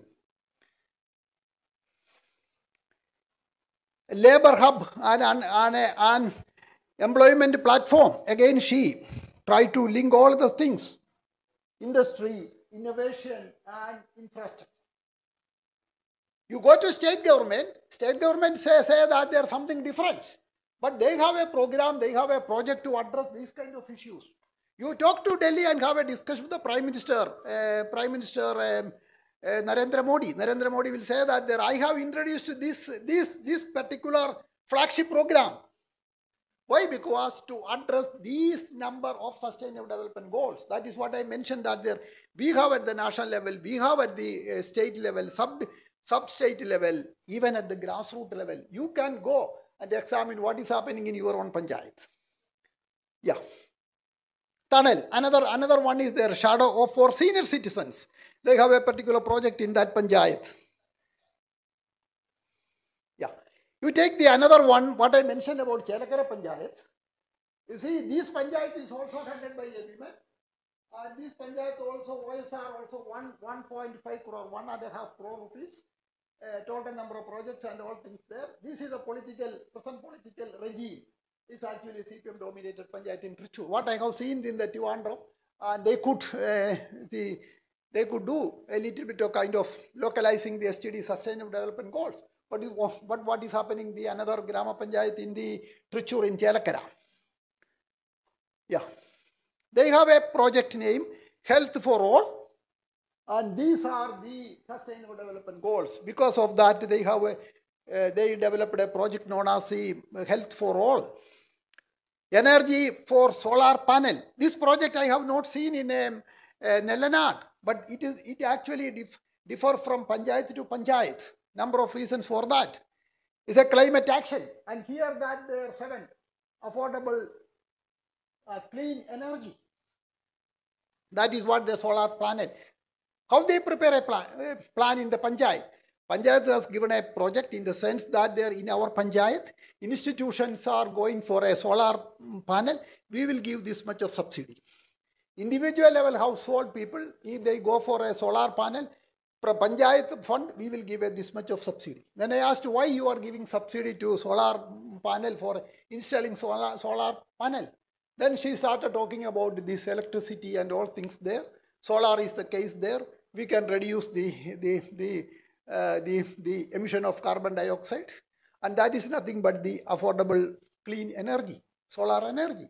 That is what the, it is there in the sustainable development goals. You see, sustainable development goals at the international level, how it is taking and translate into the local language and local action in a Grama Panchayat. This is the way what they did. Again, they also have a Malinya Mukta Chelakara, solid and liquid waste. We have already seen that another thing also there. Fitness centers for women. Number of Grama Panchayat or municipalities, they have started the, these are fitness centers uh, for women. These are the gender equality. When you talk about gender equality. So the point is that there we can talk to gender equality, but the point is that there how to localize the gender equality at the panchayat level. She said, I started a fitness center where the women force are coming to attend the uh, to do certain kind of exercise. Otherwise, they don't get a chance for that. This is nothing but I am fulfilling, I am addressing the issue of uh, uh, the, the, the gender equality. You come to your college, ask to the principal how in your college uh, the, the, the, the gender equality, how to there, and what type of gender uh, friendly atmosphere in the entire college. You know that there you have a separate toilet, you have a separate uh, place, uh, you have a privacy, lot of things there. That all introduced in this college and by introducing that, we are addressing the sustainable development goals. That is what the localizing the sustainable development goals. They have a mini industrial estate, and she could, that Panchayat president should link all the things, uh, industries, innovations, and uh, infrastructure kind of issues. Child-friendly Panchayat, again gender, gender, gender equality. Yeah, protection of water bodies. Yeah, there are still there are some challenges. So my point is that there I have taken only two panchayat, but I could like to say that there in almost all panchayat, because of these things, they could translate at the local level. And the training institute Kila also did a lot of things there to localizing the STD. They have given a lot of training, a framework. They are a mechanism to monitor it. As a result, what happened? This is what is happening. But I notice there are certain challenges you should understand. There are many conceptual and operational issues of localizing STD at the grassroots level. So still it is a major problem. We can say that there we can talk, but operationalize it and conceptualize at the local level, uh, still we have a lot of problem. But these panchayats succeeded to certain amount, but still there are problems. They are not very clear about that, what the next they have to address and all things there. Elected functionaries at the grassroots level and other rural stakeholders have not been able to fully internalize the sustainable development goals in general.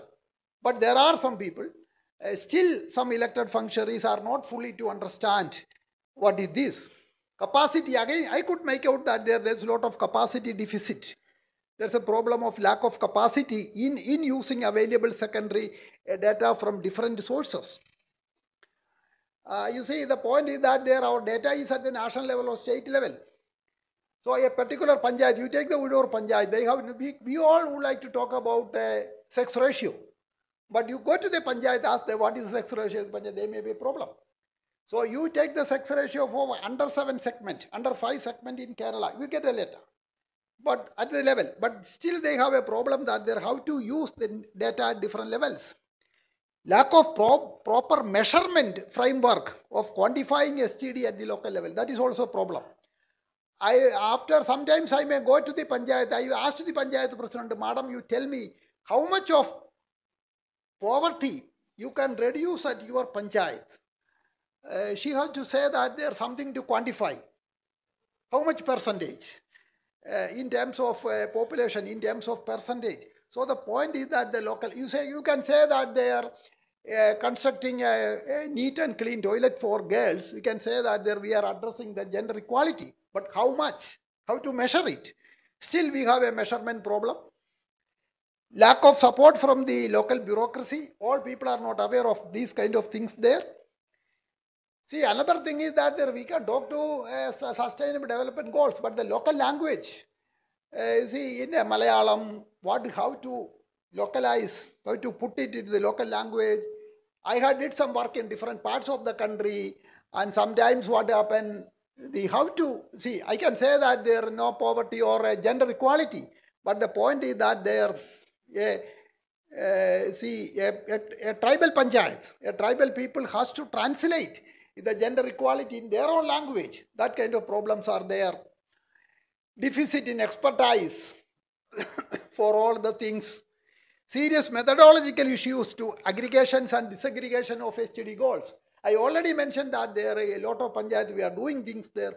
But how you will measure all the things and aggregate at the national level and at the, uh, you know, at the state level, at national level and international level. Still, we have a lot of problems as far as challenges to localizing STD at different levels. Yeah, these are some of the problems, but we are doing. My conclusion is that there the experimentation in localization of HED in these two GPs and many cases all over the country have the feasibility to scale up this model across the India. The experimentation in localization of STD in these cases have some theoretical perspective of Gandhi Kumarappa framework of political economy of develop, development and environment. See, these things we are doing now, the national level and international level, Gandhi is getting a lot of appreciation and people are ready to study the Gandhian economics and Gandhian philosophy. And uh, this uh, Dr. J.C. Kumarappa is a Gandhian economist, very, very serious uh, economist on Gandhian lines. He's the one who written that a very famous book on the uh, permanency of uh, economics of permanency. That is what the book. Very interesting book. He, he written that book when he was in jail, and Mahatma Gandhi has written that forward to that book. Any foreign um, uh, people used to come and interview Gandhi on economic issues. Gandhi used to say that there, as far as economics is concerned, you ask to Kumarappa, and Kumarappa is the last word of Gandhian economics. Both together they worked. And that, that framework is there. These actually sustainable development goals. I would like to say that there, but internationally people are not accepted and recognized the contributions of Gandhi and Kumarappa. But I would like to say that the, basic foundation of the sustainable development goals is basically from the uh, from the Gandhi and Kumarappa. So my hypothesis is that there localization of STD goals, if you if we all do seriously at the local level, at the college level, at the uh, at our habitation level, at the, the household level, at the at our yeah whatever may be our local level. If we start addressing these things, nothing uh, difficult. We may be in a position to address the sustainable development goals in uh, 2030. So this is actually the the localizing the sustainable development goals. We have taken that concept at the national level, try to bring at the local level, at the grassroots level with us, and try to implement it and with a kind of a convincing language and convincing kind of a action along with the people with the people's participation i am fully confident and that there we can address but at the same time uh, as an activist i also have certain kind of disappointment and kind of some of kind of pain with me in the sense that there still that russia ukraine war is going on if somebody is making a, a kind of little bit pollution in our environment, we all feel very sorry of that. But what is happening in uh, in uh, Ukraine and Russian war? What is the result? What is actually happening in the Israel and Palestine? I'm not going to this side or that side, but the point is that there. So, person who has some concern on sustainable development goals, definitely we also have kind of serious concern what is happening at the international level. We all feel that there, we all hope that there situations will be solved within a short of period. Definitely situations will change. We can also, uh, we all can achieve the sustainable development goals by 2030. Thank you. Thank you, sir, for sharing your valuable knowledge with us. If anyone wants to ask any questions,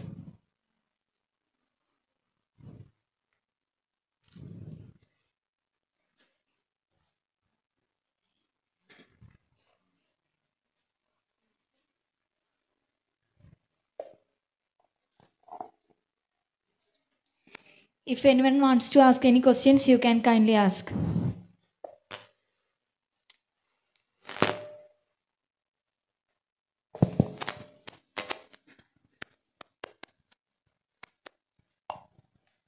Good afternoon. My name is Susan, sir. The very, very informative session and very enlightening too. Um, my question is, uh, see, as far as Kerala is concerned, we know that we have gone a long way in um, achieving most of these, at least uh, uh, many of these uh, as many of these SDG go, SDG goals. However, am I audible? Okay, sorry about that. But however, compared to the rest of India, uh, the Grama Panchayats and rest of India, uh, how uh, I know we stand way ahead, but still, uh, how bad is it uh, with respect to implementation of uh, SDG uh, goals at the local level in the rest of India, especially the Bimaru states and those states? Is is something really happening there, or is this just still in the paper? That's my question. I got your answer, question. I will tell you, um, madam, very interesting question. And we all are uh, this concern, but I would like to say that there, uh, see, uh, Ministry of Panchayat Raj, which I mentioned that there, they have already selected 13, 1 3 Panchayat in the entire country. And that Panchayat is uh, in the sense that they, they addressed the, uh, they achieved a carbon neutrality. That means there the total emission of carbon, they could make certain kind of exercise so that they can capture the uh, carbon dioxide. Carbon dioxide sequestration, what they mean that there. Out of 13 panchayats, madam, only one panchayat is from only, uh, only one panchayat is from Kerala. Remaining 12 panchayats are outside this Kerala state. And some of the panchayat, I can give the list of panchayat, some of the panchayat are already in the Bimaru state, what you mentioned that, things there. So the point is that there that kind of things, what is happening there. So the point is that their Bimaru state is also improving a lot. And I would like to say that their Niti Aayog has uh, written another thing, the health index, health index. Health index, you are right, Kerala is the top. But incremental index you take, you know what is incremental index? In incremental index, we have already achieved a certain state. But last one year, among the Indian state, which state did a good work, incremental index, because of that. You know that there, Uttar Pradesh, UP, got the first on incremental index. That means the Bimaru state is also in a position to running fast. I have recently visited a Grama Panchayat in Manipur where a panchayat could address the carbon neutral issue like our uh, Meenangadi Panchayat, which I mentioned one in Kerala. Manipur, they have a panchayat, and that is actually the, the one panchayat in there. And their Jammu Kashmir, one panchayat is at Palli. And the central ministry has prepared a good roadmap. And their Ladakh is going to, uh, going to declare the carbon neutral Ladakh. So things, our understanding is that their entire India uh, some of things, if I get a chance, next time I come to your college, definitely I will present a paper, something on that, the covering instead of two from Kerala, I'll take or four or five from the, e- including the Bimaru state. So situation has already changed. I, I appreciate your concern, but this is the case. Anyone else? Now I invite Dr. Bindu Baby, Department of Chemistry, to propose the vote of thanks. Thank you so much, sir, for the wonderful session. Though I'm from a different faculty, because uh, you are from social science, I'm nowhere from social science. But then uh, we could we could understand, we could follow you, and you were uh, able to uh, help us understand how to localize SDG goals at the grassroots levels through uh, by taking the two examples of um, panchayat, and um, we were like um, it is it was new to us that uh, sports and cultural activities also comes under SDG goals. And thank you so much, sir. Thank you.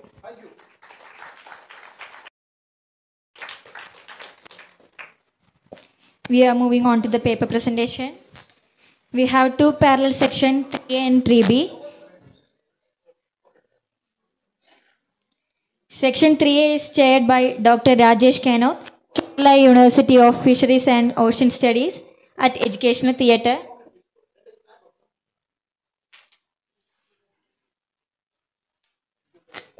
The paper presenting candidates are Rita Babu, Anup Arjunan Bahulayan, Sanal T.S., Dr. Susan Abraham. Section 3B is chaired by Dr. Jisha George, Head of the Department of Commerce, St. Stephen's College, Uzhavoor, at Media Center, at Conference Hall.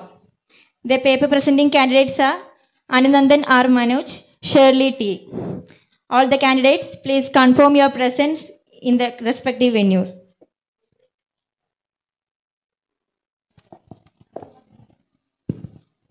There will be a tea break after session 3B, and during the tea break time, you have offline presentations and online presentation on Zoom. So you can participate if you're interested, and offline presentations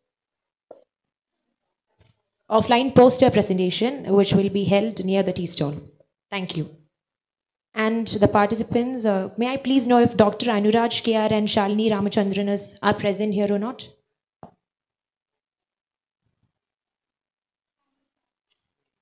Dr. Anuraj KR?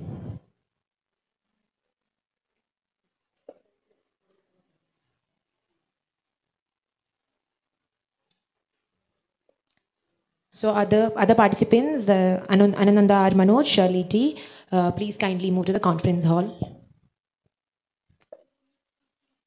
Thank you.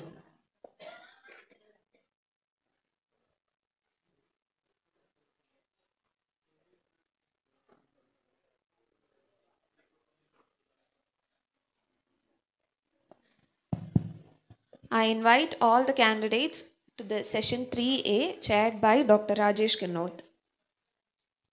Candidates, please note the following instructions. Please stick on to the time schedule provided for presentations. Once the session moderator calls your name, you should start the presentation without delay. You will have to share your PPT and do the presentation individually. You will be given 6 minutes for making the presentation and 2 minutes for discussion. There will be a warning bell after 5 minutes and 2 bells after completion of 6 minutes. During the time allotted for discussions, questions will be asked by moderators, participants, and general audience.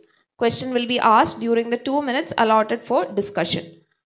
Apart from the person who is making the presentation, the next two participants should be ready to make the presentation.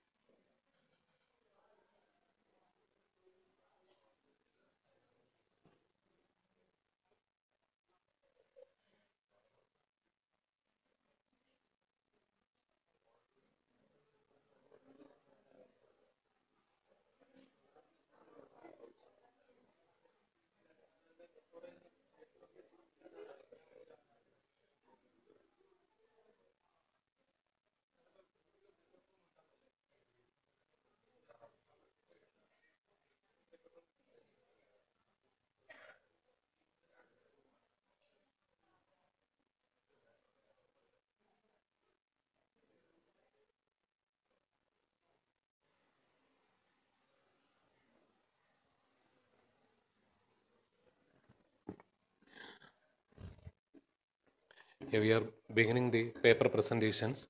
So altogether, four um, scholars are there with their papers.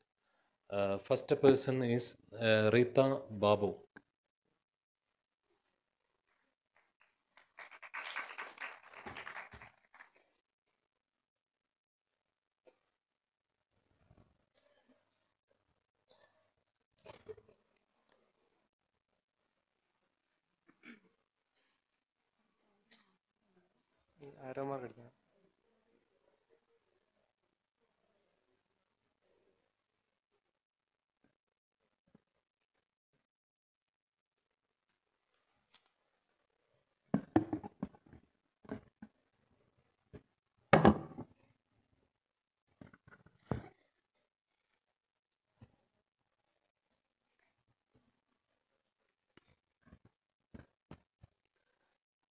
A very, a very warm good afternoon to one and all present over here.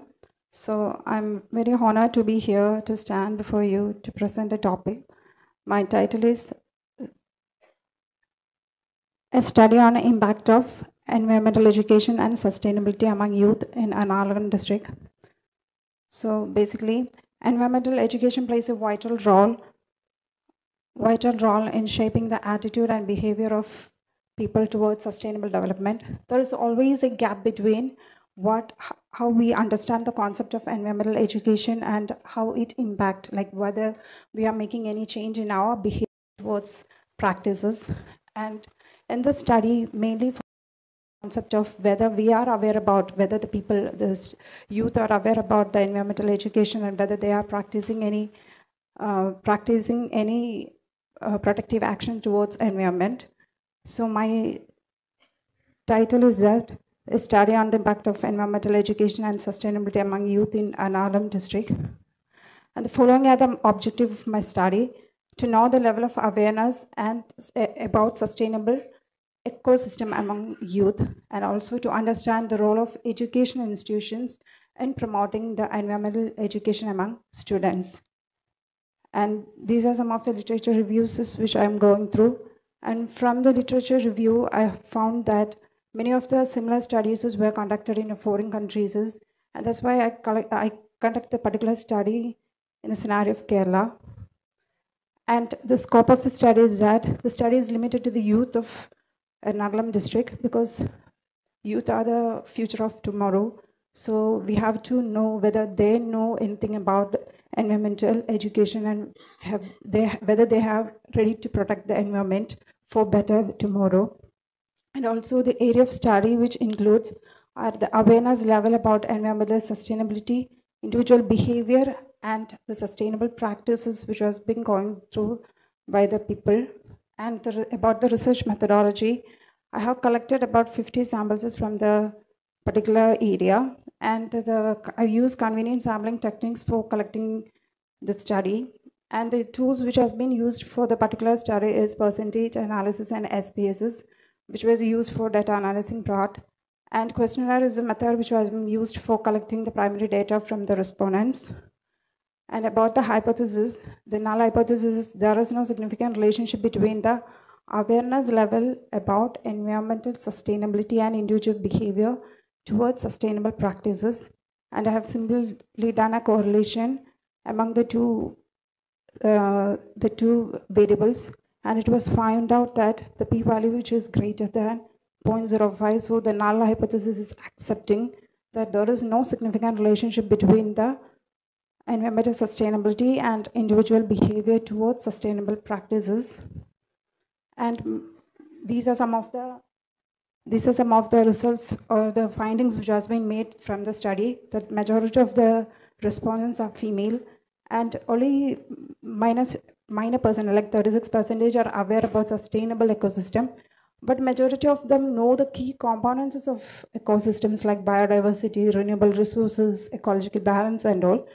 And combusting is the major waste disposable methods which has been used by the people. So they have a mentality towards protecting the environment but land, followed by landfilling which is against environmental protection and majority of them use cotton bags even though but mm around 45 48 percentage of saying that they are using plastic bags in their in their daily life. And only 36 percentage of minor people are not about know about they are aware about the green products. Actually they are know about uh, like they are using the green products but they are not aware about that they are using the green products. Because uh, majority of the respondents are using the particular thing in their daily life and which has been followed by organic vegetables that that are main, mainly used by the people along with that there are household items are there green beauty products are there solar power etc and social media is one of the um, effective communication medium which has been used by the people in order to get knowledge regarding the environmental sustainability and all, followed by the classroom sections, online platforms and all. And next, I have gone through some of the questions relating to the educational role of in education institution towards environmental education. And majority of the uh, respondents are moderately agreeing with the statements regarding like the clubs in institutions which was being like NSS and all and other environmental related clubs which has been in the institution whether they play any role in environmental education majority of saying that they are moderately agreeing with the particular statement and another thing they're moderately the chosen communication medium, like if they have social media, they if they are using, whether the particular medium has influenced their behavior towards sustainable practices.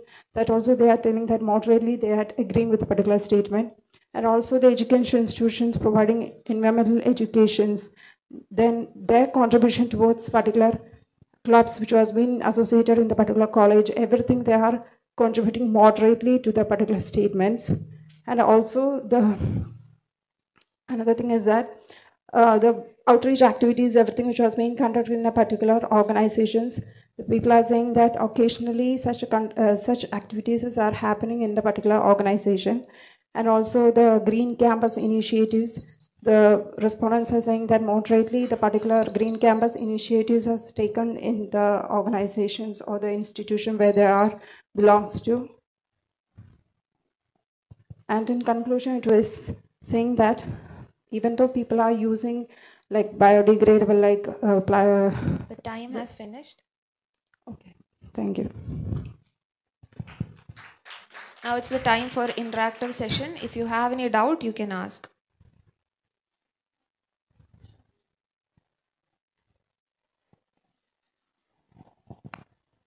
Okay, Ritu. I know the time limitations, but still, being the chair, shall I ask some two, three questions? One is, uh, it is about youth, right? So, how did you define youth? International definition is different, national definition is different. Even the state uh, department use various definitions. actually i take the uh, age group between 14 and 25 Who told you that that they belongs to youth? This is just a question for you to think.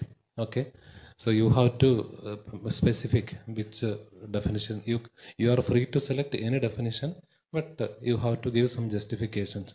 Then another one, uh, sampling was 50. Why don't you select 49 or 51? What is particular about 50? Nothing much actually i sent the google sheet and i get definitely the correct amount there is a, a- why I ask this question means in each and every college students are doing uh, like uh, research with the 50 sample size. I don't know what is the particular about this 50. That is also a wrong. Uh, it is following as a tradition. So you have to break that tradition. You if there is any particular limit for that No, no, no. You can uh, select anything.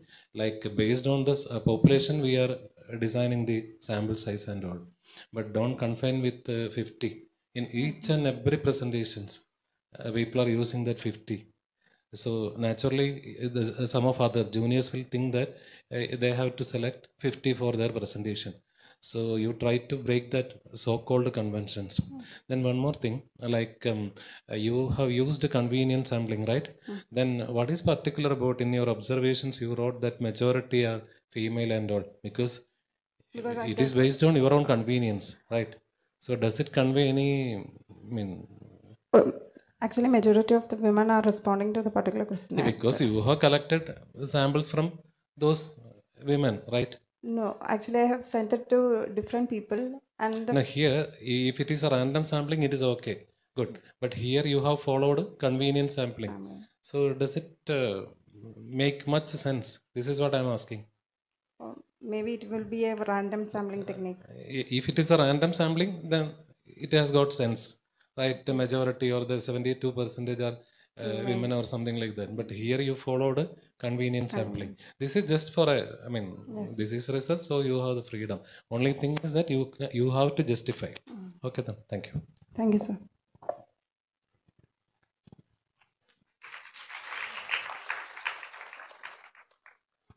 Thank you, Rita Babu. Next, I invite Anup Arjunan Bahulayan, Assistant Professor, Srinarayana College, Chembandi, to present the paper Kerala's Nightingale Dilemma Work Life Balance of Female Nurses in Private Healthcare Sector.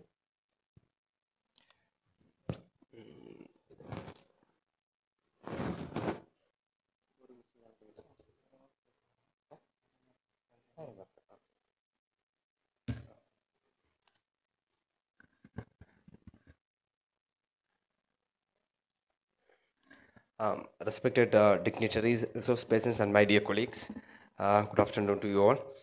Uh, actually, my topic is uh, on the work-life balance of female nurses in the government health sector. which falls under uh, the woman uh, sustainability under our conference theme, nothing related to environment or ecology. So to begin with, the work-life balance is something, something the amount of time one spends on work and also the amount of time one spends for oneself, for family, or uh, for uh, one's own personal interest, etc. So when it comes to uh, woman counterpart, there is a special case, at least in India, that uh, as compared to the yesterday years, uh, the women of in today are much more educated.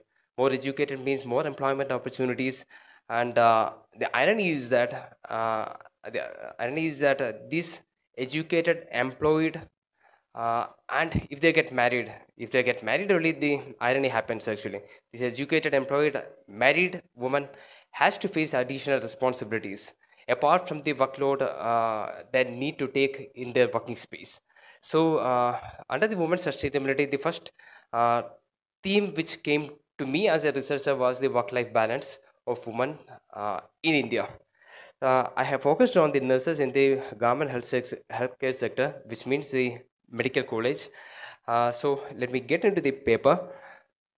The health the healthcare sector in India is valued at 372 million dollar with a compounded annual growth rate of 22 percentage, which means it is going to attract FDI, FII. We know the case with KIMS Healthcare, which is taken over by Blackstone, which is an equity company, and there is a direct correlation with the population growth also. Now, uh, the woman in the healthcare sector means 29 percentage as per the Forbes list is com- is composed of doctors. 80 percentage of nurses are uh, female, and Ashas is nearly 100 percentage, uh, which is composed of female only. And uh, the issues specifically related to women uh, work-life balance issues are re- long and regular uh, working hours, family responsibilities, uh, performing the gender roles, limited childcare support, physical, emotional demands, rigid working arrangements, and limited personal time. The review of literature has also been conducted with substantiates with the data, and this is the prime uh, objectives. Main focus is on the demographic variable, including the age, uh, marriage, etc., and also evaluating the variables uh, which influence the QWL. Uh, this was the methodology. A questionnaire form was um, uh, circulated. 134 samples were uh, selected based on a random sampling method from three medical colleges across the state. From Kozhikode, one, uh, Kochi one, and also from Trivandrum. Random sample method was used, and uh, ANOVA was used for statistical tests. Uh, from this table, we can find that most of the issues were uh, majorly concerning for the woman and uh, i will get to the conclusion first. Uh, to conclude the paper concludes as such it has to acknowledge the organization has to acknowledge the dual responsibilities of women employees and also it has to develop a system uh, where it can create a balance and also uh, utilize their full potential. And there is a positive correlation in the work life balance uh, with regard to the variables like age education etc and 85 percentage of the data of uh, women agreed that there should be in addition to maternity leave there should be post maternity leave and also child care facilities at workplace for full concentration at the work environment. And also at last the organization should make efforts in making the environment family friendly in order to extract the maximum out of the uh, out of women in the work environment. And uh, thus my paper concludes my paper has a major limitation because only the aspects in regarding uh, to the work environment has been taken but uh, there is a dark side which has not been taken which is the major issue in, uh, in at least in india uh, i will conclude with an example ഇരുപത് വർഷം മുമ്പ് ഞാൻ എന്റെ കോളേജിൽ പോകുന്ന വഴിക്ക് ട്രിവാൻഡ്രം കൊല്ലം പോയിട്ട് തിരിച്ച് റിട്ടേൺ പോകുമ്പോൾ ട്രെയിനിൽ പോകുമ്പോൾ നമ്മൾ പിള്ളേർ കാണുന്ന ഒരു സ്ഥിരം കാഴ്ച ഉണ്ടായിരുന്നു ഒരു ടീച്ചർ നമ്മുടെ കോളേജിലുള്ള വേറെ ഡിപ്പാർട്ട്മെന്റിലെ ടീച്ചർ സ്ഥിരം ട്രെയിനിൽ ഇരുന്ന് മലക്കറി ഇറങ്ങിക്കൊണ്ടാണ് പോകുന്നത്.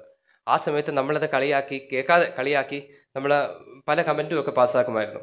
പക്ഷേ twenty years later at age of forty I understand how much of a pathetic situation it actually is അപ്പോൾ നമ്മൾ മിക്കപ്പോഴും വർക്ക് ലൈഫ് ബാലൻസിനെ നമ്മൾ ഇവാലുവേറ്റ് ചെയ്യുമ്പോൾ the main culprit is always the employer the main culprit is always the work environment ഇവിടുത്തെ ഒരു ടീച്ചറെ work life balance നമ്മൾ ഇവാലുവേറ്റ് ചെയ്യുമ്പോൾ കോളേജിലെ സിറ്റുവേഷൻ ആയിരിക്കും നമ്മൾ ഫോക്കസ് ചെയ്യുന്നത് but that is not the major culprit at least you students has to understand the main thing that the culprit is always the home or the workload workload at home it is not getting negated in proportion to the what she is doing uh, in an organization. Thank you. Thank you. Okay, Anu. And did you change your title? Here it is given that uh, work-life balance of female nurses in private healthcare Uh, sector. uh, yeah, I had to change uh, from private to government, sir. Government. Yeah. Uh, if it is private, then it is uh, much more sensible, I think. Uh, Uh, yeah. Because government means we they have a system like they are all government employees.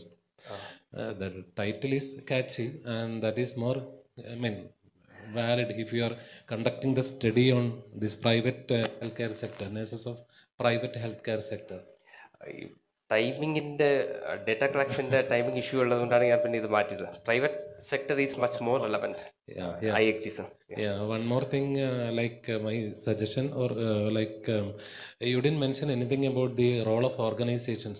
That is also very, very important, right? Especially the nurses' organizations are very strong. Yeah they have A specific time table പക്ഷേ sir work stress എന്ന് പറയുന്നത് this table actually shows what is the actual work stress that actual Only stress. Yeah. Not other mechanisms. No sir what are limitations ഇതിൽ പറയുന്നത് these are the major variables that there identified and except the point number one and six in all the other variables it's highly squid not in favour of the Okay, but uh, what I'm trying to say is that when you are dealing with this topic, especially with the private healthcare sector, you have to think about that direction also. I don't know whether it is your PhD topic or not. Uh, no, sir. No, No. just you have selected a topic for a for presentation. this purpose. Okay, okay. I will focus on it, sir. Okay. Bye. Thank you, Anup. Next, I invite Sanal T.S., Newman College, Thodupuzha, to present the paper Taxonomy and Diversity of Butterflies in Selected Sites of Idukki District.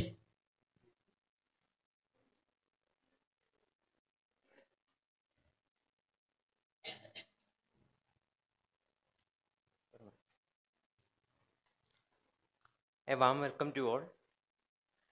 Today I am presenting my study, uh, Taxonomy and Diversity of Butterflies in Selected Site of Idukki District, Kerala, India.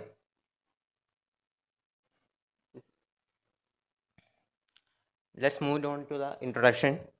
Butterflies are the key species in natural sustainability throughout the world as they help in pollination. Butterflies are ecological integral species also play important role in food chain. The butterflies include in the Arthropoda phylum and class Insecta and Lepidoptera order. Approximately 1,500 species of present in India and about 328 species reported from Kerala. Diversity in butterfly inf- influenced by factors such as habitat type, climate, availability of host plant, presence of predators, and human activities. Developmental activities are one of the most important cause of biodiversity loss worldwide. The higher diversity often indicates the higher, healthier ecosystem. Conservation effort often focus on preserving butterflies diversity to maintain ecosystem balance and functionality. Let's move on to the study set. The study conducted in uh, two major studies in Idukki district. District. Uh, the Idukki district is the largest district in Kerala, is known for the rich biodiversity, which is closely linked to the Western Ghats mountain range. The Western Ghats a UNESCO World Heritage Site, is one of the eight hottest hotspots of biological diversity in the world. I am choosing two sites. One is Newman College, second one is Malenji. This is the satellite view of uh, Newman College and Malenji. We can see that uh, Newman College is uh, the area full of urban area. Uh, second one is Malenji is rural area, uh, fully cultivated area uh, with a uh, besides agriculture uh, forest is present. Next one is method in my study. I am using Pollard walk method to to observe animals in the morning and evening time and photograph them. Taxonomy and systematic were done using published data. This is the result. Uh, the literature studies reveals that about 7% of all life forms on Earth are members of the order Lepidoptera, and the butterflies and moth. Mm. The taxonomy of butterflies is thoroughly studied during the present study owing to the presence of increased, increased diversity of other insect in the study site. Particularly, most species was missed in the identification process. These are the fa- families of Lepidoptera, Hesperiidae, Papilionidae, Pieridae, Lycaenidae, Riodinidae, Nymphalidae, and Hedylidae. This is the cat taxonomical features of Nymphalidae. The family is easily recognized by the reduced front legs that lack claws. The front legs, due to their length, are not used for the wagging. Unique to this family, the radius in front of wing is five branched. This is the picture of Nymphalidae. The species name is uh, Euploea core. This is the uh, species. 11 species are identified from the study site. Second family is Lycaenidae. Lycaenids are small, delicate butterflies that are often distinctly marked with the iridescent blue, red, or orange colors. This is the taxonomical characters of Lycaenidae species. These are the species I collected. Next one, Papilionidae. This is the characters features. Uh, mm, the is the cabbage butterflies are often medium to small size and are distributed worldwide. This is white in color and black dots present in the body. These are the species. Last one is Hesperiidae. The skippers are the small to medium sized butterflies with the orange or brown wings and stout bodies. Their antennae are distinctly hooked or recovered at the tip. The head is relatively broad with widely separated eyes and antennae. Many species rest with their front and hind wings held at different angles. These are the species. Then uh, this is the diagram shows the uh, collected species. The 11 Nymphalidae species are collected and 8 Lycaenidae, 6 Papilionidae and 7 Pieridae and 4 Hesperiidae. The present study reveals the occurrence of more butterfly species seen in Malangi region than on Newman College campus. The developmental activities of Thodupuzha area campus of population is less over in Malangi less threatened and Thodupuzha. Let's move to the conclusion. The recent studies indicated the importance of conserving the flora and fauna of ecosystem. Butterflies are the ecological indicator species. Their declining species richness shows the alarm signal of existence of our sustainability. If we ignore this change, result in the loss of our own food resources because butterflies are the major pollinators. Existence flora is directly related to the butterfly species richness. That is, animal shows vegetation specificity throughout the life period. Based on the fact, the destruction of specific flora due to construction activities leads to the extinction of our butterfly community. Hence, there is an urgent need to document and conserve that species. Thank you.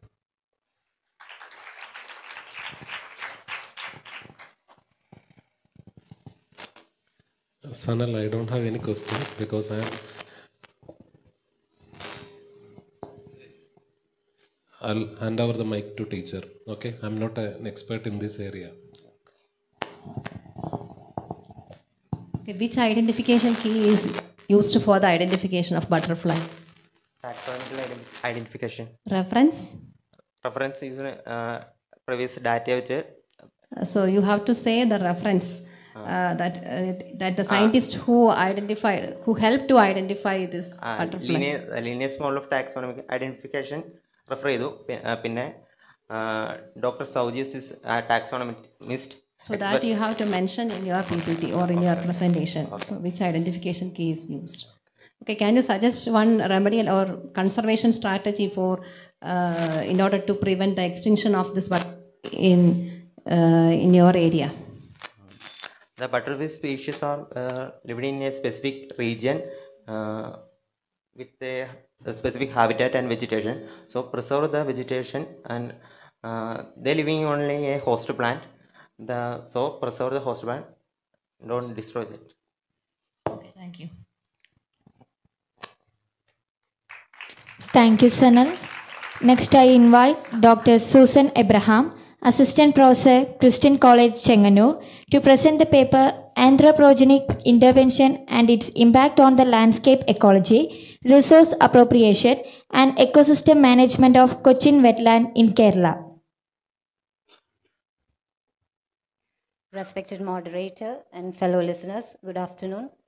Uh, I would like to make a small presentation on the anthropogenic interventions and its impact on the landscape ecology, resource appropriation, and ecosystem management of the Cochin wetlands in Kerala.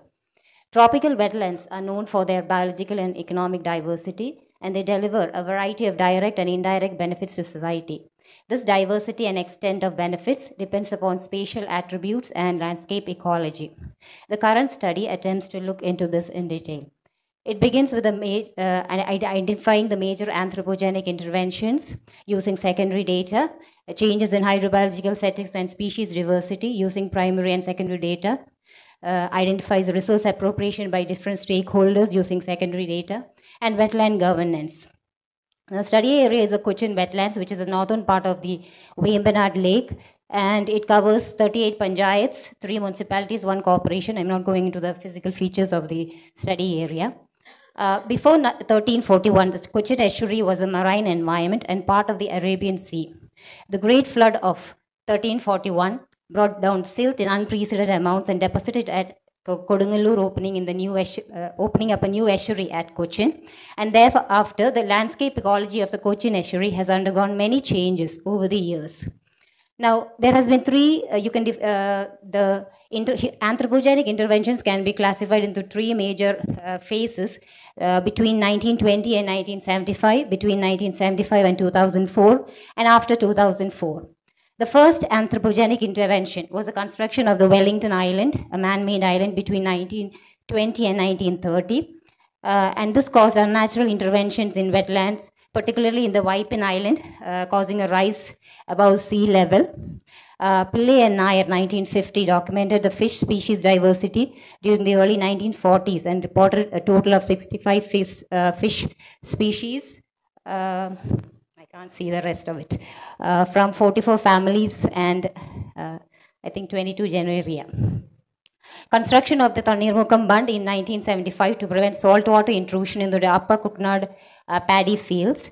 Uh, the uh, second phase of the construction of the Wellington Island and the reclamation of 50 acres of land for the Marine Drive project. These are the major second anthropogenic interventions into the Cochin wetlands.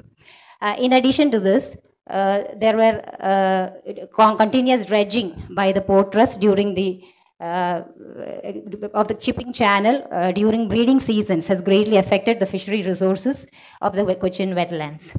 Uh, uh, huge marine shell deposits have accumulated over the centuries in the estuary and this needs to be removed for the sustainable, to protect the live clam and to prevent loss of erosion. Travancore Cements was limited was entrusted with this task and harvesting of shells by Travancore Cements uh, started sustainably during this period. Kurup 1982 recorded 150 species of fish belonging to 100 genera and 56 families from the estuary. The third major anthropogenic intervention is the construction of four Gosri bridges from uh, connecting Vypin and uh, Cochin mainland, uh, reclaiming 187 acres of land in 2011. The construction of the Vallarpadam container terminal, which began in 2009, uh, rec uh, reclaiming three islands and evicting 360 families from this area. Uh, continued dredging, industrial dredging by the Travancore cements, which gradually increased and caused uh, biodiversity problems to the local environment uh, resulting in local protest uh, by the uh, people who use this uh, clam harvesters actually. And uh, it resulted in a court case and the green tribunal uh, initially ruled in their favor of Travancore Cements allowing them to continue dredging. And finally in 2008 it was stopped uh, in the aftermath of this anthropogenic intervention, John et al., uh, 2019, reported a total of 200, 112 fish species from Vembanad Lake and its surrounding wetlands from 56 families and 19 genera. Now, historically, during the reign of the Cochin Maharaja, the Cochin wetland was treated as a single entity, owned and administered directly by the king. And because of this, there was no serious anthropogenic interventions into the wetlands. It is only after the coming of the modern users into the Cochin wetlands that major anthropogenic interventions have happened. Uh, and another specialty of this uh, uh, use of wetland is that if you look at the ecosystem people, the traditional users, uh, they have they use the wetlands on a multi-stakeholder sharing basis. However, when modern stakeholders came in, all of them uh, concentrated on uh, creating their own property rights and not allowing other stakeholders to use that particular environment. So uh, with the passing away of the monarchy and the creation of the state, legal jurisdiction over the Cochin wetlands was subdivided and given to various state developments. So I've come to the governance part. So the resources used by many resource stakeholders, there has been major anthropogenic interventions. But how has the uh, state looked into the governance of this wetland ecosystem? They have divided jurisdiction over uh, a single ecosystem among many different uh, departments, state departments, the fisheries departments to look over the estuarine fishing, fishing related activities over in the uh, wetland, the inland revenue department to manage the terrestrial part of the wetland, mining and geology department to deal with matters regarding the estuarine bed, inland water authority uh, to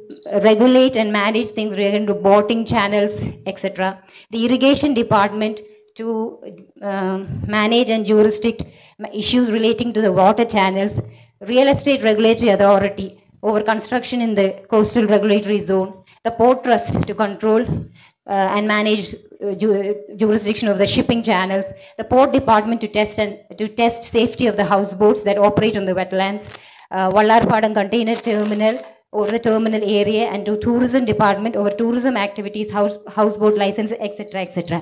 So with no integration or cooperation between regulators, no well-defined property rights, no strictly enforced uh, property rights, considerable confusion over jurisdiction exists. Consequently, instead of a holistic management of the wetland, it has led to wetlands being treated as open access ecosystems and their gradual degradation. Thank you. I know it's a very, very vast topic. I don't know if I've, done, I've been able to do justice to this topic, but I hope I've been able to communicate something. Okay, Dr. Susan, just a single uh, question. I understood the issues. What is your like uh, solutions to that issues? My first and foremost solution is property rights need to be correctly defined and enforced. If we do that over a ecosystem like a wetland, half the problems will be solved. Our problem now is there are rules, uh, or rather there are um, property, there are property, pro, the property rights have been allocated, but one, they are not well defined. Two, they are not enforced. So, in, uh, in ultimately, practically, what happens is this ecosystem is treated as more or less treated as an open access environment. And therefore, there is no proper management, holistic management, and uh, degradation is taking place and nothing is being actually done to stop it. Those which can be uh, stoppable. Okay, okay. Thank you. Thank you, Dr. Susan Abraham. Now we wind up this section. Thank you, Dr. Rajesh Kenoth, to chair this section with your valuable presence.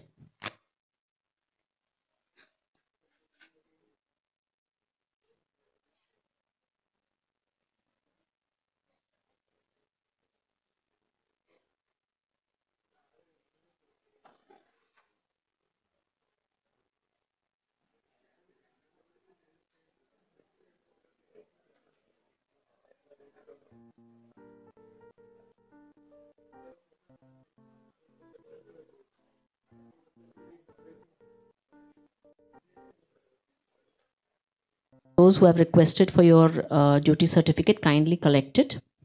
It will be available with us tomorrow also. In case you are coming in tomorrow, you can take it tomorrow.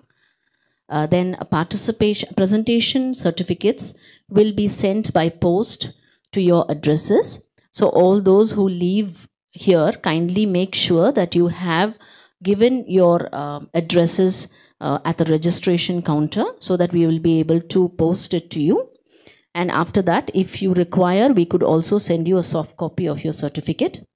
Uh, today, after this session, uh, there would be a set of uh, paper presentations too, and we will also be having an online um, session after 6:30 via Zoom.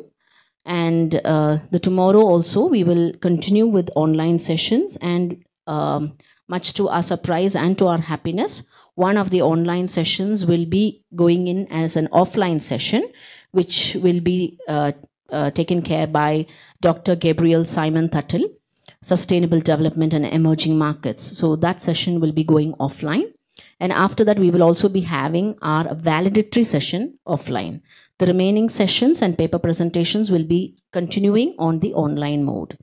So in case you have any uh, queries or concerns, uh, kindly make use of the WhatsApp group or you could uh, contact the coordinators for the same. So with that, we will be concluding and uh, we're going into our next session. Wishing you all a very fruitful session. Thank you. I will read out the names of the participants. Uh, please confirm your presence. Haifa S. Ashraf, Hafiz Nishad, Nidhi Hassan TK, Kartika Harish, Ashwadi Samuel, Krishnapriya Suresh Kumar,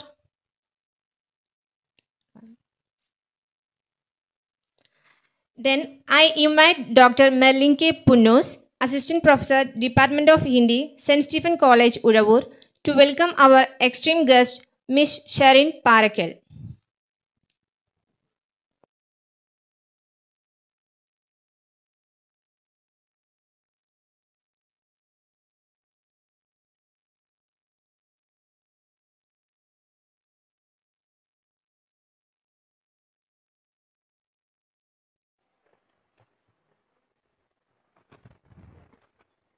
In this session, invited talk will be given by Dr. Shirin Tandu Parikkal.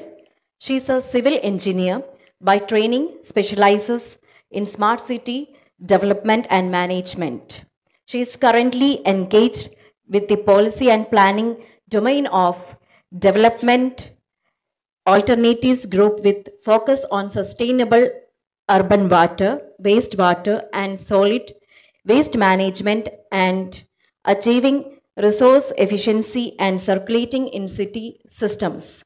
She has extensive research experience in sustainable planning, designing and development. Prior to making her way into development research, she acquired experience in the construction and real estate sector with international exposure. I genuinely welcome ma'am to this session.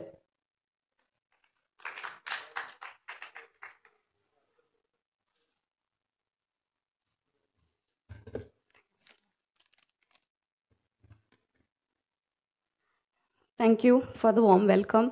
Um, I know we have had a very long day, but we all have to admit that it was a very informative session. Uh, first of all, I would like to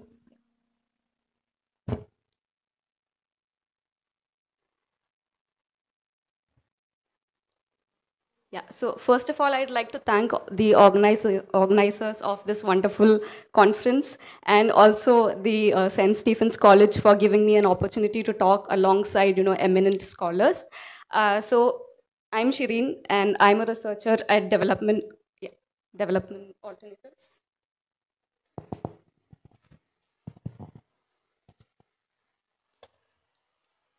Sorry for that.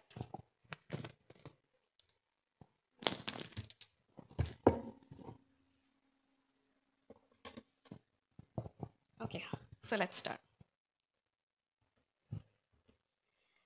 So I'm part of this organization called De- Development Alternatives and DA as we call it. Uh, so this beautiful building that you see right here is our office building, which is quite close to Qutub Minar. And this is a standing example of circular economy because all the building materials that has gone into this building is coming from our previous office. They have recovered all the building materials and put back into it. So I hope you'll be able to learn more about the concept of circular economy as we go along through these slides.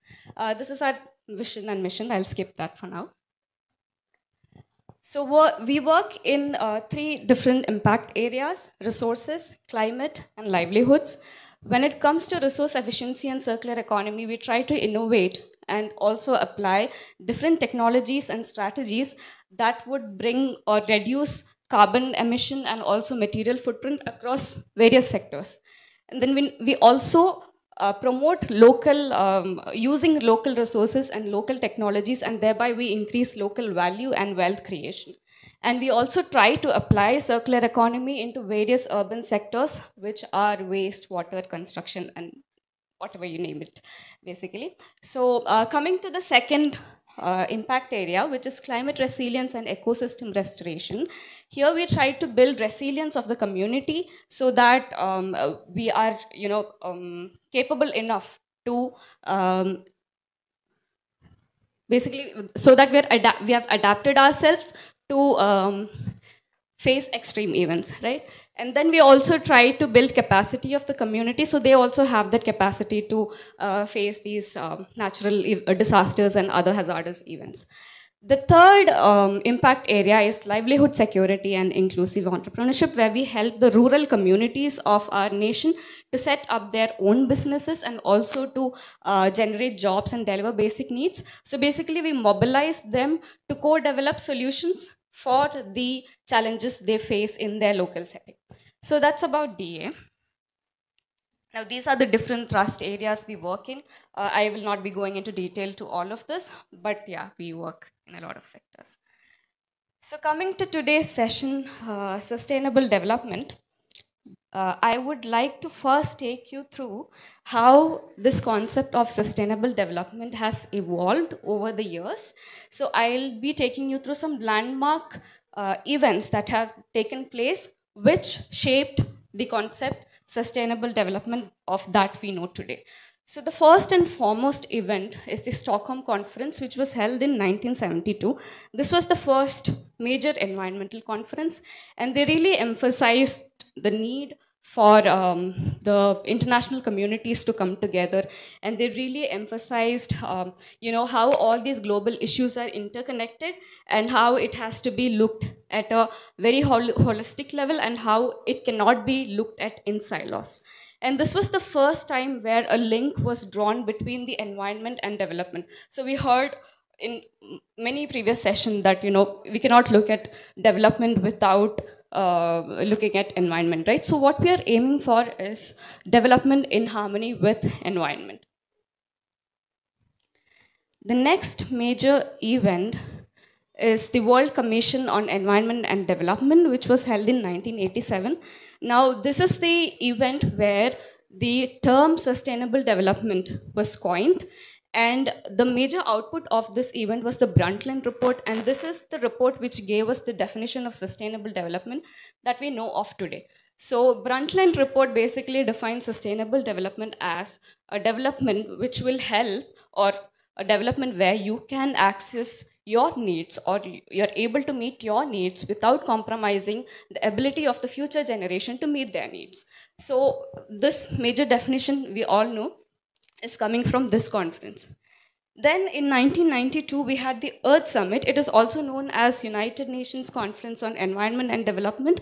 So um, this is where um, we um, adopted Agenda 21. So Agenda 21 is a document which gives us strategies to face so many global issues like poverty, hunger issues, equality, education, and all of that.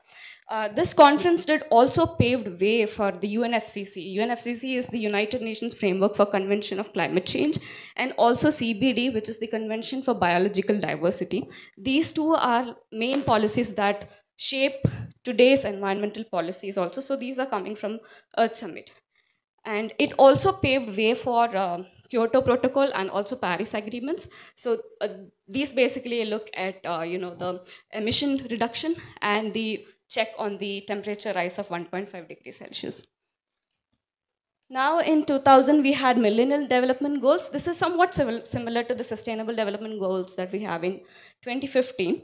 So these goals, Millennium development goals, uh, were supposed to be achieved by the year 2015. But then we didn't really uh, completely achieve it, but we did pave off a way for the sustainable development goals, which we got in the 2015. So we all know by now that uh, sustainable development is not just about environment, but it has a lot of factors going in it, right? So if we try to explain sustainable development looking at this picture, we can see natural environment, we can see built environment, we can see different factors that brings together an economy, right? We can see mobility, we can see um, power generating infrastructure, we can see different types of buildings where we have small houses, big uh, skyscrapers. So it's about everybody, right? So we also uh, heard about uh, uh, accessibility. So that's a very important point of sustainable development goals. So uh, if we go factors by factors, we have to consider future generations as well. We cannot just hold on to our needs and uh, use resources as per our need for our greed. So we also have to consider the next generation. Then we have social inclusivity where everybody comes in, uh, marginalized communities, vulnerable communities, disa- disabled people, everybody. Right. And then we have economic viability where we have to invest in uh, developing sustainable economic models. Then we have cultural diversity respect where we try to um, uh, protect different types of cultures of different creed, race, and caste. So we have seen this slide, I guess, so many times today. So these are the 17 sustainability development goals. Uh, I'll skip this slide because we have heard a lot about this today. So uh, we heard about uh, measuring what we have achieved uh, as per sustainability development in India, right? So uh, Dr. Jose talked about how we can read that in the Sustainability Index of India, uh, prepared by the Niti Aayog. But um, if you look at an Asia and Pacific data, it is it is very evident that we have not even achieved the goals which we had to achieve by the year 2023. Now, if you look at the climate action uh, goal, we are actually regressing there. We're not even making any, you know, steps ahead. So um, that's how we have uh, gone far with sustainable development goals. Uh, so now, to sum it up, uh, I would like you to watch this video. Did you know that the UN Sustainable Development Goals are a universal call to action that unites 193 countries around the world?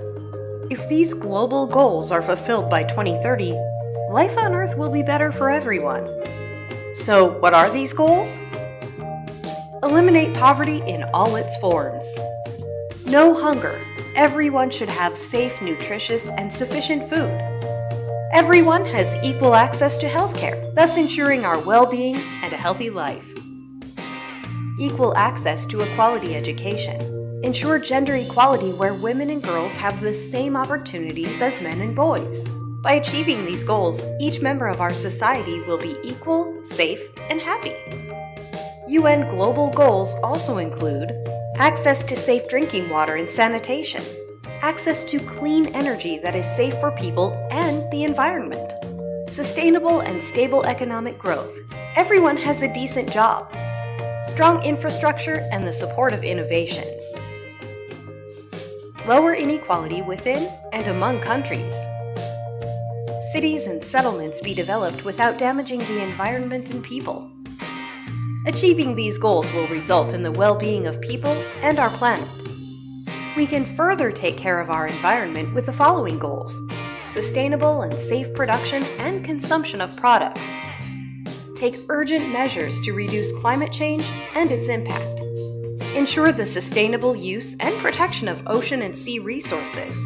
Restore and protect Earth's ecosystems. By achieving these goals, we will form a society where strong institutions ensure peace and justice. It is important for everyone to be involved and to build partnerships for achieving sustainable development goals. You are part of this process. Demand the implementation of these goals. Take the lead and share information with your friends.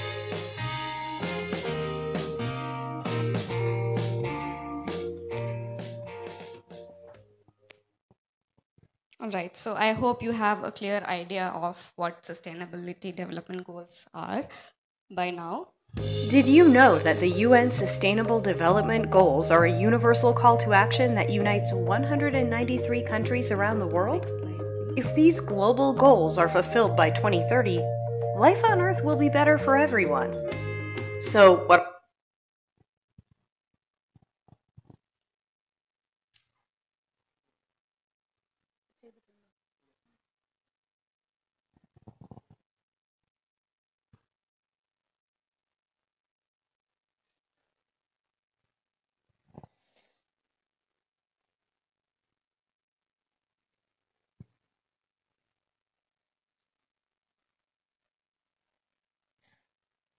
Okay, so we talked about different sustainability development goals, right? So today I would like to talk in detail about the sustainability development goal number 12, which is the responsible consumption and production.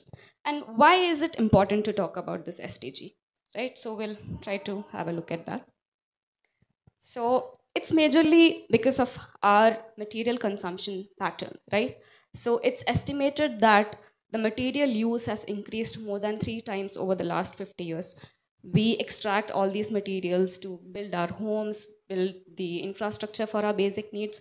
So, in the name of development, we have managed to, you know, uh, kind of increase our material use by three times over the last 50 years.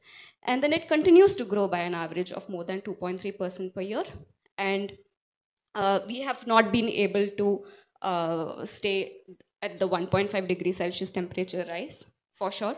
And then it's also said that uh, material consumption, increased material consumption, is the cause for triple planetary crisis, which is the nature loss, uh, pollution, and climate change. So why is this happening, right? So this is happening because of the pattern, the pattern in which we are consuming materials, which is the linear economy. So what is linear economy? So if we have to define linear economy, it's this take, make, dispose pattern, where we extract finite resources and then we use it to produce goods and then we use it according to our need and then when it has reached its end of life, we just dispose it, either scientifically or unscientifically, right?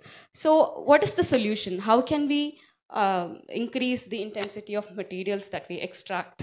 Uh, I mean, intensity of use of materials that we extract from our source, right?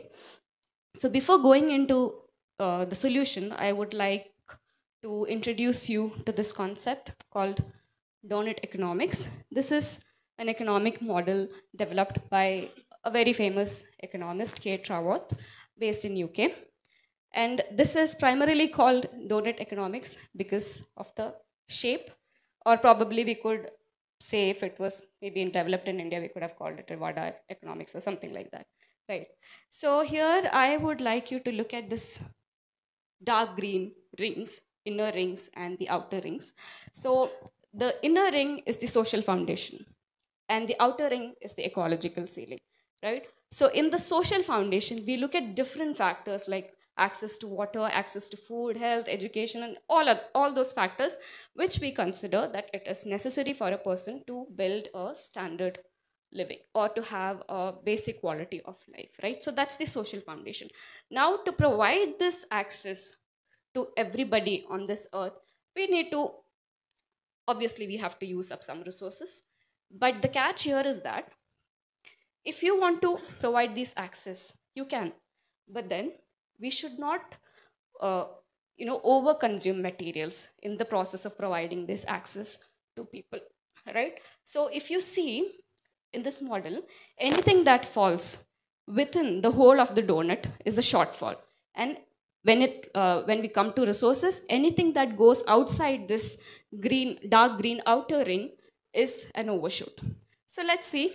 And uh, so basically for a sustainable development, this graph should be falling in this light green, or you can call a mehendi green band of space. So if you try to look at it, so the question here is, can we manage, can we balance this? Can we balance the shortfall and the overshoot? Uh, data says, well, we are not managing it very well. So if you see here, millions of people are still having a shortfall to, you know, um, access to different basic needs like water, food, health. So uh, these red wedges you see, these are the shortfall. That people don't have access to income and work, education, peace and justice. So all these issues. And it, the data is showing that we have already overshot three planetary boundaries, which is climate change, land conversion, biodiversity, and all of this, right? So now let us try to see how this graph will look like for India. So this is the donut graph for India, where it shows that we are falling short of so many basic needs like life satisfaction, poverty, uh, sanitation, social support, so many things. And we have already overshot our consumption in phosphorus and nitrogen. Now, this is a case of a developing country, right? Now, how would this look for a developed country like USA? And this is how the graph for USA looks like. They've already crossed the planetary boundaries for CO2 emissions, phosphorus and nitrogen consumption, ecological footprint, material footprint, and all of these things. So if we want to live like an average American, right? Like if we want to use materials like an average American to sustain our needs, we would actually need close to five planets of, I mean, five Earths. But, and, and yeah, as you can see for other countries, it's like close to five and four. But too bad, we have only one Earth, right? So this is why it is very important to talk about uh, sustainable or responsible production and consumption because if we continue to live like this, we will crash. And what we actually want to build is a regenerative and restorative planet where we allow the planet to replenish by itself before we over extract or exploit the resources that earth gives us right so this make it makes it very important to talk about this particular SDG, responsible consumption and production. So let's look at some strategies to as to how we can achieve this SDG, right? So there are different strategies like resource efficient infrastructure, promoting sustainable production and consumption, investment in renewable energy, integrated resource management, and circular economy explain, uh, applications, right? So today I will be going into detail on the circular economy applications. Now, what is circular economy? Let's try to take a look. So earlier we saw the linear economy, where we just take materials, we use it to produce goods, and then we use it, and then we dispose it off. That's linear economy. Now coming to circular economy, what actually happening is happening is we are extracting, we are using it, and then we instead of disposing it, we are putting it into the loop again, either by recycling, reusing, or whatever strategies you're using, right? So basically, in simple terms, this is circular economy. Now coming to circular economy principles, so as you can see here, you can see very clearly in this figure where you say sourcing, manufacturing, distribution, and then you put it again back into the loop of uh, material feedstock, right? So if we look at different principles of circular economy, the first one is design out waste and pollution. Now this might sound very simple, but it has very serious implications. Uh, it is said that, or it is estimated that 80% of the sustainability of a product is determined uh, at its design stage. So if you are not designing a product, um, maybe uh, for environment, or if you're not designing it properly, it will be very difficult to compensate for the environmental degradation that it will cause at a later stage. Right. So we have to be very careful to design our products uh, in a sustainable manner so that it can be used for a longer time and it can be put back into the loop.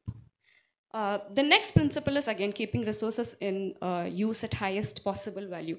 So we just don't need to put it back into the loop, but we have to use it such that we are, uh, you know, making the most out of that product, right? Um, third is decoupling growth from resource consumption.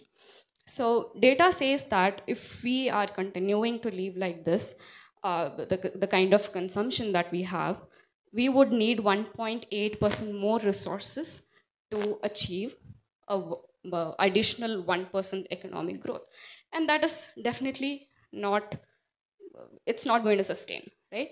So we have to decouple growth from resource consumption. And that's why we say development in harmony with environment.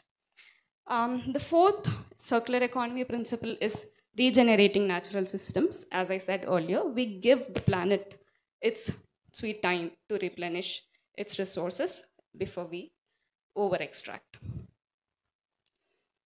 So here I would like to introduce you to the 9R framework. So it's it's very easy to say practice circular economy, right? So, but how do we do it?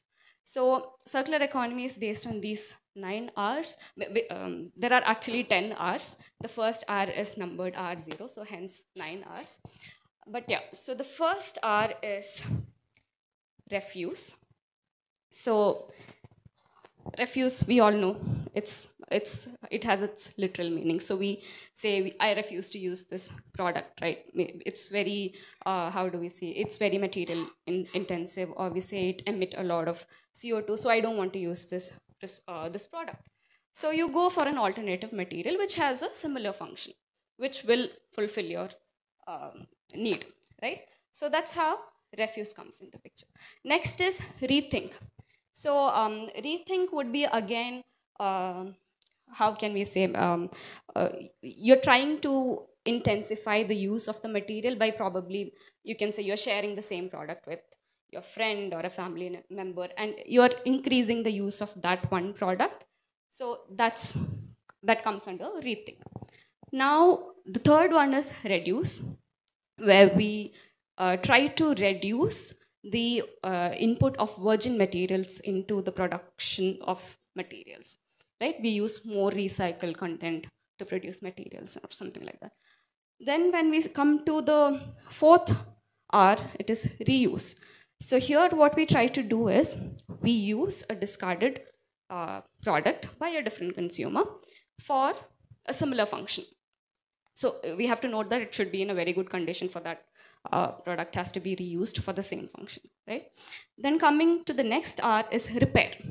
So repair, we all know it. We keep doing it. So if uh, like if you have a product and it's minorly defected, then you get you go to a shopkeeper and then you get it repaired. So that's how you can keep the product in loop for a longer time. Then we come to refurbish. Refurbish is a concept where you take an old product, you give it some facelift and make it as good as a new one. Then we come to remanufacture. Remanufacture would be um, uh, after a product is discarded, you take different parts of that product and then use it in a different, uh, use it to make a different product of the same function.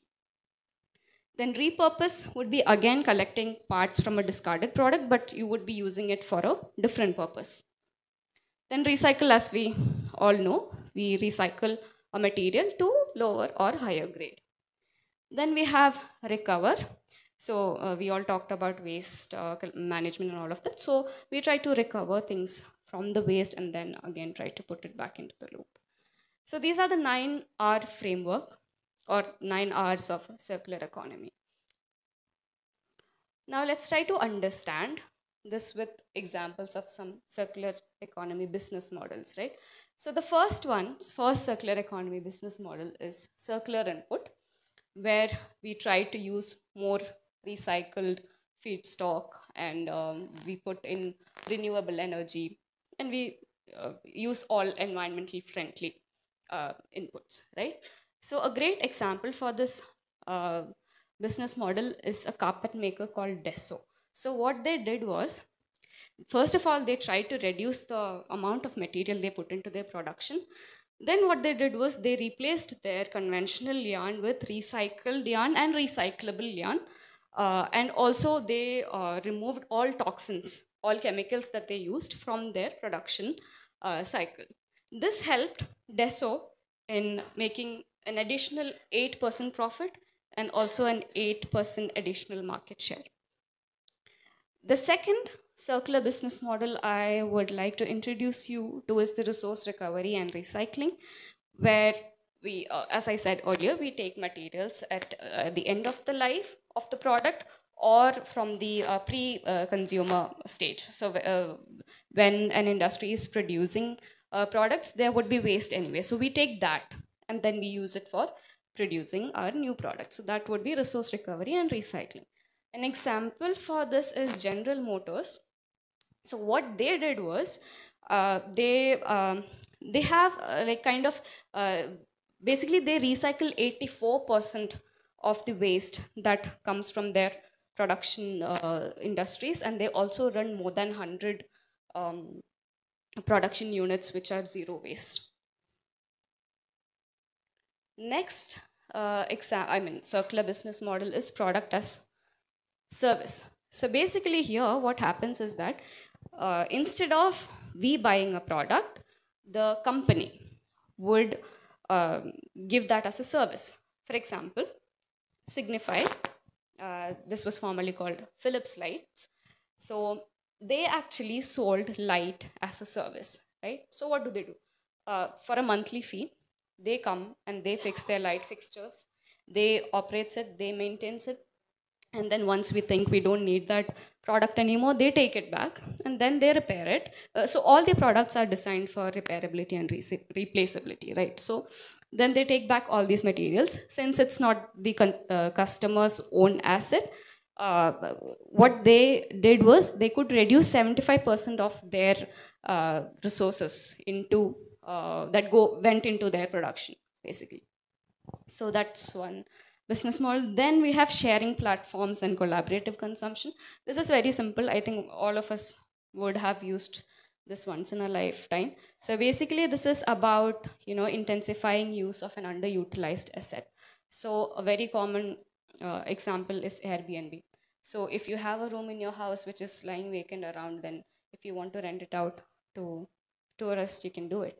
You use uber or ola for traveling. So all these are sharing platforms where you actually don't need to have the car or the asset for your own right Next is product life cycle extension. Product life cycle extension, um, it has several aspects to it. So basically, we are trying to um, uh, keep the product in the loop itself, right? So there are different strategies where you could do it. But what strategy you use is very important. So if you try to look at it, I'll try to explain this with an example. So if you have a phone, uh, say this is the value chain for uh, you know production of phones. So they extract raw materials, they manufacture it, uh, they distribute it, and then it came back to us. Let's say uh, let's say we bought a new phone, right? So the easiest way for us to keep a phone in the loop would be to maintain it properly, right? So let's say our phone fell down and it has a crack. What would you do? We would try to get it repaired because we spend a lot of money on that, right? So we try to get it maintained or we get it uh, repaired. So this is the smallest loop that you can take. Now let's say you used it for like a five years and then now you feel the need to change it. You, you need a new phone, right? So what do you do? You sell it, right? Let's say we don't stash it at our homes, but we went and actually sold it. So to a service provider. So what are we doing here? We are redistributing the phone, right? Now this can be bought by a second customer.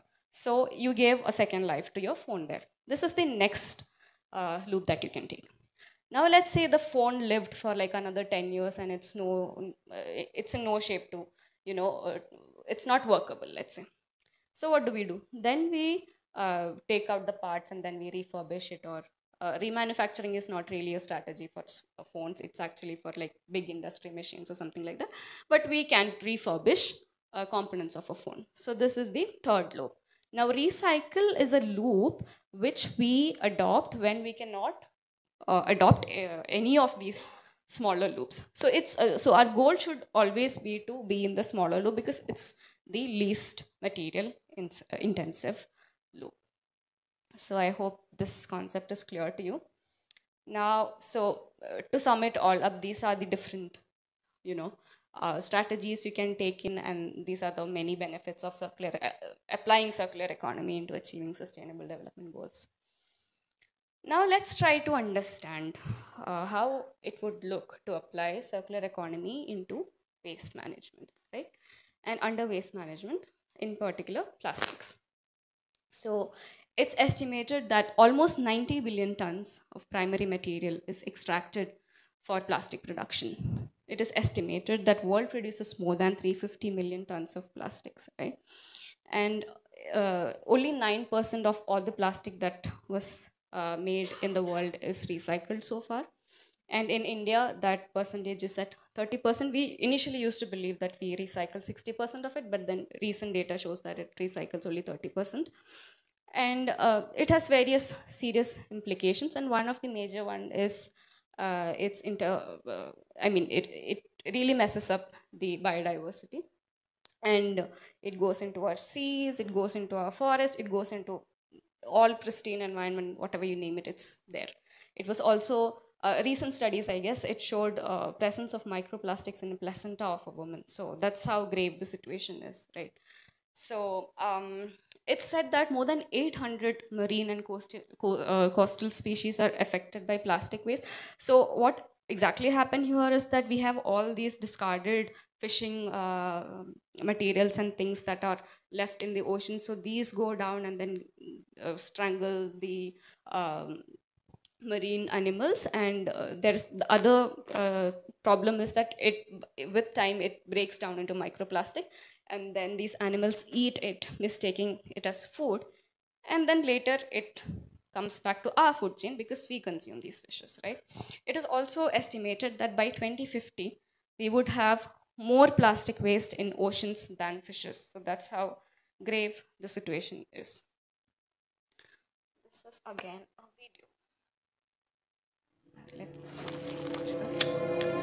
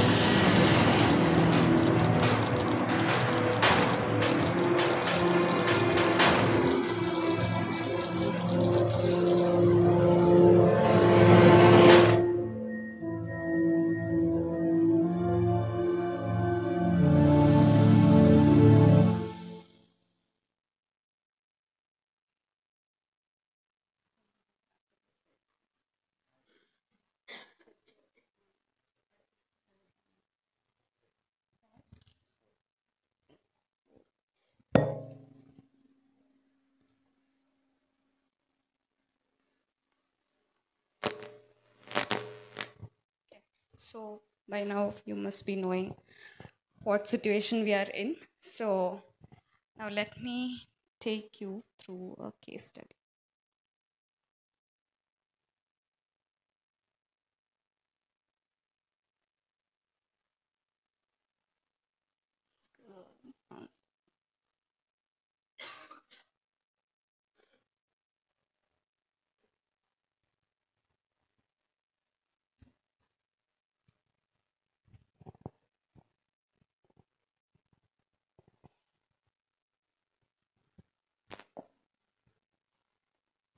So, this is an example of how community and regulatory bodies can come together to apply circular economy to uh, face a challenge. I mean, yeah, challenge faced by the community, right?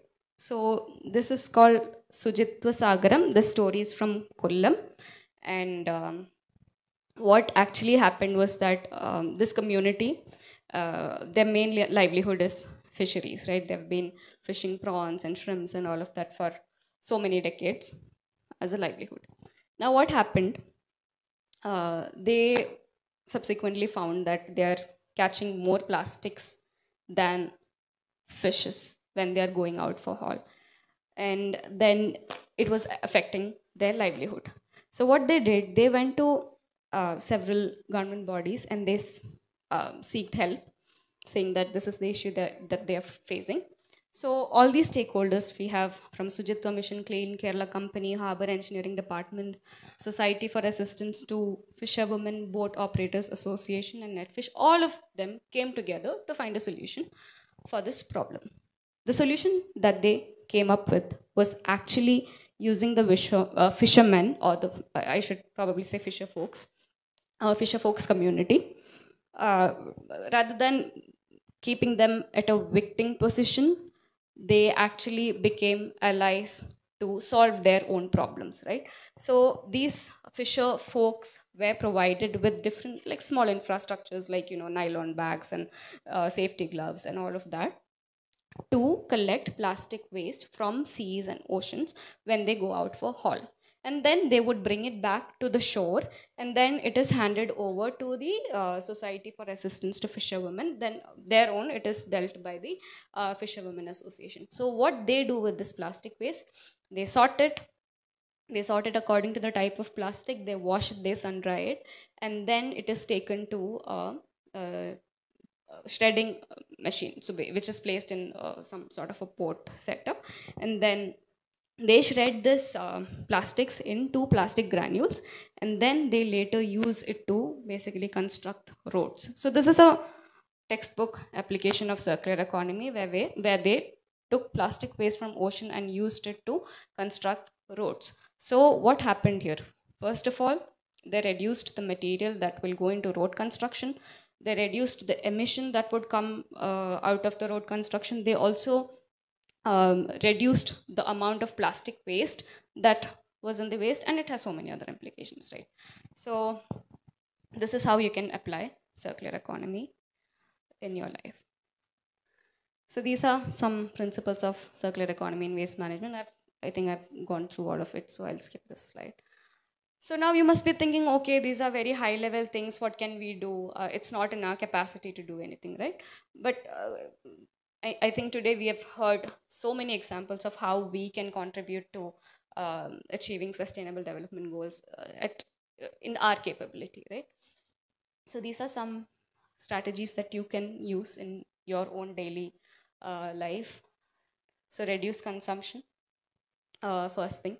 So probably instead of using a plastic packaging, you can say uh, shift uh, shift to more alternative material like a jute bag or a cotton bag or something like that. Reuse and repair. Uh, I've already given you an example. Recycle responsibly. Responsibly.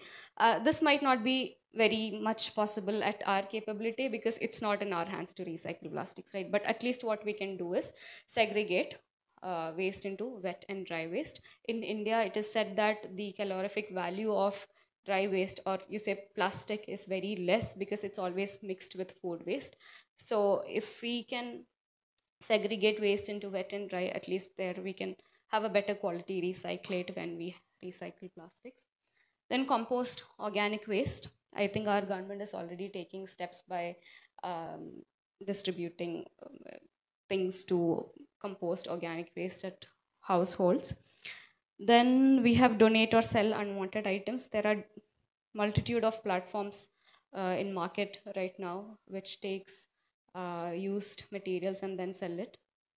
Then we can choose sustainable packaging, as I said earlier. Then we can practice upcycling, right? For a small, uh, like I mean, we have seen a lot of DIY videos where when there is uh, when there is a small cut on your cloth, then you change it into an embroidery or something like that. So that's an example of upcycling. Then uh, we have educate and advocate. Okay, so now you know what to do, so you might as well go and tell others to also live responsibly. Uh, so here, what we actually is looking for is a behavior change. Behavior change is not something that we can uh, achieve in a day. It will take time, but as you practice things, it will become become a behavior, right? So yeah. Now, if you want to take it a one step ahead and want to become a sustainable development professional, then probably you can consider taking formal education and training in sustainable development related topics. So there are different. So first of all, I would like to say you that this is a very interdisciplinary uh, subject. So I'm a civil engineer. I came into this field. My colleagues are from, you know, economics background. There are from MBA, and then we even have people from home science, right? So it's true, truly an interdisciplinary uh, subject. So these are some subjects that I've listed down, and these are some schools that you can consider if you want to take formal education for sustainable development. Uh, and then you could probably, you know, if you just want to get a taste of it and you you want to see if this is really my cup of tea, then you can probably go for some internships and volunteer work with these national institutions. Or you could get into research and academia, and then there are government and non government roles. And then there are private organizations now. So now uh, private organizations are really mandated to uh, meet their sustainability targets. So circular economy and sustainable development is not going to be just an option. It's going to be a precondition if you want to, you know, do a business. So uh, recently, EU and other Europe, I mean, US collection of European countries. So they have come up with their own circular economy um, strategies. So soon, I think in India also, we might have some mandates related to applying circular economy into your businesses and achieving so sustainability targets. So uh, in private organizations, they are mandated to meet their sustainability targets. So there are new roles coming up like corporate sustainability experts and all of these. So that's one option you can consider. And then if you're ambitious enough, you can start your own company and then you can uh, contribute to the cause of sustainable development. That's it from my side. Thanks. And if you have any questions, I'll take it.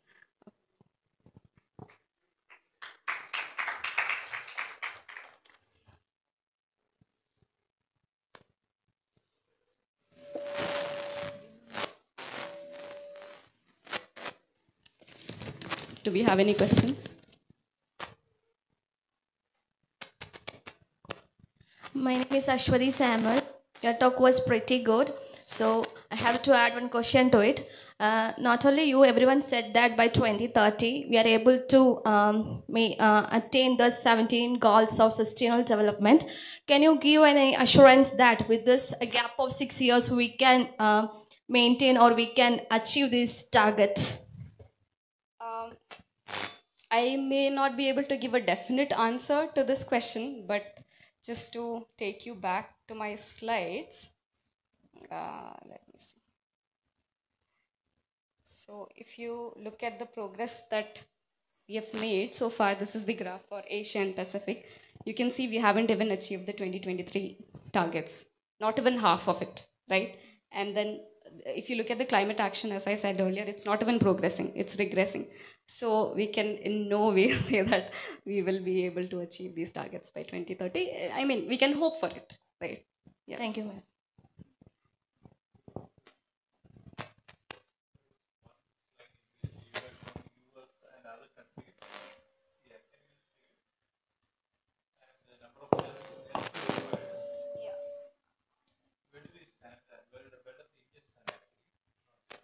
Um, I don't think they have used Indian data for this.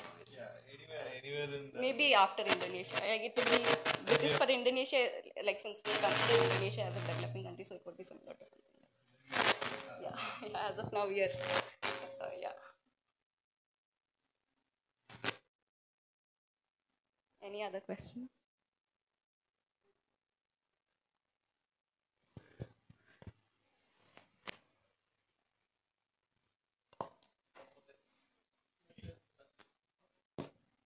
normally uh, every says that instead of using uh, paper cups, uh, we can use a steel cup, etc. But I think uh, the, we need a more energy uh, to manufacture the steel cups.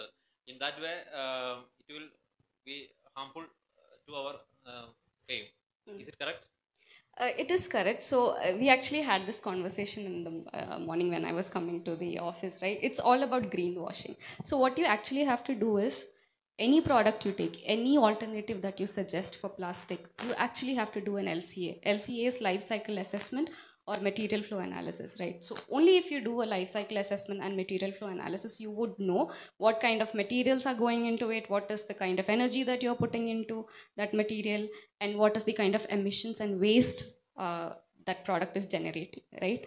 So, uh, like before we uh, suggest something, we have to do this so that we don't have a bigger problem in the future, right? So always we have to do LCA and MFA for uh, products before choosing products. And it's also, I think, uh, our purchase behavior.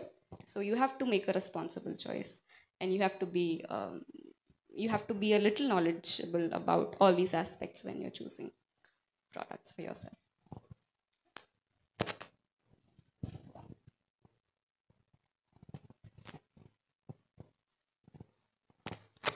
Thank you, ma'am, for sharing your valuable knowledge with us.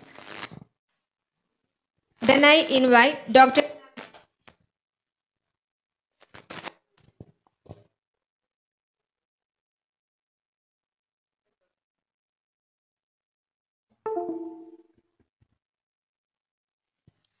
Then I invite Dr. Navida Elizabeth Joss, Assistant Professor, Department of English, to propose vote of thanks.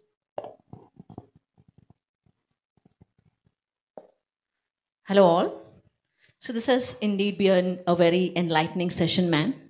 Me, myself, from the Department of English, uh, is not much aware of such concepts, but you have taken the pain to break it down, as everybody keeps saying, at the grassroots level, and you have addressed every point eh, with such sheer simplicity and lucidity that every person, I think, has got the concepts through.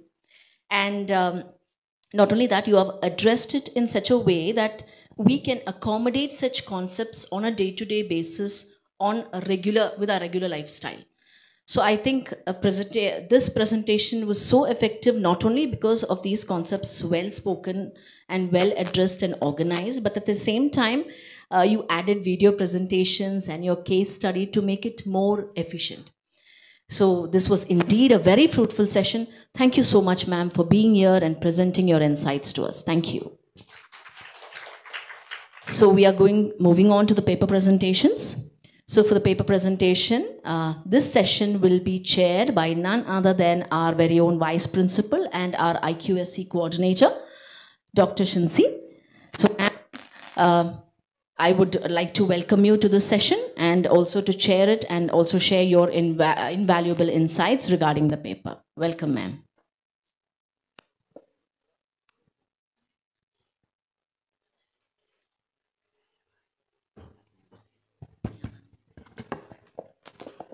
Good evening, all of you.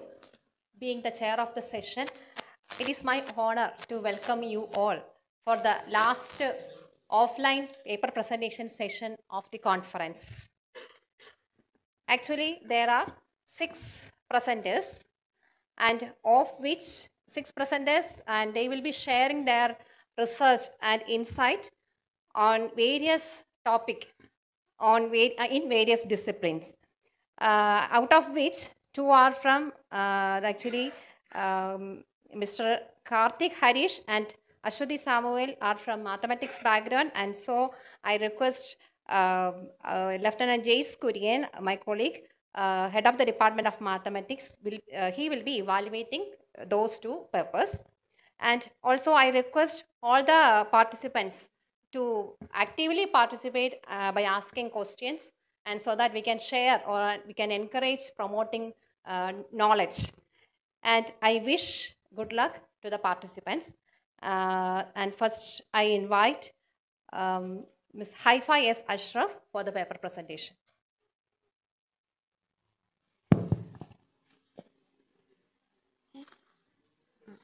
Okay. Haifa S. Ashraf is presenting the paper titled Conservation and Effective Utilization of Abrus precatorius L occurring in Kerala.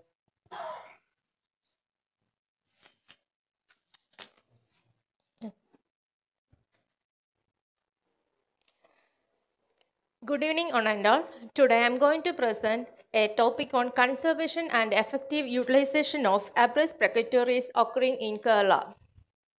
Abrus precatorius is belong to the family Fabaceae. Its common name is Indian licorice, Jekyll bean, kunja, rati, rosary bean, coral bean white, etc. In Mal- Malayalam vernacular, it is known as kunni. It is pantropical in, in distribution. It is seen as woody twining plant or as a climber.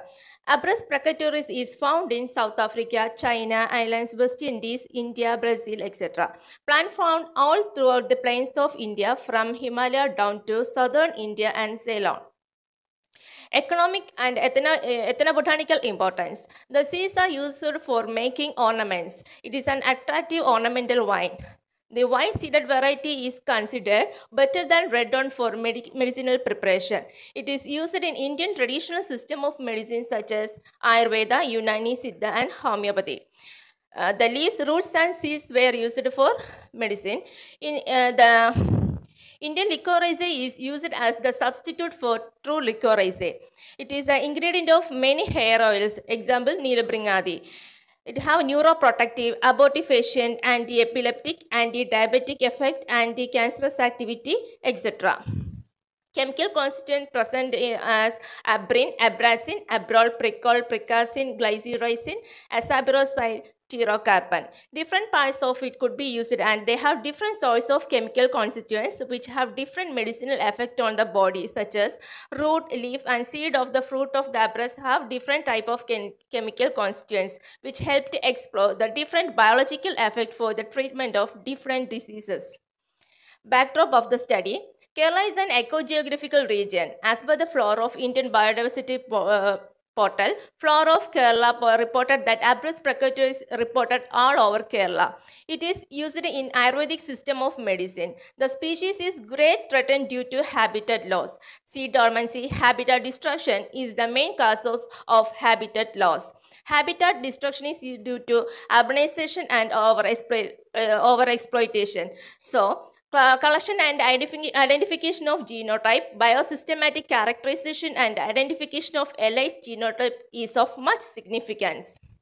Objectives collection of the genotype of the accession from ecogeographical regions of Kerala, establishment of uh, accessions in an equal environmental condition, conservation of the genotype of Abrus precatorius, assessment of intraspecific variation in the gene pool of the species in Kerala based on diverse biosystematic parameters, detailed biosystematic characterization of the accessions.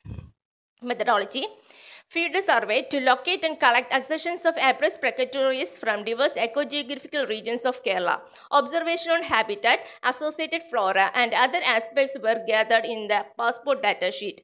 Establishment of accession in the field gene bank at a research center. Conservation of the accessions. Characterization of the accessions. This is the sample of plant collection data sheet. Results and discussion. Field survey to locate and collect accessions of Abrus precatorius from diverse ecogeographical regions of Kerala were conducted during 2022 to 23. It grows in plains and mostly in coastal areas, a few in hilly areas. The accession studies also include representatives from varying altitudinal ranges near the sea level 7 meter to above the sea level 704.91 meter. Above 500 meter, only one accession is seen. Below 10 meter altitude, 10 accessions were seen. Of these uh, 64 accessions, 8 of them were white variety and the remains were red variety. These are the details of the collection uh, location of the 64 accessions of Abrus precatorius. Habitat details. Frequency of taxonomy collection site shows uh, 21 were occasional, 15 were rare, 12 abundant, 9 common, and 7 sparse. 24 ex- uh, habitat, 24 accession prefer coastal habitat, 23 open habitat, 13 dry, and a few of them uh, uh, seen in riverine. Then most of them prefer brown uh, soil, 34 in number, red 13, black 12, and, uh, and uh, very few of them prefer yellow. And uh, most of the accessions were seen in humus rich soil type, 26, sandy 17, very few in clay. Habitat destruction is due to anthropogenic inter- interventions like uh, Mahatma Gandhi National Rural em- uh, uh, Employment, urbanization, etc. The greatest, the greatest loss of habitat today is caused by human activities of degradation and fragmentation of ecosystem, uh, dormancy of seed, global environmental changes. It prefer dry habitat. Overwatery flood can reduce the distribution of the species. Most of the accessions are susceptible to fungal attack. Summary and conclusion 64 accessions were collected from different distributional ranges from the state of Kerala.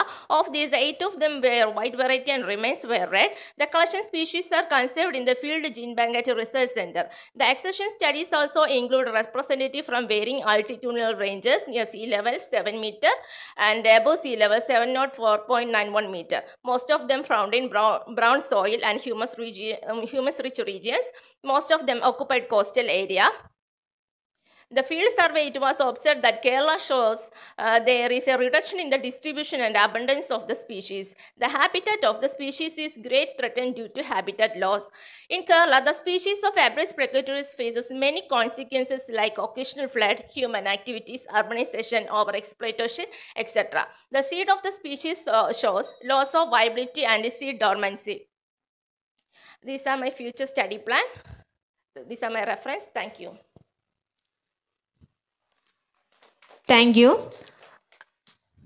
It's time for interaction. If anyone wants to ask any ask any questions, you can kindly ask.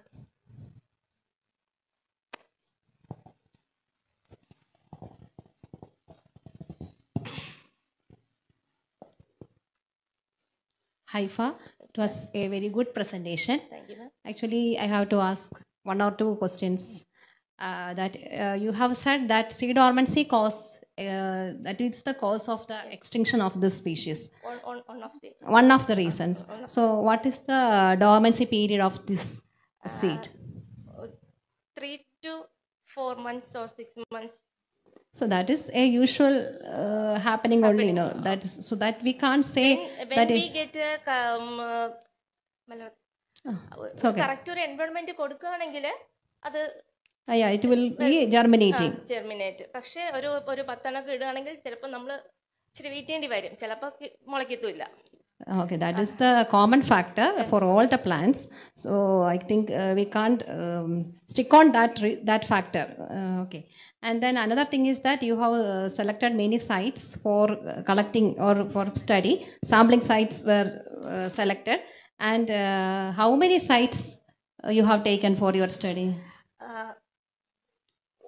One ഒരു ജില്ലയിൽ അഞ്ച് സ്ഥലങ്ങൾ minimum കുറച്ച് അഞ്ച് സ്ഥലങ്ങൾ ഒരു പത്ത് metre പത്ത് കിലോമീറ്റർ ഡിസ്റ്റൻസ് വെച്ചിട്ടെങ്കിലും കിട്ടണം. അങ്ങനെയാണ് ഞാൻ നോക്കിയത്.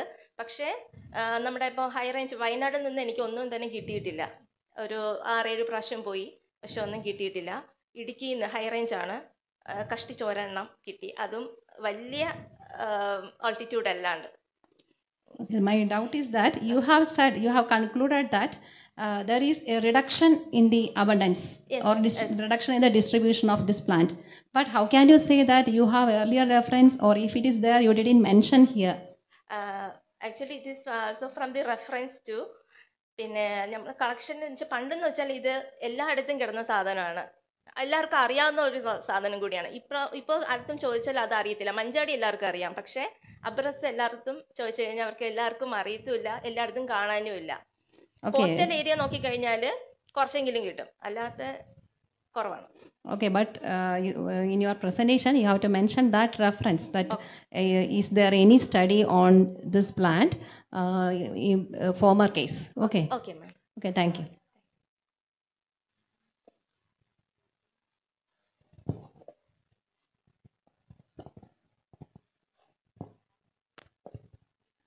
Just to remind all the candidates that the instructions are same of the previous session.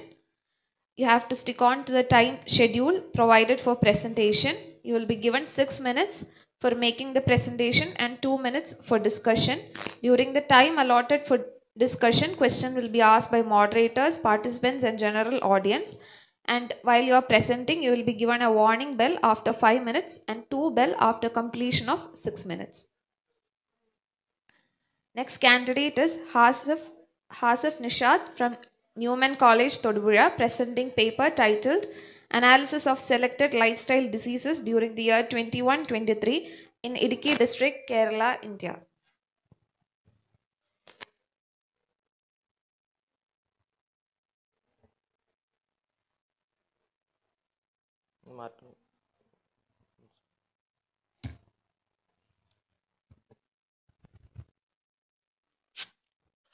Uh, good evening to all. Uh, my name is Hafiz Nishat and I'm from uh, Newman College, Thodupuzha. My topic is the analysis of selected lifestyle diseases during the year 2021 and to 2023 in the Idukki district. Lifestyle disease. Lifestyle disease often uh, referred to as a chronic disease that are caused by the factors like lifestyle and diet, with a common disease including obesity, hypertension, diabetes, cancer, and chronic respiratory diseases. Drugs, unhealthy diet, tobacco smoking, excessive alcohol consumption, and no exercise increase the risk of the developing these diseases. The root causes the hormonal imbalance, inflammatory imbalance, structural imbalance, toxic emotions, toxic chemical exposure, detoxification imbalance, immune imbalance, and mitochondrial dysfunctions are the root causes for the lifestyle diseases. And this is a uh, health report by WHO. Uh, it estimated the annual death in India due to the non-communicable diseases. According to uh, this report, two persons are uh, died due to diabetes in annually, and 13 died due to uh, respiratory disease, 7 due to cancer, and 28 due to communicable maternal and perinatal nutritional, and 12 due to other NC, uh, NCDs, and 12 due to injuries, and 26 due to cardiovascular diseases. Uh, two common lifestyle related illness that greatly affect the people's quality of life and present enormous problem to the global healthcare system are uh, diabetes mellitus and hypertension. Diabetes mellitus. Diabetes mellitus is a chronic metabolic disorder causing the elevated blood sugar levels due to defects in insulin secretion or action. Type 2 diabetes, also known as non-insulin dependent or adult onset diabetes, is most common form of worldwide and it is associated with risk factors like obesity, sedentary lifestyle, unhealthy diet habits, and genetics can be managed through li- mo- uh, lifestyle, lifestyle modifications. The next one is hypertension. Hypertension is a common yet uh, often overlooked health condition affect millions worldwide. It's referred to as a silent killer as it often uh, present non-symptoms until it damages the white organs. The factors contributing to hypertension are genetics, life choices, lifestyle choices, and underlying health condition, including secondary lifestyles, poor diets, excessive alcohol consumption, smoking, obesity, stress, and aging. the methodology uh, for the present study uh, clinic data is collected from the NCD clinic uh, district hospital Thodupuzha Idukki and the selected year for the data is 2021 22 and 23 these are the uh, this is the result from January to December 2021 according to the uh, uh, result the number of patients screened was uh, 10612 and the number of patients were 6020 and the number of follow-up cases for diabetes mellitus was 1542 and the number of new diabetes cases detected was 49 and in the case of hypertension the number of new hyper- hypertension cases detected was 59 and the number of follow-up cases were 1307 this is a graphical uh, graphical rep- uh, representation of the uh, data of 2020, 2021 and here shows the number of patients total number of patients in diabetic mel- mellitus cases is 1591 uh, and for the hypertension there was 1066 uh, 1366 uh, in the case of 2022 uh, the number of patients screened were 1648 and the patients were 6921 and the uh, number of follow-up diabetes cases were 1861 and number of new diabetes cases were 90 and the number of hypertension cases detected was uh, new hypertension detected was uh, 100, uh, 103 and the follow-up cases were 108 uh, 100, 1883 and the total number of diabetes mellitus case in that year was 1951 as for the hypertension it was 1986 this is uh, data from uh, 2023 and the number of patients screened were 15499 and the number of patients were 7220 and the number of new diabetes mellitus cases were 63 and the follow-up were 2245 and the number of new uh, hypertension cases were 68 and the follow-ups were 2183 and the total number of diabetes mellitus cases detected uh, on uh, 2023 is uh, uh, 2308 and in 2021 it was 1591 so the from 1000 uh, to 2021 to 2023 there were more than 700 increase, patients increased in that year. And in case of hypertension, 2022, uh, t- uh, in 2023, 2,251 were increased. More than 800 patients were increased from 2021 to 2023. In conclusion, the surging rates of the hypertension and diabetes mellitus demand urgent attention. By tackling sedentary lifestyles, poor diets, and healthcare access is crucial. By prioritizing and prevention and comprehensive management, we can curb these diseases, fostering healthier communities and better quality of life. Thank you.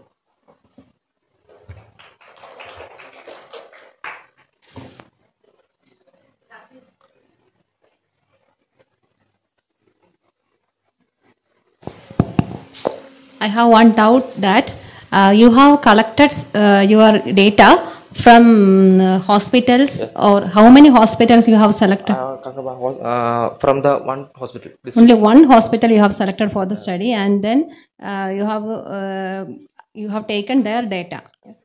Okay, and then uh, you are saying that uh, uh, the study is based on the Idukki district and only one hospital only you have taken for the study that is uh, uh, there. And another thing is that uh, what is the socio-economic factor uh, that cause this lifestyle disease or increase in lifestyle disease in Idukki dis- district? Socioeconomic access, uh, this, um, mainly because of the uh, poor health conditions uh, known in Idukki uh, district, uh, poor medical conditions, and awareness of the uh, peoples because they have no uh, awareness how bad the conditions uh, are there, and uh, mainly because of the uh, more alcohol consumption and things like that. Okay. Thank you. Thank you, Hafiz. Next,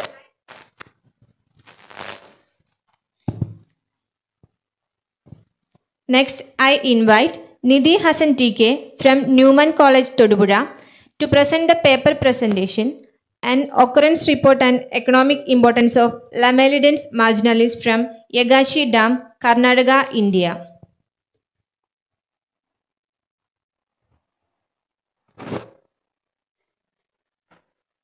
Good evening. My name is Nidhi Hassan. I'm from Newman College, Thodupuzha. I'm ordered here, stand before you to take a section about my topic, which is an occurrence report and economic importance of Lamellidens marginalis from Yagachi Dam, Karnataka. It's a part of my UG project. As we know, mollusks are, mollusks are soft-bodied organisms and cowries, cones, conches are among the most beautiful, elegant, delicate and highly traded group of animals. And some of the images are here, you can see.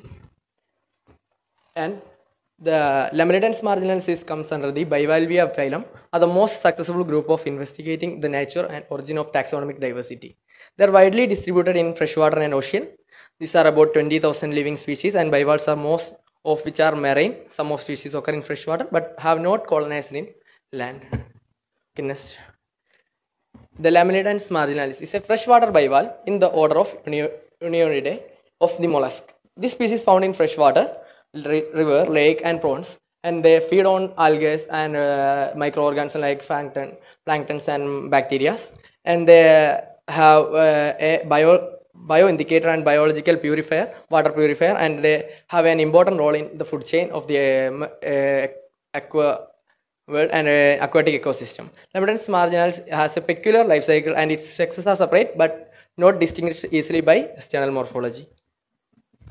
It is the study site which is uh, located in Karnataka district, uh, Karnataka state in Hassan district, Yagachi Dam, which is a part of Western Ghats. And the material and methods. When we uh, visited the field site, there we can see ma- many abundance of these uh, species and as, as a curiosity we taken it to the bring back to the uh, lab and for further morphological and taxonomical analysis from the morphological analysis with the help of and guidance of the dr Saujias was guided me uh, by morphological analysis using vernier calipers. We calculated the length height and width of the species. And when uh, the help of uh, reference and uh, the guide the systemic status of the species is phylum mollusk, class Bivalvia, and uh, order Unionidae, and family Unionidae, genus Lamellidens and species Marginalis, which have a shell character of shell is ovoid, walls blackish brown with light brown border and ventral margin, umbo not much elevated. And yes, okay, here you have the morphological parts of the there the two bivalves, two valves are joined by hinge joint and the muscle scar is there and growth lines are uh, seen the external surface of the shell and the umbo is the just bulged portion.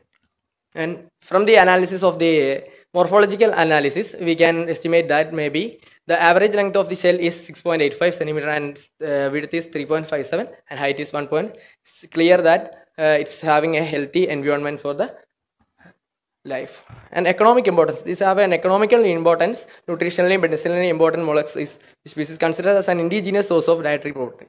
And it have a uh, many uh, medicinal value therapeutic purposes are used for uh, tuberculosis, paralysis, muscle dystrophy, and menstrual disorders, and were utilized for manufacture of jewelries and production of commercial dimes and small-scale industries.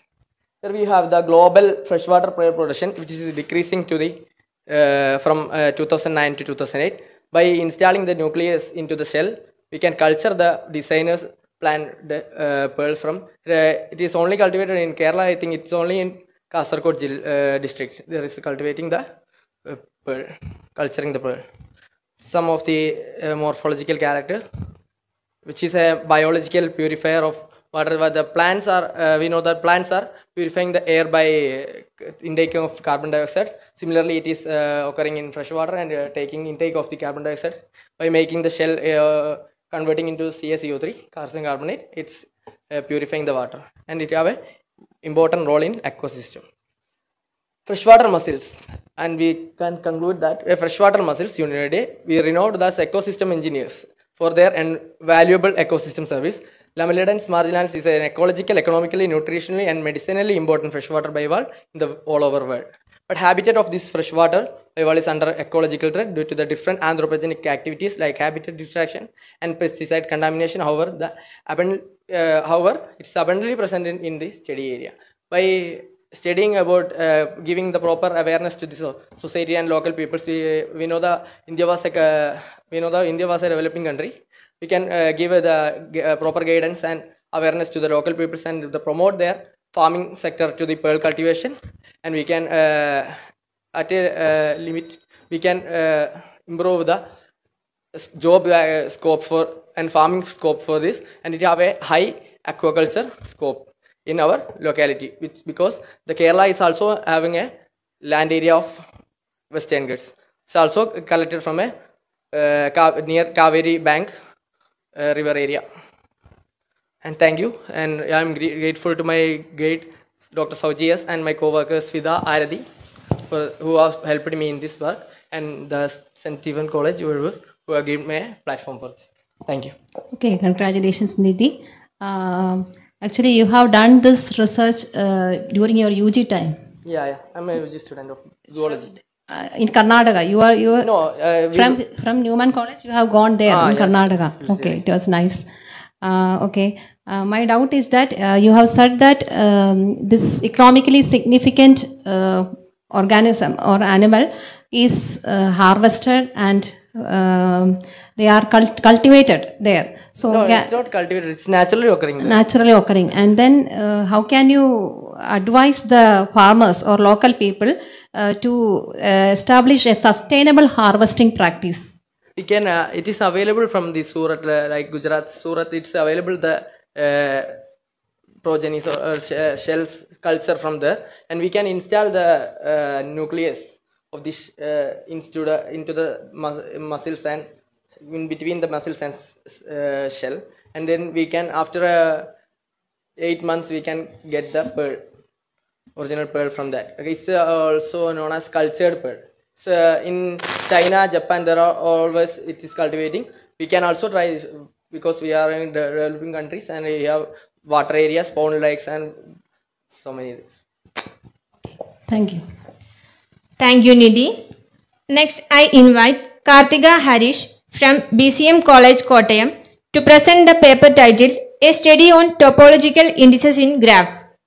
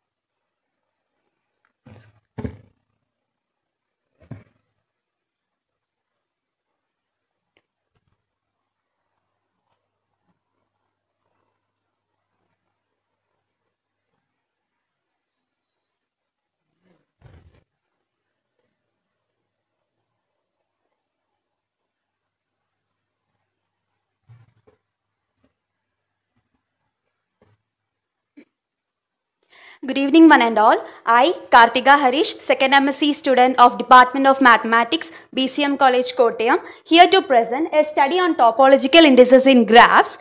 This is a collaborative work with my project supervisor, Dr. John Joy Mullur. This is an overview of my presentation. In this study, we are focusing mainly about the two topological indices such as Albertson index and sigma index. Uh, in this study, we are uh, discussing the Albertson index and sigma index in some special graphs and some derived graphs. The following are some uh, definitions which are used in our study. The first one is the eccentricity. The eccentricity of a vertex is defined as the distance between that vertex to the farthest vertex in that particular graph. In the uh, the maximum eccentricity is termed as diameter and minimum eccentricity is known as the radius of that graph. The next one is the definition of a jellyfish graph and it is stated as follows. Next one, a Helm graph. A Helm graph is formed by attaching a pendant vertex, to each of the vertices except the central vertex of that wheel graph.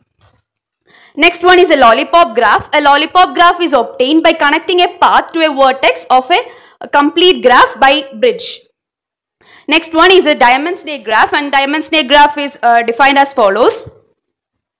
Next one is a friendship graph and it's defined as follows. Next, a complement of a graph. A complement of a graph G is usually denoted as G bar and its vertex set is same as that of the original vertex set of the graph and the only difference is that the vert vertices which are adjacent in the original graph will be not adjacent in that of its complement. Next one is the shadow graph. The shadow graph is a graph obtained by uh, making two copies of a graph and uh, joining the vertices which are adjacent in the uh, main, uh, which are adjacent in the original graph to that of the copy of that graph.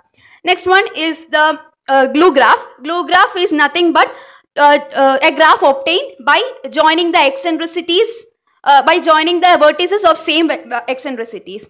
Next, a glue graph of a self-centered graph is a complete graph. Next, uh, in the first paper, Michael O. Albertson, the author, uh, first in first very first introduced the uh, term Albertson index of a graph. The in the second paper, the authors study about the inverse problem for Albertson irregularity index. That is for a uh, pos- uh, given positive integer m, uh, they are they characterized or they identified some graphs with Albertson index with that positive integer m. Uh, in the th- third paper, uh, the authors study about the sigma index of graph operations that is with respect to some graph operations like corona, corona product and Cartesian product. Um, the Albertson index is defined as follows.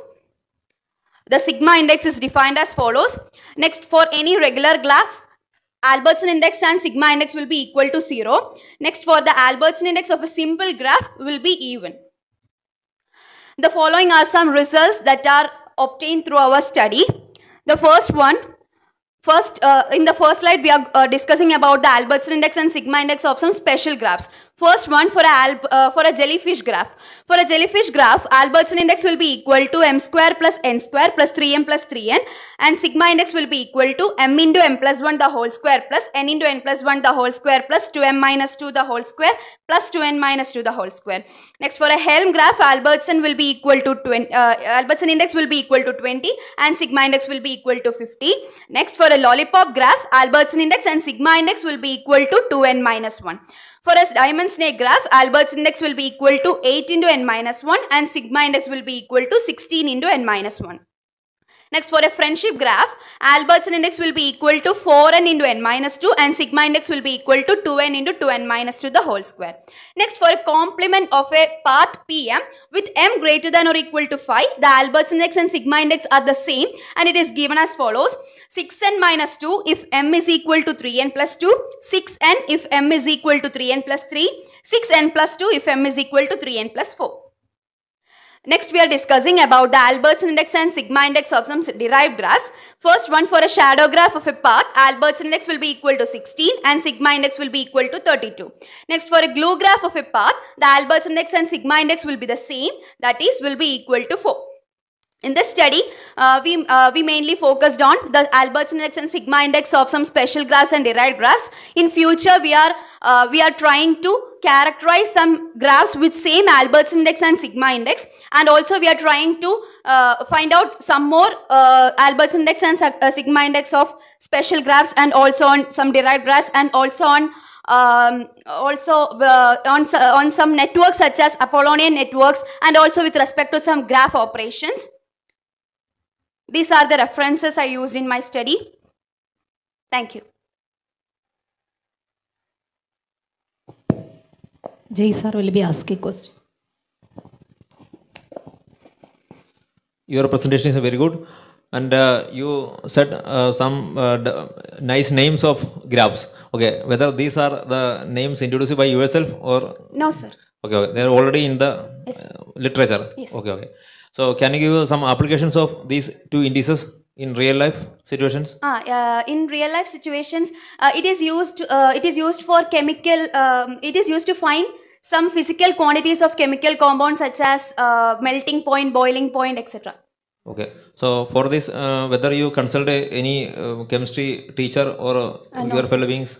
Okay, okay. Uh, my uh, my um, my my uh, like one of my lecturer to, uh, is doing this uh, as as his PG, PhD uh, PhD topic. Topic. Okay, okay, good. Nice. sir. Also, you said uh, so many graphs. Uh, so one of the famous graphs is a complete graph. Okay. Whether you uh, study about the indices in complete graphs. Complete graphs, it's zero. Uh, It's zero. Albert's index and sigma index will be equal to zero. So, okay, okay. Okay, thank you. Thank you. Thank you. Thank you, Kartika. Then I invite Ashwati Samuel from BCM College Kottayam to present the paper titled Power Domination in Some Derived Graphs.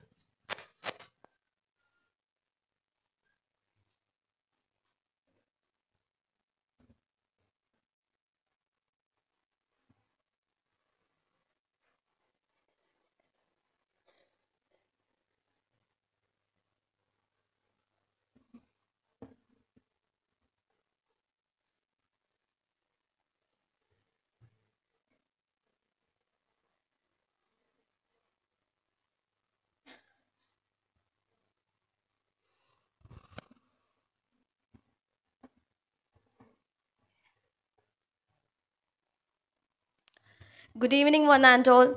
I am Ashwati Samuel, second MSc student, BCM College, here to present a study on the topic power domination in some derived graphs. And it's a collaborative work with my project supervisor, Dr. John Jai Muller.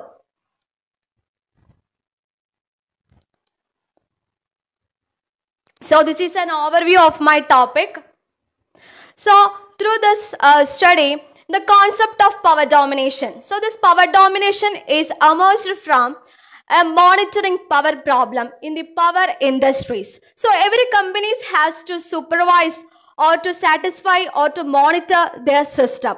So this is defined the state of this system is defined by a set of variables such as that of the voltage loads or the machine at generators. So we have to uh, access this with limited um, supplies. So we place this phase measurement units. So the problem is that we have to access the minimum number of vertices with this. So through this paper, we discussed the power domination in some derived graphs and also some special graphs and shadow graphs and glue graphs.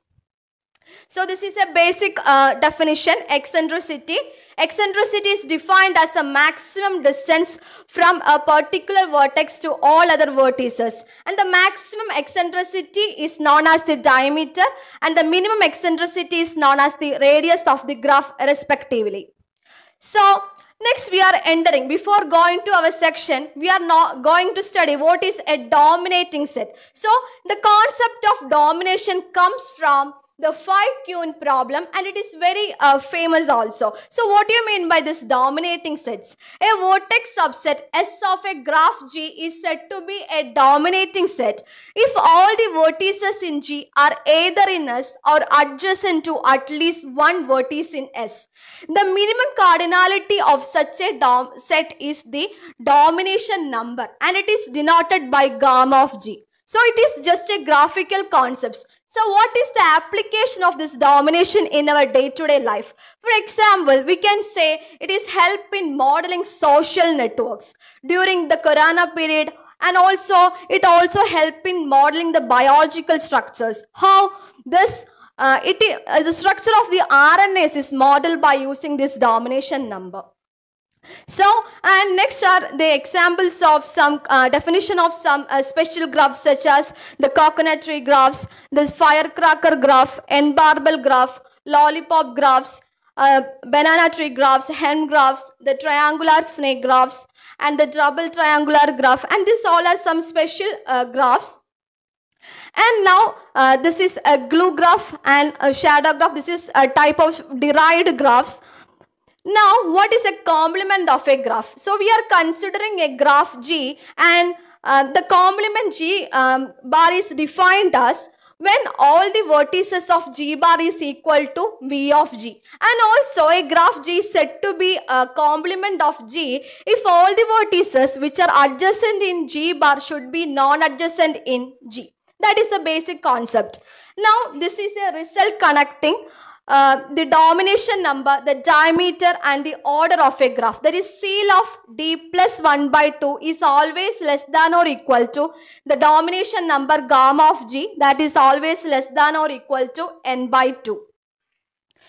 Now, uh, this is the papers that is power domination in uh, graphs. I said earlier, the first concept of power domination was introduced by T.W. Haynes through her book Domination in Graphs Applied to Electrical Power Networks. And also the further studies was done by Paul Dorbec through the uh, book Power Domination in some product graphs such as the Corona products and Cartesian products. Next, what do you mean by a power dominating set? That is the main concept.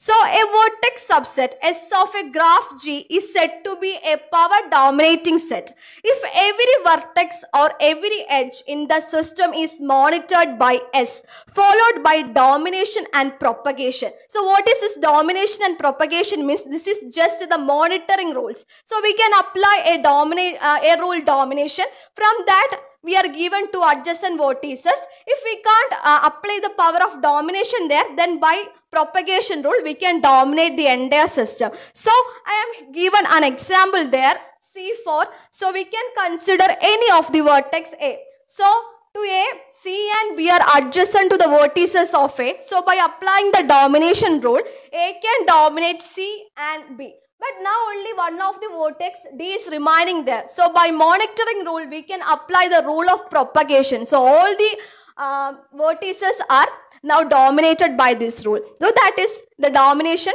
rule. This is a basic example and the power domination in this graph is just 1. So we have to use only one vertex. Now these are the result which is um, I, uh, I made through my studies. So that is the, uh, no, the for a complete graph PN, uh, the domination number is always equal to 1 and for a cycle we are considering a cycle and the power domination number is always equal to 1 and now we are considering a universal vertex a graph with universal vertex. What is the speciality of a graph with universal vertex? So it is adjacent to all other vertices. And here the domination number is always equal to 1 and these are the results which I made through my studies. And that is the power domination number of a coconut tree graph is always equal to 1 and for an n barbell graph the power domination number is equal to 1 and for a firecracker graph the domination number is always less than or equal to m. The number of central vertices. Similar to the case of a banana tree graph also it is always less than or equal to m.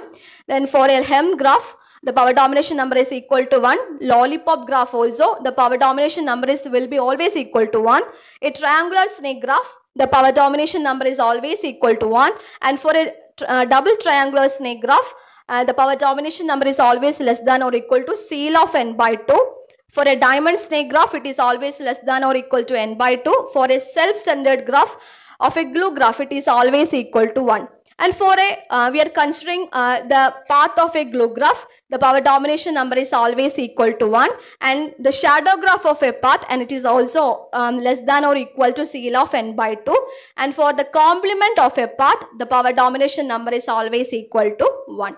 And uh, through this paper, we mainly focused on the power domination on some derived graphs and special graphs. And through my further studies, I would like to establish uh, my studies on some subdivisions of the graphs and line graphs. Thank you. Uh, it's a good presentation. And uh, my question is that uh, whether you have studied in uh, the star graph Uh, star graph power domination is always equal to 1. So that is uh, universal vertex is there no. So we Okay. ha- okay, we have uh, we have to consider only one particular vertex. So it is always equal to 1. one. In our studies, uh, we can see that uh, most of the cases the power domination number is one. So, is there any relevance? um, this particular power domination number, most of the cases that is equal to one. So uh, in uh, first uh, to illustrate, I am saying about coconut tree graph. Uh, their power domination is one. So in a coconut tree graph, the path we are considering a path and a pendant vertex. Number of pendant vertex is attached to this path. So Okay. we have to consider any one of the vertex only in such a case. Okay. So uh, by uh, continuous application of this domination and propagation, it can dominate the continuous vertices. In such case, we can consider only one. Okay. So, if the number of pendant vertices is more, then uh, is uh, the power domination number is uh, increasing or decreasing? Uh, it's all depend upon uh, the structure of the graphs. Okay, okay. Okay, nice. Thank you. Thank you, sir. Thank you, Ashwati. Participants, please listen. Those who have signed the attendance sheet, forenoon and afternoon, please inform us now.